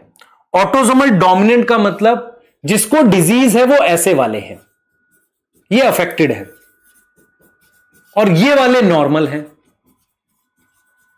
तो इसका मतलब ये हो गया कि ये वाले जो नॉर्मल वाले हैं, उनके नीचे क्या लिखोगे? स्मॉल स्मॉल ठीक है? तो अफेक्टेड वाले में क्या ऑप्शन आया आपके पास? Capital A small a capital A capital A आया कि नहीं? तो इसका मतलब यह है कि अगर आपको यहाँ स्मॉल ए लाना है तो यहाँ कैपिटल ए स्मॉल ए होगा ना? सोचो। सोचो खुद से। भाई ऑटोजोमल डोमिनेंट डिज़ीज़ डोमिनेंट है, कब दिखेगी? दो ही केस में दिख सकती है। अगर डिज़ीज़ डोमिनेंट है तो दो ही केस में दिख सकती है ना। या तो वो कैपिटल ए कैपिटल ए और कैपिटल ए स्मॉल ए हो। और डोमिनेंट का मतलब डार्क कर रखा सॉरी अफेक्टेड का मतलब डार्क कर रखा है। तो ये वाला इंडिविजुअल नॉर्मल होगा ना? आ रहा समझ? ये वाला इंडिविजुअल नॉर्मल होगा। ठीक है, सर? अब ये देखो, मान लो मुझे सेक्सलिंग रिसेसिव बनाना है।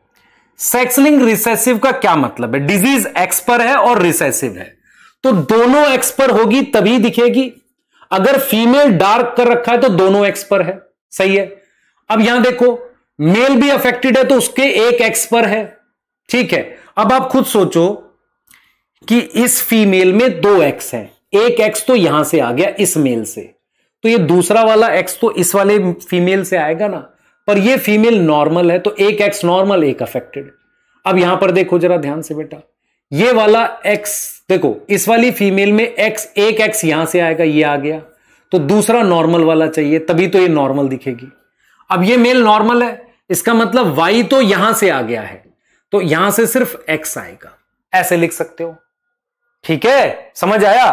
तो अगर डिज़ीज़ सेक्सलिंग रिसेसिव है और फीमेल में दिख रही है, उसके दोनों एक्स पर होगी। सही है ऑब्जर्वेशन है क्वेश्चन करने से पहले। अगर वाई लिंक्ड है तो वाई लिंक का मतलब है कि वो एक्स और वाई वाई पर है। तो एक्स और वाई वाई पर है। सही है? तो इस वाले में भी तो वाई यही वाला आएगा तो ये गलत बना हुआ इसको भी डार्क होना चाहिए। क्योंकि अगर इस वाले मेल में है तो उसके सारे सन में जाएगा। तो इसका मतलब मेल टू ऑल सन तब पता चलेगा वो वाई लिंक्ड है। एक्स लिंक में क्या होगा?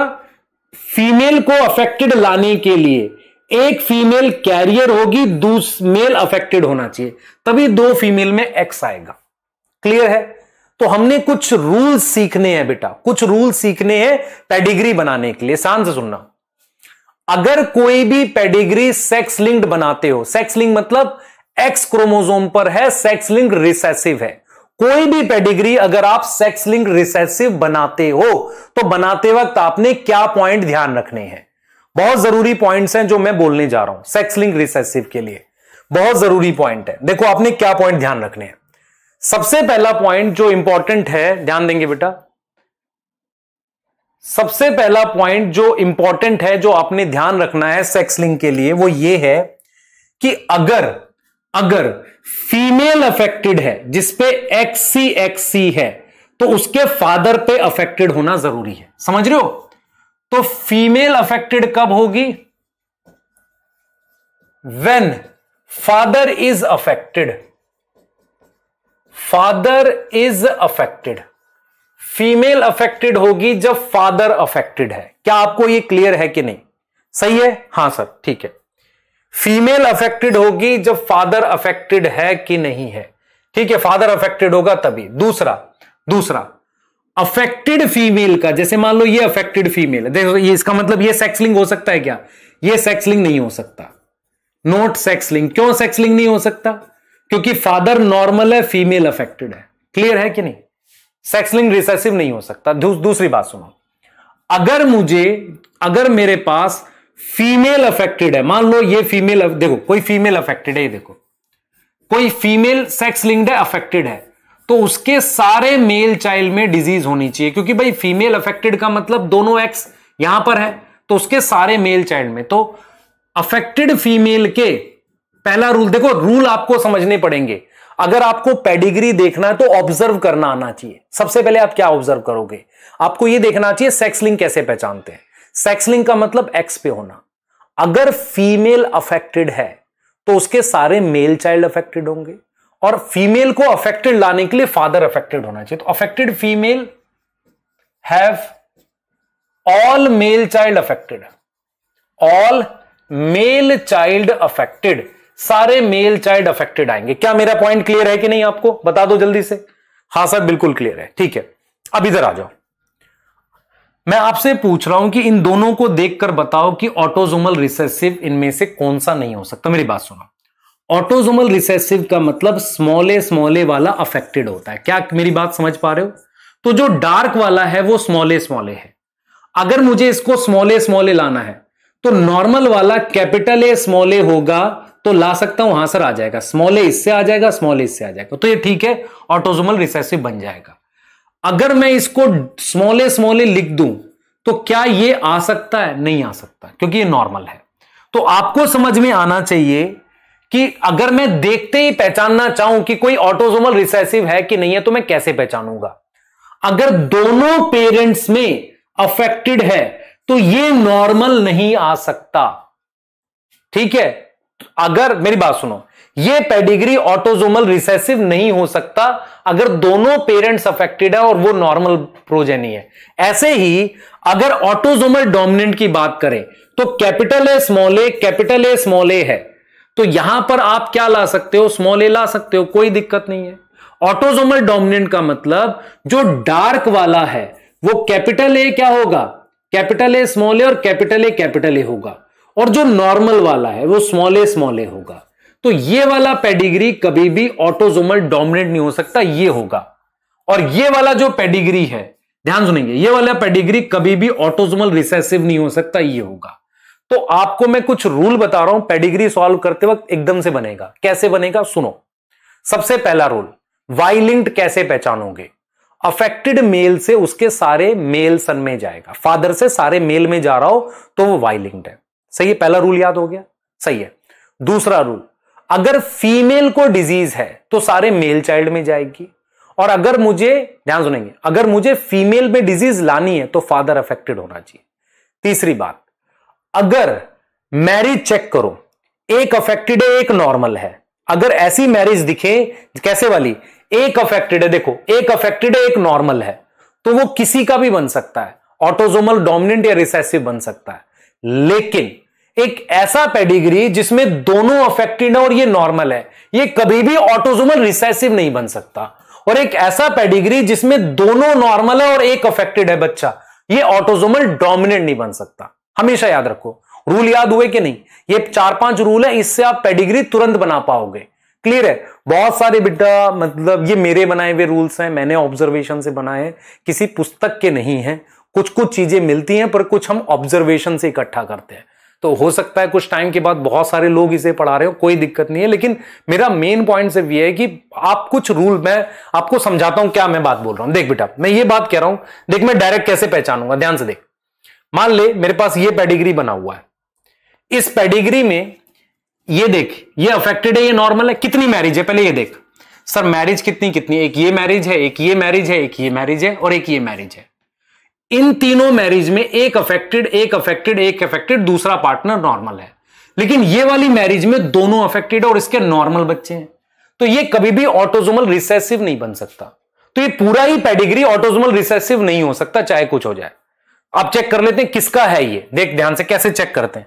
देख बेटा, कैसे चेक करते हैं, मैं वो बता देता हूँ। देख, सबसे पहले ये देख कि ये फीमेल अफेक्टेड है। अफेक्टेड पहले पहले वाई लिंक के लिए देखते हैं। वाई लिंक कैसे चेक करोगे आप? देखो, ये मेल नॉर्मल है, पर अफेक्टेड मेल आ गया। चलो, ये छोड़ते हैं। यहाँ पर कोई मेल है? नहीं। अच्छा देखो, ऐसे देख लो। ये अफेक्टेड मेल में ये वाला मेल क्या है? नॉर्मल है। भाई, इस मेल का ये बेटा थोड़ी है, दमाद है ना भाई? ये जो मेल है, इससे किसी मेल में तो गया नहीं, सब फीमेल थे। देखो, ये चाइल्ड फीमेल है, ये चाइल्ड फीमेल है, ये चाइल्ड फीमेल है। छोड़ देते हैं। इस मेल से नॉर्मल मेल है ना? तो ये वाइलिंग नहीं है ये पेडिग्री। अब बात करते हैं एक्स लिंक के लिए। एक्स लिंक का क्या रूल है? अफेक्टेड फीमेल का मेल चाइल्ड अफेक्टेड होना चाहिए, सही है। फीमेल अफेक्टेड होने लाने के लिए मेल चाइल्ड अफेक्टेड चाहिए, सही है। अब जरा ये देखो, ये दोनों अफेक्टेड है, ये नॉर्मल नहीं आ सकती एक्स लिंक पे दूसरी चीज़ क्या है बेटा, कि अगर मुझे ये फीमेल अफेक्टेड लाना है तो फादर में डिज़ीज़ होनी चाहिए थी एक्स लिंक भी नहीं। अब ये दो रह गया ऑटोजोमल रिसेसिव और ऑटोजोमल डोमिनेंट रह गया। अब चेक करो, कितनी मैरिज है? एक, दो, तीन और चार। चारों मैरिज में से ये एक नॉर्मल और अफेक्टेड है, ये वाला दोनों क्या है? अफेक्टेड है। अगर ये अफेक्टेड है और ऑटोजोमल रिसेसिव होता तो इनको मैं स्मॉले स्मॉले लिखता, फिर ये कैसे आ जाता? तो इसका मतलब ये है, ये क्या नहीं हो सकता? ऑटोजोमल रिसेसिव नहीं हो सकता। ये ऑटोजोमल डोमिनेंट का पेडिग्री है। आ रही है समझ? ये ऑटोजोमल डोमिनेंट का पेडिग्री है बेटा। ऑटोजोमल डोमिनेंट का पेडिग्री है। क्या ये बातें क्लियर है कि नहीं? सोचो। सोचो इस चीज़ को, सोचो, दिमाग लगाओ। हाँ सर, समझ में आ रहा है। अब ये देखो जरा। इस पेडिग्री को ऑब्ज़र्व करते हैं। फादर अफेक्टेड है डॉटर अफेक्टेड आ रहा है। फादर अफेक्टेड है डॉटर अफेक्टेड आ रहा है। पर इस अफेक्टेड डॉटर के लिए फादर अफेक्टेड नहीं है। तो क्या ये वाइलिंग है? वाइलिंग होगा। देखो फादर से सन में गया है गया है। उसके सन में गया नहीं। वाइलिंग नहीं है। कुछ के मन में आता है, सर, आधा हो सकता, आधा नहीं होता। पूरा पूरा पेडिग्री एक जैसा ही होता है। एक्स लिंक है क्या? चेक करते हैं। फादर अफेक्टेड है डॉटर अफेक्टेड आ गई। ठीक है, ये फादर अफेक्टेड है डॉटर अफेक्टेड पर इस डॉटर के अफेक्टेड होने के लिए फादर अफेक्टेड नहीं है। तो एक्स लिंक भी नहीं, दो रह गए। ऑटोजोमल रिसेसिव ऑटोजोमल डोमिनेंट अब जरा मैरिज चेक करो। ये वाली मैरिज ये वाली और ये तीन मैरिज हुई है इसमें। तीनों मैरिज में एक अफेक्टेड एक नॉर्मल है। ये दोनों का बन सकता है।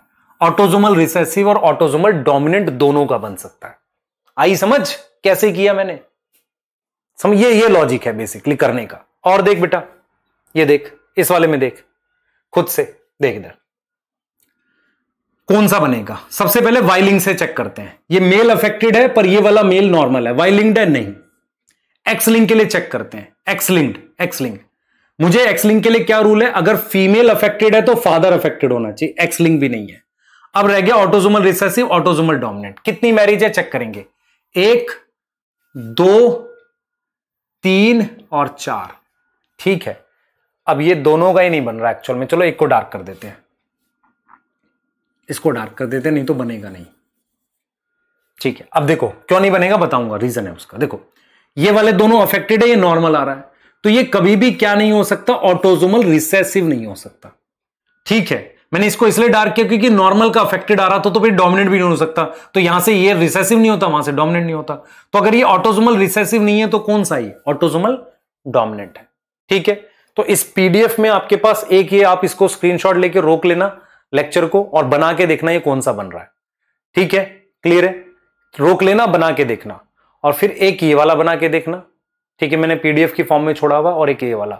और चैट में मुझे आंसर बताना क्या क्या बन रहा है। ठीक है? क्लियर है? आपको तरीका बता दिया। अगर फीमेल को डिज़ीज़ है तो सारे मेल चाइल्ड में होगी ऑटोजोमल रिसेसिव के लिए। क्लियर है? ये तरीका है बनाने का।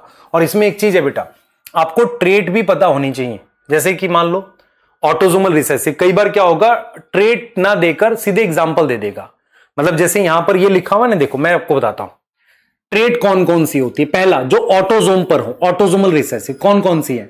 Sickle cell anaemia thalassaemia phenylketonuria cystic fibrosis muscular dystrophy ये डिज़ीज़ वो है जो एक्स क्रोमोजोम सॉरी ऑटोजोम्स पर होती है। क्लियर है कि नहीं? उसके बाद ऑटोजोमल डोमिनेंट मायोटोनिक डिस्ट्रॉफी इसका पेडिग्री दे रखा है। सेक्स लिंग में कौन कौन सी याद करोगे? Colour blindness haemophilia Y linked trait कौन सी होती? है hypertrichosis TDF hypertrichosis मतलब कान पर ऐसा हेयर होंगे और टीडीएफ का मतलब एक जीन होती है टेस्टिस डिटरमाइनिंग फैक्टर तो मैं आपको यह कहना चाह रहा हूँ कि कई बार पेडिग्री में ऑटोजोमल डोमिनेंट ना लिखकर यहाँ मायोटोनिक डिस्ट्रॉफी लिख सकता है। हाँ सर, ऐसा कर सकते हैं। और ऑटोजोमल रिसेसिव ना लिखकर यहाँ पीके यू लिख दे। एक्स लिंक की जगह कलर ब्लाइंडनेस लिख दे। है ना? और वाई लिंक की जगह वो क्या लिख दे? आपको हाइपर ट्राइकोसिस या टीडीएफ लिखते तो ये भी कर सकता है। इसलिए इन ट्रेड्स को याद करना होता है। ये कौन सी ट्रेड्स हैं जो एनसीआरटी में दे रखी है डिज़ीज़ की फॉर्म में? ऑटोजोमल रिसेसिव मतलब ये वाली ट्रेड ऑटोजोमल डोमिनेंट मतलब ये वाली ट्रेड और सेक्स लिंक्ड कौन सी? मतलब एक्स क्रोमोजोम पे। सेक्स लिंक रिसेसिव है ये दोनों। कलर ब्लाइंडनेस और हमारे पास क्या आ गया? हेमोफीलिया वाइलिंग क्या है हमारे पास? हाइपर ट्राइकोसिस और टीडीएफ है। क्लियर है? ये वाई वाइलिंग है। सही है? यहाँ तक समझ में आ गई? जल्दी देख लो। सही है, बढ़िया। तो अब ये बेटा आपका पेडिग्री को कंप्लीट करता है। अब इसके बाद से हम लोग डिस्कस कर रहे हैं जेनेटिक डिसऑर्डर इसके बाद से हम क्या डिस्कस कर रहे हैं? जेनेटिक डिसऑर्डर डिस्कस कर रहे हैं। बेटा, अब हम लोग जेनेटिक डिसऑर्डर को डिस्कस करते हैं और फटाफट से इस चैप्टर को फिनिश करते हैं। तो चलिए देखते हैं फटाफट से जेनेटिक डिसऑर्डर देखिए क्या है हमारे पास। जेनेटिक डिसऑर्डर क्या होते हैं? अगर मैं आपसे एक सिंपल भाषा में पूछूँ तो आप क्या बोलोगे?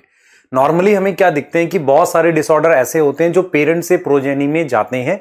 तो नॉर्मली हम जेनेटिक डिसऑर्डर्स उन डिसऑर्डर को बोलते हैं जो पेरेंट से प्रोजेनी में पेरेंट से प्रोजेनी में इनहेरिट होते हैं और वो एक्सप्रेस हो सकते हैं। कई बार एक्सप्रेस होंगे, नहीं होंगे, ये श्योरिटी नहीं है, पर एक्सप्रेस हो सकते हैं। तो जेनेटिक डिसऑर्डर को अगर मैं बोलूँ क्या है तो ये क्या है बेटा? ये ट्रेट है या डिसऑर्डर है? डिसऑर्डर है ट्रेट या डिसऑर्डर है? जो ट्रांसफ़र होंगे फ्रॉम पेरेंट टू प्रोजेनी, है ना? ट्रांसफ़र होंगे कहाँ से? Transfer from parent to progeny. Parent से प्रोजेनी में जाएँगे। कोई डाउट है इस बात में? नहीं, सर, ये समझ में आ गया। अच्छा जेनेटिक डिसऑर्डर को हम दो कैटेगरी में डिवाइड करते हैं आपके एनसीआरटी के अकॉर्डिंग। एक होता है, बेटा, Mendelian disorder. What is Mendelian Mendelian disorder क्या होता है कि जैसे हमने मेंडल का क्रॉस बनाया था ना, कैपिटल टी कैपिटल टी को स्मॉल टी स्मॉल टी से क्रॉस करा कर हमने रिज़ल्ट बनाए तो नॉर्मली क्या होता है मेंडेलियन डिसऑर्डर वो होते हैं जो मेंडल का पैटर्न फॉलो करते हैं कि भाई पेरेंट्स में जो ट्रेट है वो जोड़े में है, दोनों में से एक किसमें चला गया गैमेट में और फिर जाइगोट में दोनों कंबाइन हो गया। तो कहीं ना कहीं मेंडल का पैटर्न फॉलो करते हैं। ऐसा नहीं मेंडल में हुआ था मेंडल का पैटर्न फॉलो करते हैं। तो मेंडेलियन डिसऑर्डर क्या होते हैं?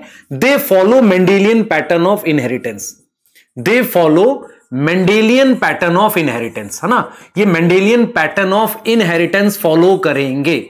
क्लियर है कि नहीं? कोई डाउट है, बता दो। तो ये Mendelian pattern of inheritance follow करेंगे। और ये होते क्यों है? Occur due to point mutation ये किसकी वजह से होते हैं? पॉइंट म्यूटेशन की वजह से होते हैं। और इनको आप पेडिग्री पे ड्रॉ कर सकते हो। Can be trace on pedigree pedigree analysis से आप इनको ट्रेस कर सकते हो। इनको ट्रेस कर सकते हो। आप समझ रहे हो मैं क्या कहना चाह रहा हूँ?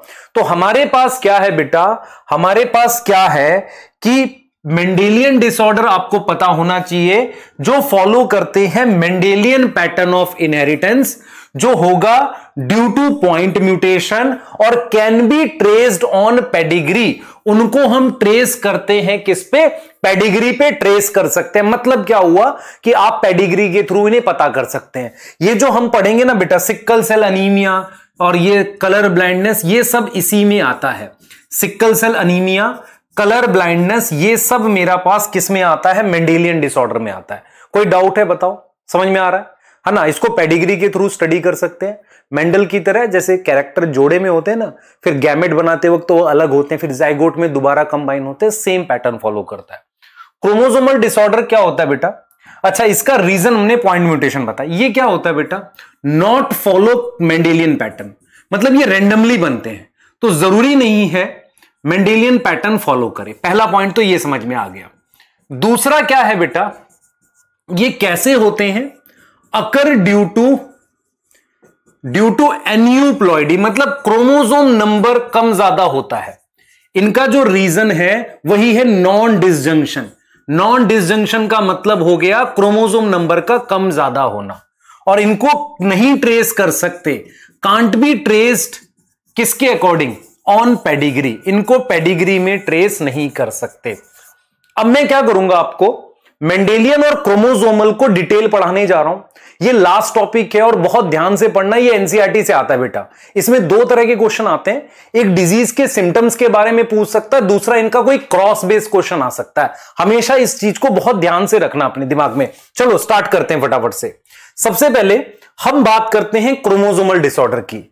अगर आपसे कोई पूछे कि क्रोमोजोमल डिसऑर्डर क्यों बनते हैं तो ड्यू टू नॉन डिसजंक्शन क्यों बनते हैं? नॉन डिसजंक्शन क्या करना है? नॉन डिसजंक्शन करना है। कब? In anaphase one anaphase one में नॉन डिसजंक्शन होती है। उसकी वजह से एन्यूप्लॉइडी होती है। एन्यूप्लॉइडी आपको बता दिया था। क्रोमोजोम की संख्या कम ज़्यादा होना।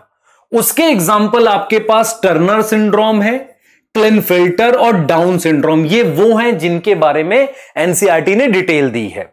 अब कुछ और एग्ज़ाम्पल अगर आप चाहो पढ़ना तो कौन से होंगे? आप चाहो तो सुपर मेल लिख सकते हो, है ना? वो 44 प्लस एक्स वाई वाई होता है, ठीक है? सुपर फीमेल हो सकता है क्रोमोजोमल इसमें, जिसमें 44 प्लस ट्रिपल एक्स होता है, ऐसी कुछ डिज़ीज़ भी है। क्लियर है? पर हमारा फोकस इन तीन पे रहेगा क्रोमोजोमल डिसऑर्डर में। क्लियर है? बिल्कुल, सही है। तो एक एक को जरा मैं बताता हूँ। आपको बेटा क्या करना चाहिए? इनका इन डिसऑर्डर के बारे में सिंपल क्या पढ़ना चाहिए, नाम, ठीक है, उनका जीनोटाइप समझो, वो मेल होंगे कि फीमेल होंगे, ये चीज़ें पढ़नी जैसे फॉर एग्ज़ाम्पल मैं सबसे पहले यहाँ पर लिख रहा हूँ डिज़ीज़ का नाम टर्नर सिंड्रोम टर्नर्स सिंड्रोम लिख रहा हूँ। अब इसमें एक क्रोमोजोम कम होता है तो 44 प्लस एक्स नॉट है तो टोटल कितने क्रोमोजोम हो गए? 45 हो गए। सही है टर्नर सिंड्रोम में। ये मेल है कि फीमेल है? बेटा, ये फीमेल है, क्योंकि एक्स क्रोमोजोम है। फर्टाइल है कि स्टिराइल है? स्टिराइल होता है। ये फीमेल में ओवरी रूडिमेंट्री होती है। तो इसके जो सिम्टम है, वो शॉर्ट स्टेचर है हाइट कम होती है। ठीक है फीमेल की रूडिमेंट्री ओवरी होती है। कैसी ओवरी होगी? रूडिमेंट्री ओवरी होती है। और ये फीमेल क्या है? स्टीराइल होती है। है ना स्टीराइल होगी। तो ये टर्नर सिंड्रोम है बेटा। शॉर्ट स्टेचर होगा रूडिमेंट्री ओवरी मतलब ओवरी में गैमेट्स डेवलप नहीं होंगे। मान लो सेकेंड डिज़ीज़ का नाम है। मैं लिखता हूँ क्लेन फ़िल्टर अब क्लेन फिल्टर्स जो है, उसमें एक्स्ट्रा क्रोमोजोम है। 44 plus X X Y total chromosome कितने हो गए? 47 हो गए। अब ये क्या है? क्योंकि वाई क्रोमोजोम है मेल है। और ये भी स्टिराइल होता है। अब ये वो मेल होता है जिसमें फीमेल लाइक कैरेक्टर होते हैं। तो male with feminine character male with feminine character male ऐसा जिसमें फेमिनिन कैरेक्टर है फीमेल जैसा कैरेक्टर है। क्लियर है कि नहीं? बता दो जल्दी से। ये वो मेल है जिसमें फीमेल लाइक कैरेक्टर है। एक सेकंड देंगे मुझे। क्लियर है? हाँ सर अब सुनो मेरी बात। अब फीमेल लाइक कैरेक्टर मतलब ब्रेस्ट डेवलपमेंट उसे कहते हैं गाइनिकोमास्टिया। गाइनिकोमास्टिया कहते हैं, है ना? फीम मतलब ब्रेस्ट डेवलपमेंट होती है। पर ये जो होते हैं बेटा मेल होते हैं फीमेल लाइक कैरेक्टर और इसमें टेस्टिस वेल डेवलप नहीं होते, है ना? प्रॉपरली डेवलप नहीं होंगे। ठीक है, चलो आगे बात करते एक सबसे ज़्यादा डिटेल आपको एनसीआरटी ने इसकी दी है डाउन सिंड्रोम की, है ना? और ये डिज़ीज़ जो है, ये मतलब क्या है? 47 क्रोमोजोम है। इसमें ट्वेंटी फ़र्स्ट एक्स्ट्रा होता है। उसकी ट्राइसोमी होती है। ठीक है? डाउन सिंड्रोम जो है 1866 में लैंगडन डाउन ने डिस्कवर किया था। किसने डिस्कवर किया था? लैंगडन डाउन ने। क्या यह बात समझ में आ रही है? हाँ, सर, ठीक है। ये इसका जीनोटाइप हमने लिख दिया। ये मेल भी हो सकता है और फीमेल दोनों में से कोई भी। आइदर मेल और फीमेल कुछ भी हो सकता है। ये बेटा फर्टाइल होते हैं। देखो, मेरी बात समझो। डाउन सिंड्रोम मेंटली रिटार्डेड होते हैं, पर ये फर्टाइल होते हैं स्टिराइल नहीं होते। ठीक है ठीक है, आगे सुनो, इसके सिम्टम इसके सिम्टम है बेटा ओपन माउथ है ना? फरो टंग साइकोमोटर मतलब क्या हुआ? एक तरीके से मेंटल रिटार्डेड हो गया। ठीक है और बेटा लूप्स दे रखी हैं फिंगर पे। Distinct palm crease distinct palm crease अब इसका भी शॉर्ट स्टेचर होता है। पाम क्रीज मतलब हाथ पे प्रॉपर पाम क्रीज पड़े थे। शॉर्ट स्टेचर है बेटा। और बाई बर्थ देखो इसके सिम्टम्स दो जगह लिखे, मेरी बात सुनना। दो जगह सिम्टम्स लिखे। एक सिम्टम राइटअप में लिखे, दूसरे सिम्टम एक डायग्राम दे रखा है कैरियोटाइप है ना? कैरियोटाइप क्या मतलब? क्रोमोजोम की अरेंजमेंट वहाँ सिम्टम लिखे। हैं ओपन माउथ लिखा है फोरहेड जो लिखा है फ्लैट लिखा है, उसके साथ उसमें एक चीज़ और लिखी है बेटा। उसके साथ एक चीज़ और लिखी है congenital heart disease congenital heart disease लिखी है। ऐसी हार्ट डिज़ीज़ जो क्या है कंजिनाइटल है। जो क्या है कंजिनाइटल है। कॉन्जिनाइटल मतलब बाई बर्थ हमारे पास क्या है? हार्ट डिज़ीज़ प्रेजेंट है। मतलब by birth heart disease present है, ये लिखा हुआ है। तो ये कुछ सिम्टम्स हैं किसके बेटा? टर्नर डाउन सिंड्रोम के। और सबसे ज़्यादा इन तीनों में ये वाली डिज़ीज़ होती है डाउन सिंड्रोम एक केस होता है कि फीमेल में ओवम जो होगा, अगर लेटर स्टेज में बने मतलब मेंस्ट्रुअल साइकिल जो होगी हाइयर एज में जाकर हो रही है, जब गैमेट बन रहा है। उस केस में फीमेल में क्रोमोजोम नंबर अनइक्वल बनने के चांसेस ज़्यादा। मतलब फीमेल जो हाइयर एज में चाइल्ड बर्थ करती है, उसमें नॉन डिसजंक्शन की संभावना बढ़ जाती है, चांसेस बढ़ जाते हैं। इसीलिए इसीलिए जिस फीमेल में चाइल्ड बर्थ हाइयर एज में होगा, वहाँ ज़्यादा चांसेस हैं। इसके, किसके? डाउन सिंड्रोम के। क्लियर हो गया कि नहीं? ठीक है? सही है? अब जरा हम बात करते हैं मेंडेलियन डिसऑर्डर की, और उसमें हमारे पास एक लिस्ट है जो हमें पढ़नी है। सुन लो, ध्यान से, बहुत इंपॉर्टेंट है। लिस्ट क्या है, देखो।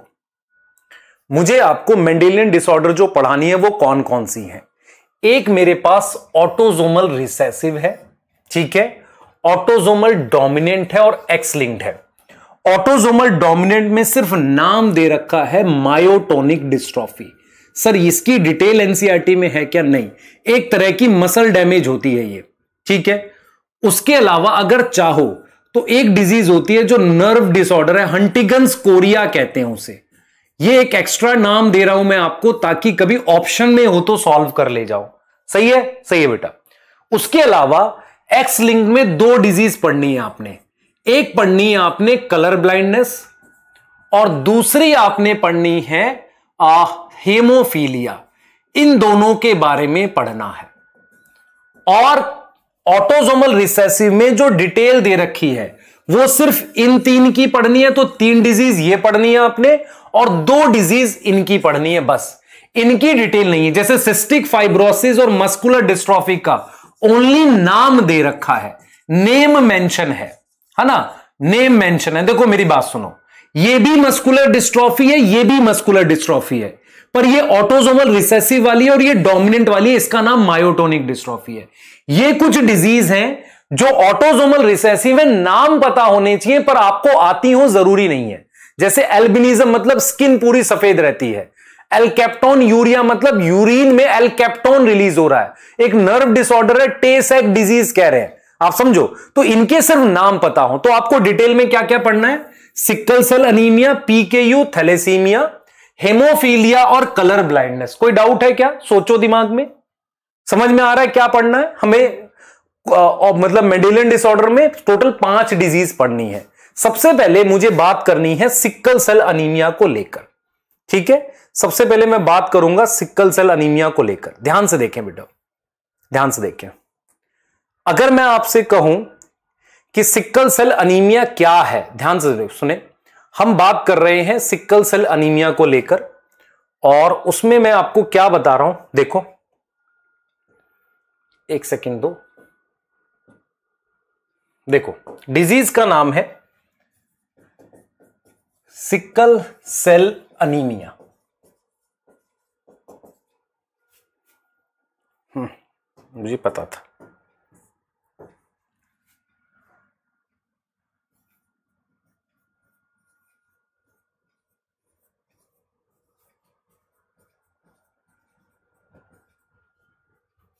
सिक्कल सेल अनीमिया ठीक है? क्लियर सिक्कल सेल अनीमिया की बात कर रहे हो। ध्यान से सुनना। ठीक है? अब जो मैं आपको बोलने वाला हूँ, समझना। इस डिज़ीज़ में होता क्या है? आपको पता है, इसके अगर मैं सिम्टम्स की बात करूँ, ध्यान से समझना। सिम्टम्स की बात करूँ तो कैसे दिखता है? हमारे पास ये ब्लड वेसल्स हैं। हाँ सर, ये ब्लड वेसल्स हैं। ऐसे ब्लड वेसल्स होती हैं। हमारे पास आरबीसी की नॉर्मल शेप ये बाई कनकेव होती है। आरबीसी की नॉर्मल शेप ऐसी होती है बाई कनकेव ठीक है? सिक्कल सेल अनीमिया में शेप ऐसी हो जाती है सिक्कल शेप, और कैपलरीज में वो फंसने लगता है। तो सिक्कल सेल अनीमिया में आपको यह समझना चाहिए कि जो नॉर्मल आरबीसी होता है, उसकी शेप क्या होती है? बाई कनकेव होती है। और यहाँ पर जो शेप हो गई है, सिक्कल शेप हो गई है। सिक्कल शेप आरबीसी की कुछ परेशानियाँ हैं। पहला इसका जो लाइफ स्पान है, वो कम होता है लेस होता है।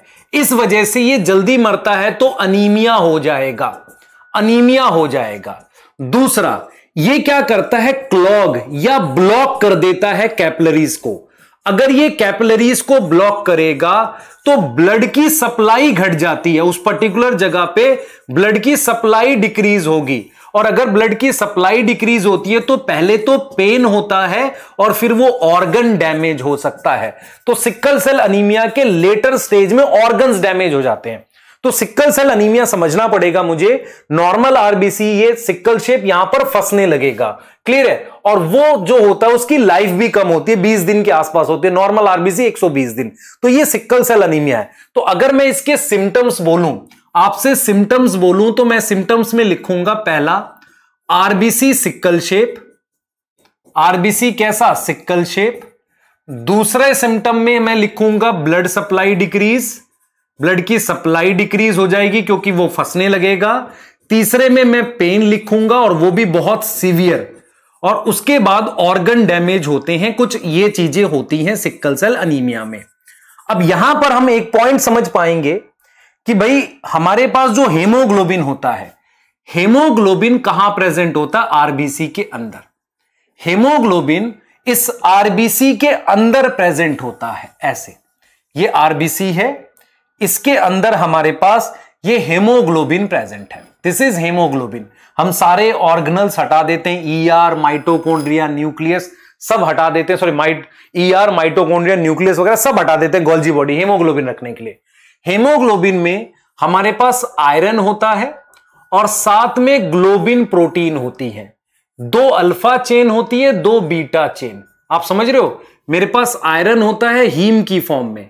हीम क्या हो गया? आयरन हो गया। और साथ में मेरे पास ग्लोबिन होती है कितनी चेन चार चेन उसमें से दो अल्फ़ा होती है और दो बीटा होती हैं। तो सिक्कल सेल अनीमिया में बेसिकली क्या होता है? जो बीटा चेन होती है, इस, ये इनकी शेप खराब हो जाती है बीटा चेन एबनॉर्मल बनती है। क्लियर है? तो अगर आपसे कोई पूछे कि सिक्कल सेल अनीमिया में हुआ क्या है रीजन क्या है तो रीजन क्या है बेटा? मेरे पास जो बीटा चेन है बीटा चेन जो है, उस, वो एबनॉर्मल बनती है, वो क्या होती है? खराब बन जाती है। एबनॉर्मल बनती है। एबनॉर्मल सिंथेसिस होती है उसकी। अमाउंट नहीं कह रहा हूँ। एबनॉर्मल सिंथेसिस का मतलब शेप हम बात कर रहे हैं शेप ध्यान से सुनो।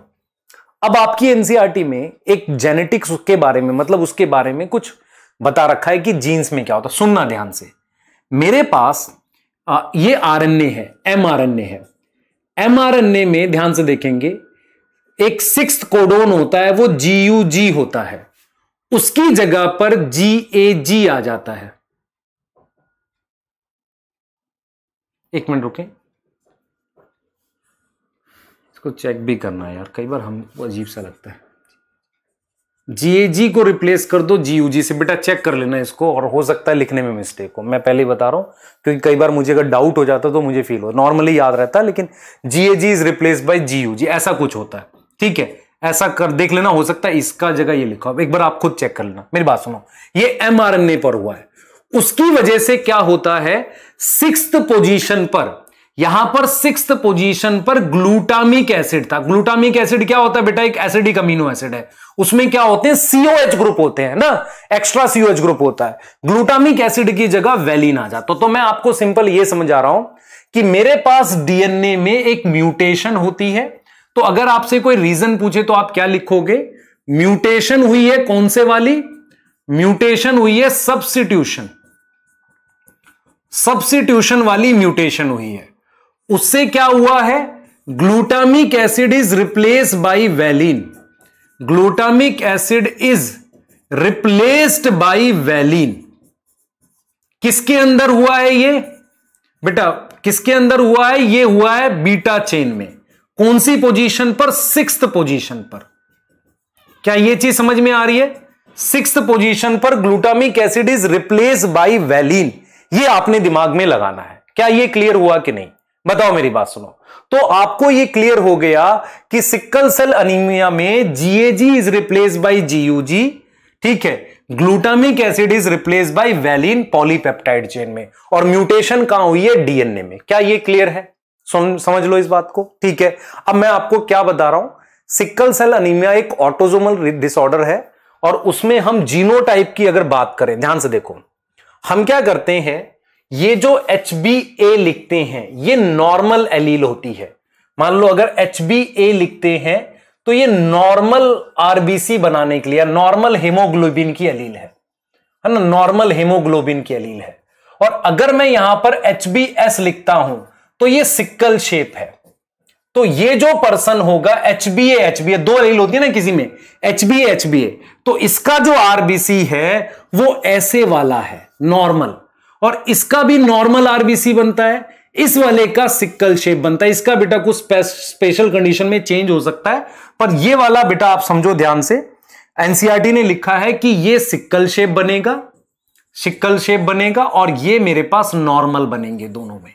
ये लिख रही है एनसीआरटी हाँ। कुछ स्पेशल केस में जो कैरियर वाला है, ये वाला, इसका बदल जाता है स्पेशल केस में। ये चीज़ समझ में आ रही है? तो ये हो गए जीनोटाइप तो आपसे अगर पूछा जाए जीएजी रिप्लेस बाय जीयूजी ठीक है, वो किस पे हो रहा? आरएनए पर और उसके रिस्पॉन्स में आप क्या देख पा रहे हैं, जो आपके पास प्रोटीन है। Six position glutamic acid is replace by valine valine क्या होता है? एक हाइड्रोफोबिक अमीनो एसिड होता है, जो अट्रैक्शन बनाता है दूसरे हेमोग्लोबिन से, और उसमें ऐसा कुछ होगा। देखो, हमारे पास मान लो ये है। ये इसकी शेप इसमें बदल जाएगी, ऐसी कैसी हो जाएगी? तो जो वैलिन था ना उसने क्या किया? हेमोग्लोबिन के बीच में हाइड्रोफोबिक बॉन्ड बना दिए। उससे इसकी शेप बदल गई। मतलब क्या हुआ? ये क्या है? हेमोग्लोबिन है। इस हेमोग्लोबिन में अब क्या है? वैलिन है। वैलिन की वजह से कुछ हाइड्रोफोबिक इंटरेक्शन बनते हैं और उससे शेप बदल के कैसी हो जाती है? सिक्कल शेप हो जाती है। क्लियर है? अब चलो एक क्वेश्चन करते हैं इसमें। Calculate the chance of sickle cell anaemia if both parent is carrier. ऐसे क्वेश्चन पूछ देता है। तो दोनों पेरेंट कैरियर का मतलब ये इसको क्रॉस यहाँ पे एस कर देते हैं देखो इसको क्रॉस कराया एच बी ए और एच बी एस में और यहाँ पर मेरे पास क्या आ गया ध्यान देंगे यहाँ पर मेरे पास क्या आ गया H B A H B A H B A H B S यहाँ पर H B A H B S और यहाँ पर H B S H B S ये चीज़ समझ में आ रही है क्लियर है? देख लो ध्यान से। ये चीज़ समझ में आ रही है। ये चीज़ क्लियर है। तो इसमें से कितने अफेक्टेड है? 25 परसेंट ट्वेंटी फाइव परसेंट मेरे पास क्या आएँगे? अफेक्टेड आएँगे। 50 परसेंट कैरियर है। बट ये नॉर्मल है। अगर मैं देखूँ तो 75 पर ये नॉर्मल होते हैं। ऐसे करेंगे क्वेश्चन ठीक है? अब हम बात करते हैं बेटा, किसकी? थैलेसीमिया की बात कर लेते हैं। ध्यान से सुनो। क्योंकि आपको काफ़ी सारे क्वेश्चन थैलेसीमिया पर भी आते हैं। और बहुत डिटेल में ये पूछता है कि यार थैलेसीमिया और सिक्कल सेल अनीमिया में अंतर क्या होता है? मेरी बात बहुत ध्यान से सुनना। सिक्कल सेल अनीमिया में हेमोग्लोबिन एबनॉर्मल शेप का मतलब बेसिकली क्या हो रहा है? हेमोग्लोबिन जो है वो उसकी मतलब एबनॉर्मल सिंथेसिस हो रही है, खराब बन रहा है। किसमें? सिक्कल सेल अनीमिया में। थैलेसीमिया में लेस बनता है। दोनों में फ़र्क समझ में आई क्या बोला मैंने? मैंने बोला कि आपके पास जो सिक्कल सेल अनीमिया है, उसमें एबनॉर्मल हेमोग्लोबिन बनता है। जो हेमोग्लोबिन बनता है, वो एबनॉर्मल है। लेकिन थैलेसीमिया में लेस सिंथेसिस होती है। तो अगर आपसे मैं बोलूँ व्हाट इज़ थैलेसीमिया मैं लिखूँगा लेस सिंथेसिस ऑफ़ हेमोग्लोबिन और उससे क्या होगा? उससे यह होगा कि पर्सन को रेगुलर ट्रांसफ्यूजन चाहिए। Person require regular blood transfusion regular blood transfusion. क्या यह बात समझ में आ रही है? क्या यह बात क्लियर है? ठीक है। तो इसका रीजन क्या है? इसका रीजन क्या है? आप समझना ध्यान से। What is reason behind thalassaemia reason ये है बेटा थैलेसीमिया का अगर मैं आपसे कारण पूछूँ कि क्या कारण है थैलेसीमिया का क्या रीजन है? तो रीजन ये है बेटा थैलेसीमिया का आप अगर बहुत ध्यान से सोचेंगे रीजन ये है कि एक म्यूटेशन होती है और उसकी वजह से कम सिंथेसिस होती है अल्फ़ा चेन और बीटा चेन की। पहले जरा आप ये देखो। मेरे पास ये क्रोमोजोम नंबर 16 है और ये क्रोमोजोम नंबर 11 है। इस क्रोमोजोम नंबर 16 पे मेरे पास एक जीन है, जिसका नाम है एच बी ए वन तो इसकी एक और कॉपी यहाँ होगी पैरेलल होमोलोगस है ना एच बी ए वन यहाँ पर एक और जीन है एच बी ए टू और यहाँ एक और है एच बी ए टू अब ये दोनों जीन मिलके अल्फ़ा चेन बनाती हैं। तो मैं अगर आपसे बोलूँ कि ये दोनों जीन मतलब क्या हो गया? Two gene locus. दो जीन लोकस और कौन सी चेन बना रहे हैं? अल्फ़ा चेन बना रहे हैं। टोटल कितनी एलील हो गई? चार एलील हो गई। और ये कौन सी चेन बना रहे अल्फ़ा चेन की सिंथेसिस करते हैं। कोई डाउट है कि नहीं? सोचो। अल्फ़ा चेन की सिंथेसिस करते हैं। यहाँ पर मेरे पास एच बी बी जीन है। और यहाँ पर एच बी बी जीन है कौन से क्रोमोजोम पे 11 पे? ये क्या करते हैं बेटा? ये वन जीन लोकस है। और ये इसमें कितनी एलील है टोटल? टोटल दो एलील हैं। तो ये मेरे पास क्या बनाते हैं? बीटा चेन बनाते हैं। तो आपकी एनसीआरटी ये कहती है कि अगर एक म्यूटेशन यहाँ हो जाए और एक यहाँ हो जाए, उतना फ़र्क नहीं पड़ेगा। कम से कम मुझे तीन म्यूटेशन होने के बाद लेस सिंथेसिस होगी अल्फ़ा चेन की और हेमोग्लोबिन कम बनेगा।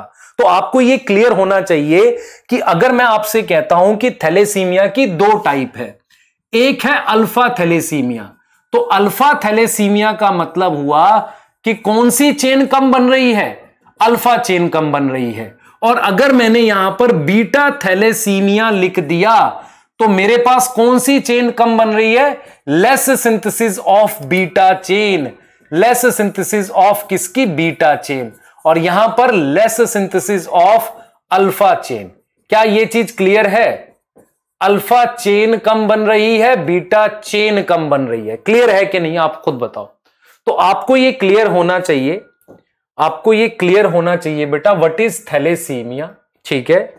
जिसका मतलब है लेस सिंथेसिस ऑफ़ हेमोग्लोबिन ठीक है? Person require regular blood transfusion ठीक है?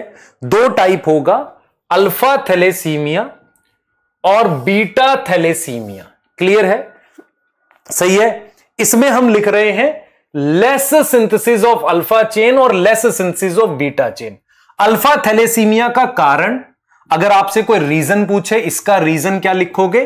इसका बेटा होगा म्यूटेशन। कितनी अलील में?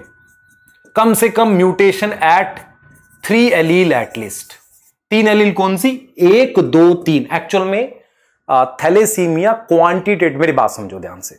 मुझे बताओ, एक और दो। अगर दो लोकस सेम चीज़ बना रहे हैं क्वालिटेटिव है क्वांटिटेटिव है। सर क्वांटिटेटिव हुआ। तो थैलेसीमिया क्वांटिटेटिव डिसऑर्डर है। और सिक्कल सर्नलीमिया क्वालिटेटिव है। ये चीज़ समझ में आ रही है? और अच्छा अगर ये म्यूटेशन इसमें हो जाए और इवन इसमें भी हो जाए, तब बीटा चेन एक म्यूटेशन से कुछ नहीं फ़र्क पड़ता। दो म्यूटेशन चाहिए, ठीक है? तो अगर मैं सिक्कल सेल अनीमिया की बात करूँ तो इसमें एबनॉर्मल हेमोग्लोबिन बनता है। एबनॉर्मल हेमोग्लोबिन इसमें लेस अमाउंट बनता है। क्या बनेगा? लेस अमाउंट ऑफ़ हेमोग्लोबिन बनेगा। सही है, सर? ठीक है? ये क्वालिटेटिव डिसऑर्डर है। क्या है ये क्वालिटेटिव है ना?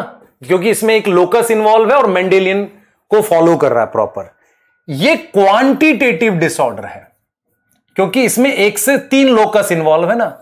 तीन लोकस इन्वॉल्व है। थ्री लोकस इन्वॉल्व है। क्या मेरी बात समझ में आ रही है? तीन लोकस इन्वॉल्व है। तो ये मेरे पास एबनॉर्मल हेमोग्लोबिन हो रहा है, ठीक है? ये मेरे पास क्वालिटेटिव डिसऑर्डर है। इसमें लेस अमाउंट ऑफ़ हेमोग्लोबिन बनेगा और ये मेरे पास क्वांटिटेटिव है, इसमें तीन लोकस इन्वॉल्व है। क्लियर हुआ कि नहीं? सही है कि नहीं? तो थैलेसीमिया आपको पता होना चाहिए सिक्कल सेल अनीमिया फिर हमारे पास है थैलेसीमिया ये चीज़ क्लियर है। आप बता दो, ठीक है? तो सिक्कल सेल अनीमिया और थैलेसीमिया की हम बात कर रहे हैं। थैलेसीमिया का मतलब है लेस अमाउंट बनना हेमोग्लोबिन का और वहाँ पर एबनॉर्मल बनना। क्लियर है? इसमें बेटा ब्लड ट्रांसफ्यूजन की ज़रूरत पड़ती है रेगुलर एक क्वालिटेटिव है, एक क्वांटिटेटिव है। इतनी बात याद रहेगी। सही है? इतना याद रखो क्वेश्चन बनेगा। हंड्रेड परसेंट कितने क्रोमोजोम इन्वॉल्व हैं? सोलह और ग्यारह। ठीक है बेटा? चलिए, आगे डिस्कस कर लेते हैं। अब पीकेयू में ऑलरेडी बता चुका हूँ, पर मैं आपको शॉर्ट में फिर बताऊँगा। पीकेयू क्या है? फिनाइल कीटोन यूरिया कैसी डिसऑर्डर है? जेनेटिक डिसऑर्डर है। कैसी डिसऑर्डर है? जेनेटिक डिसऑर्डर है। इसमें होता क्या है? सुनना ध्यान से। फिनाइल कीटोन यूरिया है ये। इसमें क्या होता है? रीजन क्या है इसका? रीजन है बेटा हमारे पास, देखो। फिनाइल एलानिन एक एरोमेटिक अमीनो एसिड होता है। देख पा रहे हो? एरोमेटिक अमीनो एसिड है। ये देखो। ये देखो फिनाइल एलानिन यहाँ पे फिनाइल ग्रुप जोड़ दिया एलानिन पे। और ये कन्वर्ट होता है किसमें? टायरोसिन में। किसमें कन्वर्ट होता है? टायरोसिन आप देखो ध्यान से। इसमें कन्वर्ट होता है। ऑल दो ये मैं करा चुका हूँ, फिर बता देता हूँ आपको। यहाँ पर ओ OH ग्रुप लगता है। एंजाइम कौन सा चाहिए? हाइड्रोक्सिलेज हाइड्रोक्सिलेज एंजाइम चाहिए। और ये जीन है जो ये हाइड्रोक्सिलेज एंजाइम बनाती है। तो रीजन क्या है? पॉइंट म्यूटेशन पॉइंट म्यूटेशन से ऐसा होता है। हाइड्रोक्सिलेज नहीं बनता। तो टायरोसिन क्या होगा? इन केस ऑफ़ पीके अच्छा ये क्या क्या बनाता है? टायरोसिन ये मेलानिन बनाता है। और क्या बनाता है बेटा? और बनाता है मेलानिन के अलावा और सोचो क्या बनाता है T three T four dopamine बनाता है। ये सब बताया था कि नहीं? याद करो एड्रेनलिन बनाता है। तो अगर मेरे पास, अगर मेरे पास, सुनना ध्यान से, अगर मेरे पास क्या होगा, इसको समझो in case of PKU phenylalanine बढ़ जाएगा। वो कन्वर्ट होगा फिनाइल पायरुवेट में। और फिनाइल पायरुवेट में कन्वर्ट होने के लिए उसमें अमीनो ग्रुप निकल जाता है। अब फिनाइल पायरुवेट कहाँ जाता है? यूरिन में एक्सक्रीट होगा तो उसे ही कह रहे हैं फिनाइल कीटोन यूरिया। और क्या होगा बेटा? और सोचो और सोचो मेंटल रिटार्डेशन करेगा। क्या करेगा? मेंटल रिटार्डेशन करेगा। सही है। उसके बाद उसके बाद, फिनाइल से हमने बना दिया फिनाइल पायरुवेट। अब मैंने क्या लिखा? टायरोसिन लिखा। टायरोसिन घट जाएगा, क्योंकि ये कम हो जाएगा। अब टायरोसिन घटने से मेलानिन घट जाएगा। अगर मेलानिन डिक्रीज हो गया ये तो उससे क्या होगा? Decrease in hair and skin pigmentation. क्या मेरी बात समझ में आई कि नहीं? हाँ सर, ये ठीक है। ये होता है फिनाइल कीटोन यूरिया में। तो इसमें जो इंडिविजुअल, ये ये नॉर्मल है, ये इंडिविजुअल कैरियर है और ये वाला मेरे पास अफेक्टेड है। कोई डाउट है तो बता दो। सोचो दिमाग में इस बात को। डाउट है, इसको सोचो दिमाग में। नहीं सर, समझ में आ रहा तो फिनाइल कीटोन यूरिया आपको बता दिया। अब सिम्टम्स देखो क्या क्या है। सिम्टम्स हमने बता दिए। कीटोन बॉडीज आएँगी यूरिन में। Mental retardation decrease in hair and skin pigmentation ये हमने बताया आपको। ठीक है, ये इसके सिम्टम्स रहेंगे। क्लियर है? फिनाइल कीटोन यूरिया के। कैसी डिसऑर्डर है? ऑटोजोमल रिसेसिव अब हम बात करते हैं बेटा सेक्स लिंक डिसऑर्डर में सबसे पहले हेमोफीलिया की। ध्यान से सुनना। वट इज़ हेमोफीलिया नॉर्मली क्या होता है? आप समझो। नॉर्मली क्या होता है? जब चोट लगती है, कभी भी इंजरी होती है तो ब्लड क्लॉट दो से चार मिनट के आसपास हो जाता है। ब्लड क्लॉटिंग के लिए हमारे ब्लड में कुछ फैक्टर्स प्रेजेंट होते हैं जो ब्लड के अंदर ही होते हैं। तो मैं यहाँ पर क्लियर लिख देता हूँ। कि ब्लड क्लॉटिंग के टोटल हमारे पास थर्टीन फैक्टर होते हैं। कितने फैक्टर है? थर्टीन फैक्टर है। अब उसमें भी क्या होता है? मान लो कोई फैक्टर वन है, वो कन्वर्ट होगा इनएक्टिव है मान लो। वो वन एक्टिव में कन्वर्ट होगा तो मान लो वो फिर टू को कन्वर्ट कर रहा होगा टू को टू एक्टिव में तो एक पूरा पाथवे बनता है। इसे कहते हैं कैस्केड इसे क्या बोलते हैं? कैस्केड कैस्केड क्या होता है बेटा? कि एक फैक्टर दूसरे फैक्टर से कहीं ना कहीं जुड़ा हुआ है है ना? ये आपको जुलोजी में पढ़ाया जाता है, भाई ये कैसे जुड़े हुए वो आपको वहाँ पढ़ना है। तो थर्टीन फैक्टर होते हैं ब्लड क्लॉटिंग के। उसमें से अगर कोई भी एक फैक्टर एबसेंट हो तो ब्लड क्लॉटिंग का समय बढ़ जाता है। तो हेमोफीलिया में क्या होता है कि जो फैक्टर एट है फैक्टर एट है हमारे पास, वो एबसेंट होता है। और वो क्यों होता है? Due to mutation on X chromosome mutation कहाँ पर है? एक्स पर है। एक्स क्रोमोसोम पर म्यूटेशन है, इसीलिए वो क्या होता है बेटा? एबसेंट होता है फैक्टर एट अब सुनना ध्यान से। मैं यहाँ पर क्या बोल रहा हूँ? फैक्टर एट एबसेंट है due to mutation on X chromosome आप समझो इसे। फैक्टर एट एबसेंट है due to mutation on X chromosome clear है? उससे क्या हो जाएगा बेटा? ब्लड क्लॉटिंग का समय बढ़ जाएगा। ब्लड क्लॉटिंग का क्या बढ़ जाएगा? टाइम इंक्रीज होगा। कितना बढ़ जाएगा? आधा घंटा तक जा सकता है। इस कंडीशन को कहते हैं फैक्टर एट एबसेंट होने को कहते हैं हेमोफीलिया ए ये मोस्ट कॉमन हेमोफीलिया होता है। एक फैक्टर नाइन एबसेंट होगा तो हेमोफीलिया बी होता है। ये सबसे कॉमन होता है। मोस्ट कॉमन आपको समझ में आई है? तो ब्लड क्लॉटिंग जो है बेटा, पूरा कैस्केड है। कैस्केड मतलब एक फैक्टर दूसरे में कन्वर्ट होगा ना। और एक म्यूटेशन होती है, उस म्यूटेशन कौन से क्रोमोसोम पे होती है? एक्स क्रोमोसोम पे। और म्यूटेशन कैसी है? रिसेसिव है। तो उस म्यूटेशन की वजह से, म्यूटेशन की वजह से वो जो ब्लड क्लॉटिंग है, उसका टाइम बढ़ जाता है। उससे क्या होगा? उससे बेटा ब्लड क्लॉटिंग जो है, ब्लड क्लॉटिंग जो है, एक सेकेंड देंगे। एक सेकेंड दे दो बेटा, बस। हाँ। ब्लड क्लॉटिंग का हाँ। ब्लड क्लॉटिंग का टाइम बढ़ गया। अब देखो कंडीशन क्या है? हेमोफीलिया है कुछ कहेंगे, सर बेटा फ़ोन चार्जिंग पे लगाने गया था। ठीक है? हाँ। तो ये हो गया कैस्केड पाथवे ब्लड क्लॉटिंग के लिए कितने फैक्टर चाहिए हमें? टोटल कितने फैक्टर चाहिए? थर्टीन फैक्टर चाहिए। ठीक है? तो उसमें एक कैस्केड गया। एक के बाद कौन किसमें कन्वर्ट होता है? अगर फैक्टर एट एबसेंट होगा तो हेमोफीलिया होता है। और भी फैक्टर होने सकता हाँ हो सकता है। लेकिन नॉर्मली एक्स क्रोमोजोम पर फैक्टर एट और नाइन के लिए जीन होती है। नाइन की वजह से हेमोफीलिया बी होता, आपके सिलेबस में सिर्फ़ हेमोफीलिया लिखा हुआ है।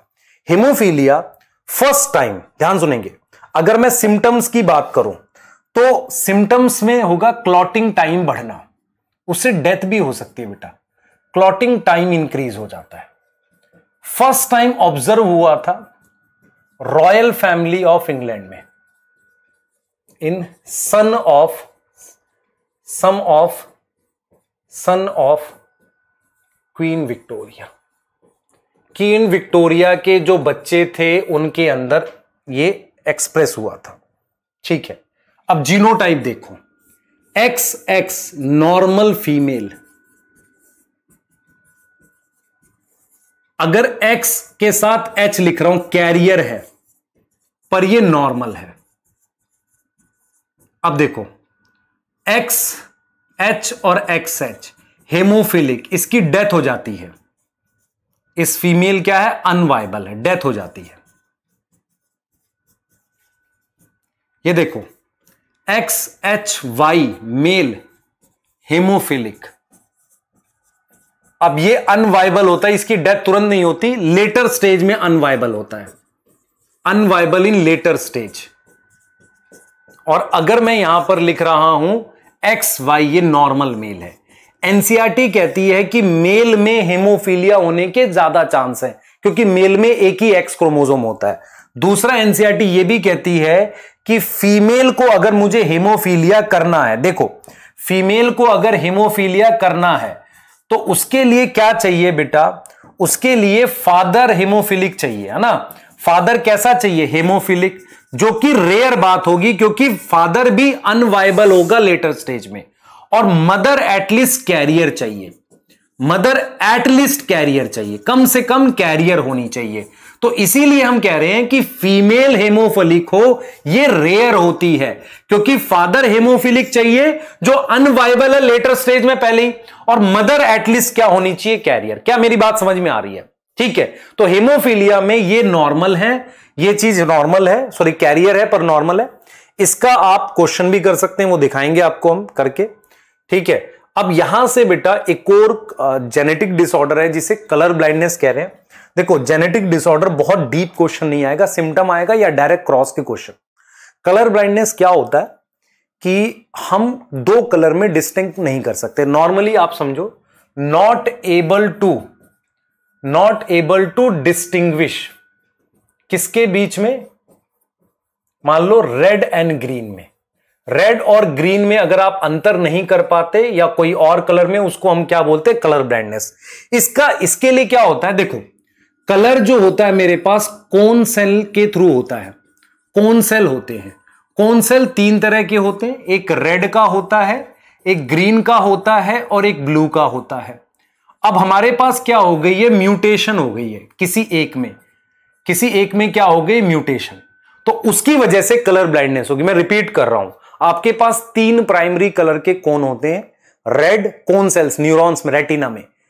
रेड ब्लू और ग्रीन अगर आपके पास मान लो रेड ग्रीन कलर ब्लाइंडनेस है तो आपको होगा क्या कि रेड कलर नहीं दिख रहा होगा, सिर्फ़ ग्रीन कलर दिखेगा।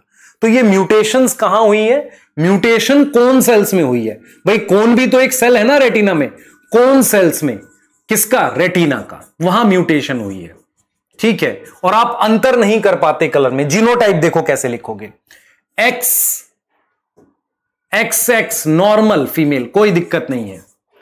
X X C normal carrier normal carrier. बेटा कलर ब्राइटनेस में डेथ नहीं होती तो ऐसा कुछ वो नहीं है। एक्सी एक्सी क्या है ये?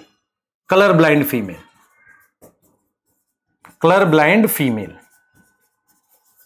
यहाँ पर एक्स और एक्स सी वाई और एक्स वाई ये नॉर्मल है। और ये क्या है?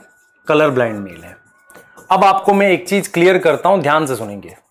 ध्यान से सुनो, जो मैं आपको बोल रहा हूँ। बहुत ध्यान से सुनना। ये मैंने कलर ब्लाइंडनेस के लिए बता दिया।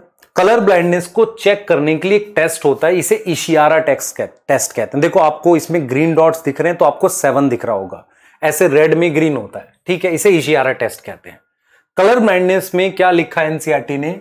कि 0.4 परसेंट फीमेल क्योंकि फीमेल के लिए बेटा दोनों एक्स पे चाहिए ना। और 8 परसेंट मेल में हमारे पास क्या होती है? कलर ब्लाइंडनेस होती है। ठीक है?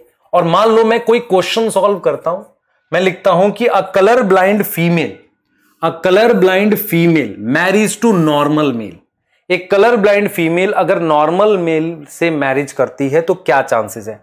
कलर ब्लाइंड फीमेल मतलब ये, एक नॉर्मल मेल से मैरिज एक्स वाई तो क्या चांसेस बनते हैं? आप खुद देखो, खुद देख लो.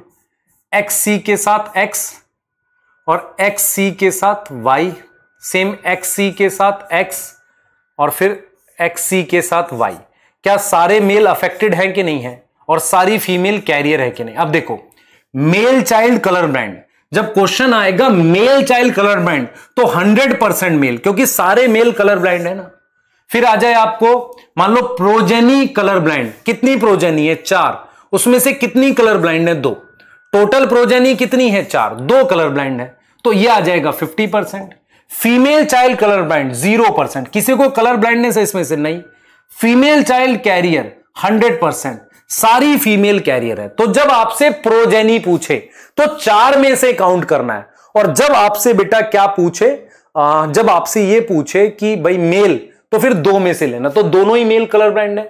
दोनों ही फीमेल क्या है? कैरियर है। ऐसे क्वेश्चन आएँगे जो आपको सॉल्व करने हैं। तो बेटा, आपने जो क्रोमोजोमल डिसऑर्डर है मेंडिलियन डिसऑर्डर है, उनको एनसीआरटी e से बढ़िया पढ़ना है। बहुत डीप क्वेश्चन नहीं आते अब, ठीक है? सुपरफिशियल आते हैं क्रॉस बेस क्वेश्चन आते हैं। क्लियर है कि नहीं? चलिए तो मिलते हैं नेक्स्ट लेक्चर में। तब तक के लिए प्लीज़ पढ़ाई करिए और मेहनत करिए बेटा, क्योंकि जो सबसे इंपॉर्टेंट टॉपिक है लिंकेज उसमें मैंने अच्छा टाइम दिया आपको तो मेहनत से उसको सॉल्व करिए। ठीक है बेटा? बाय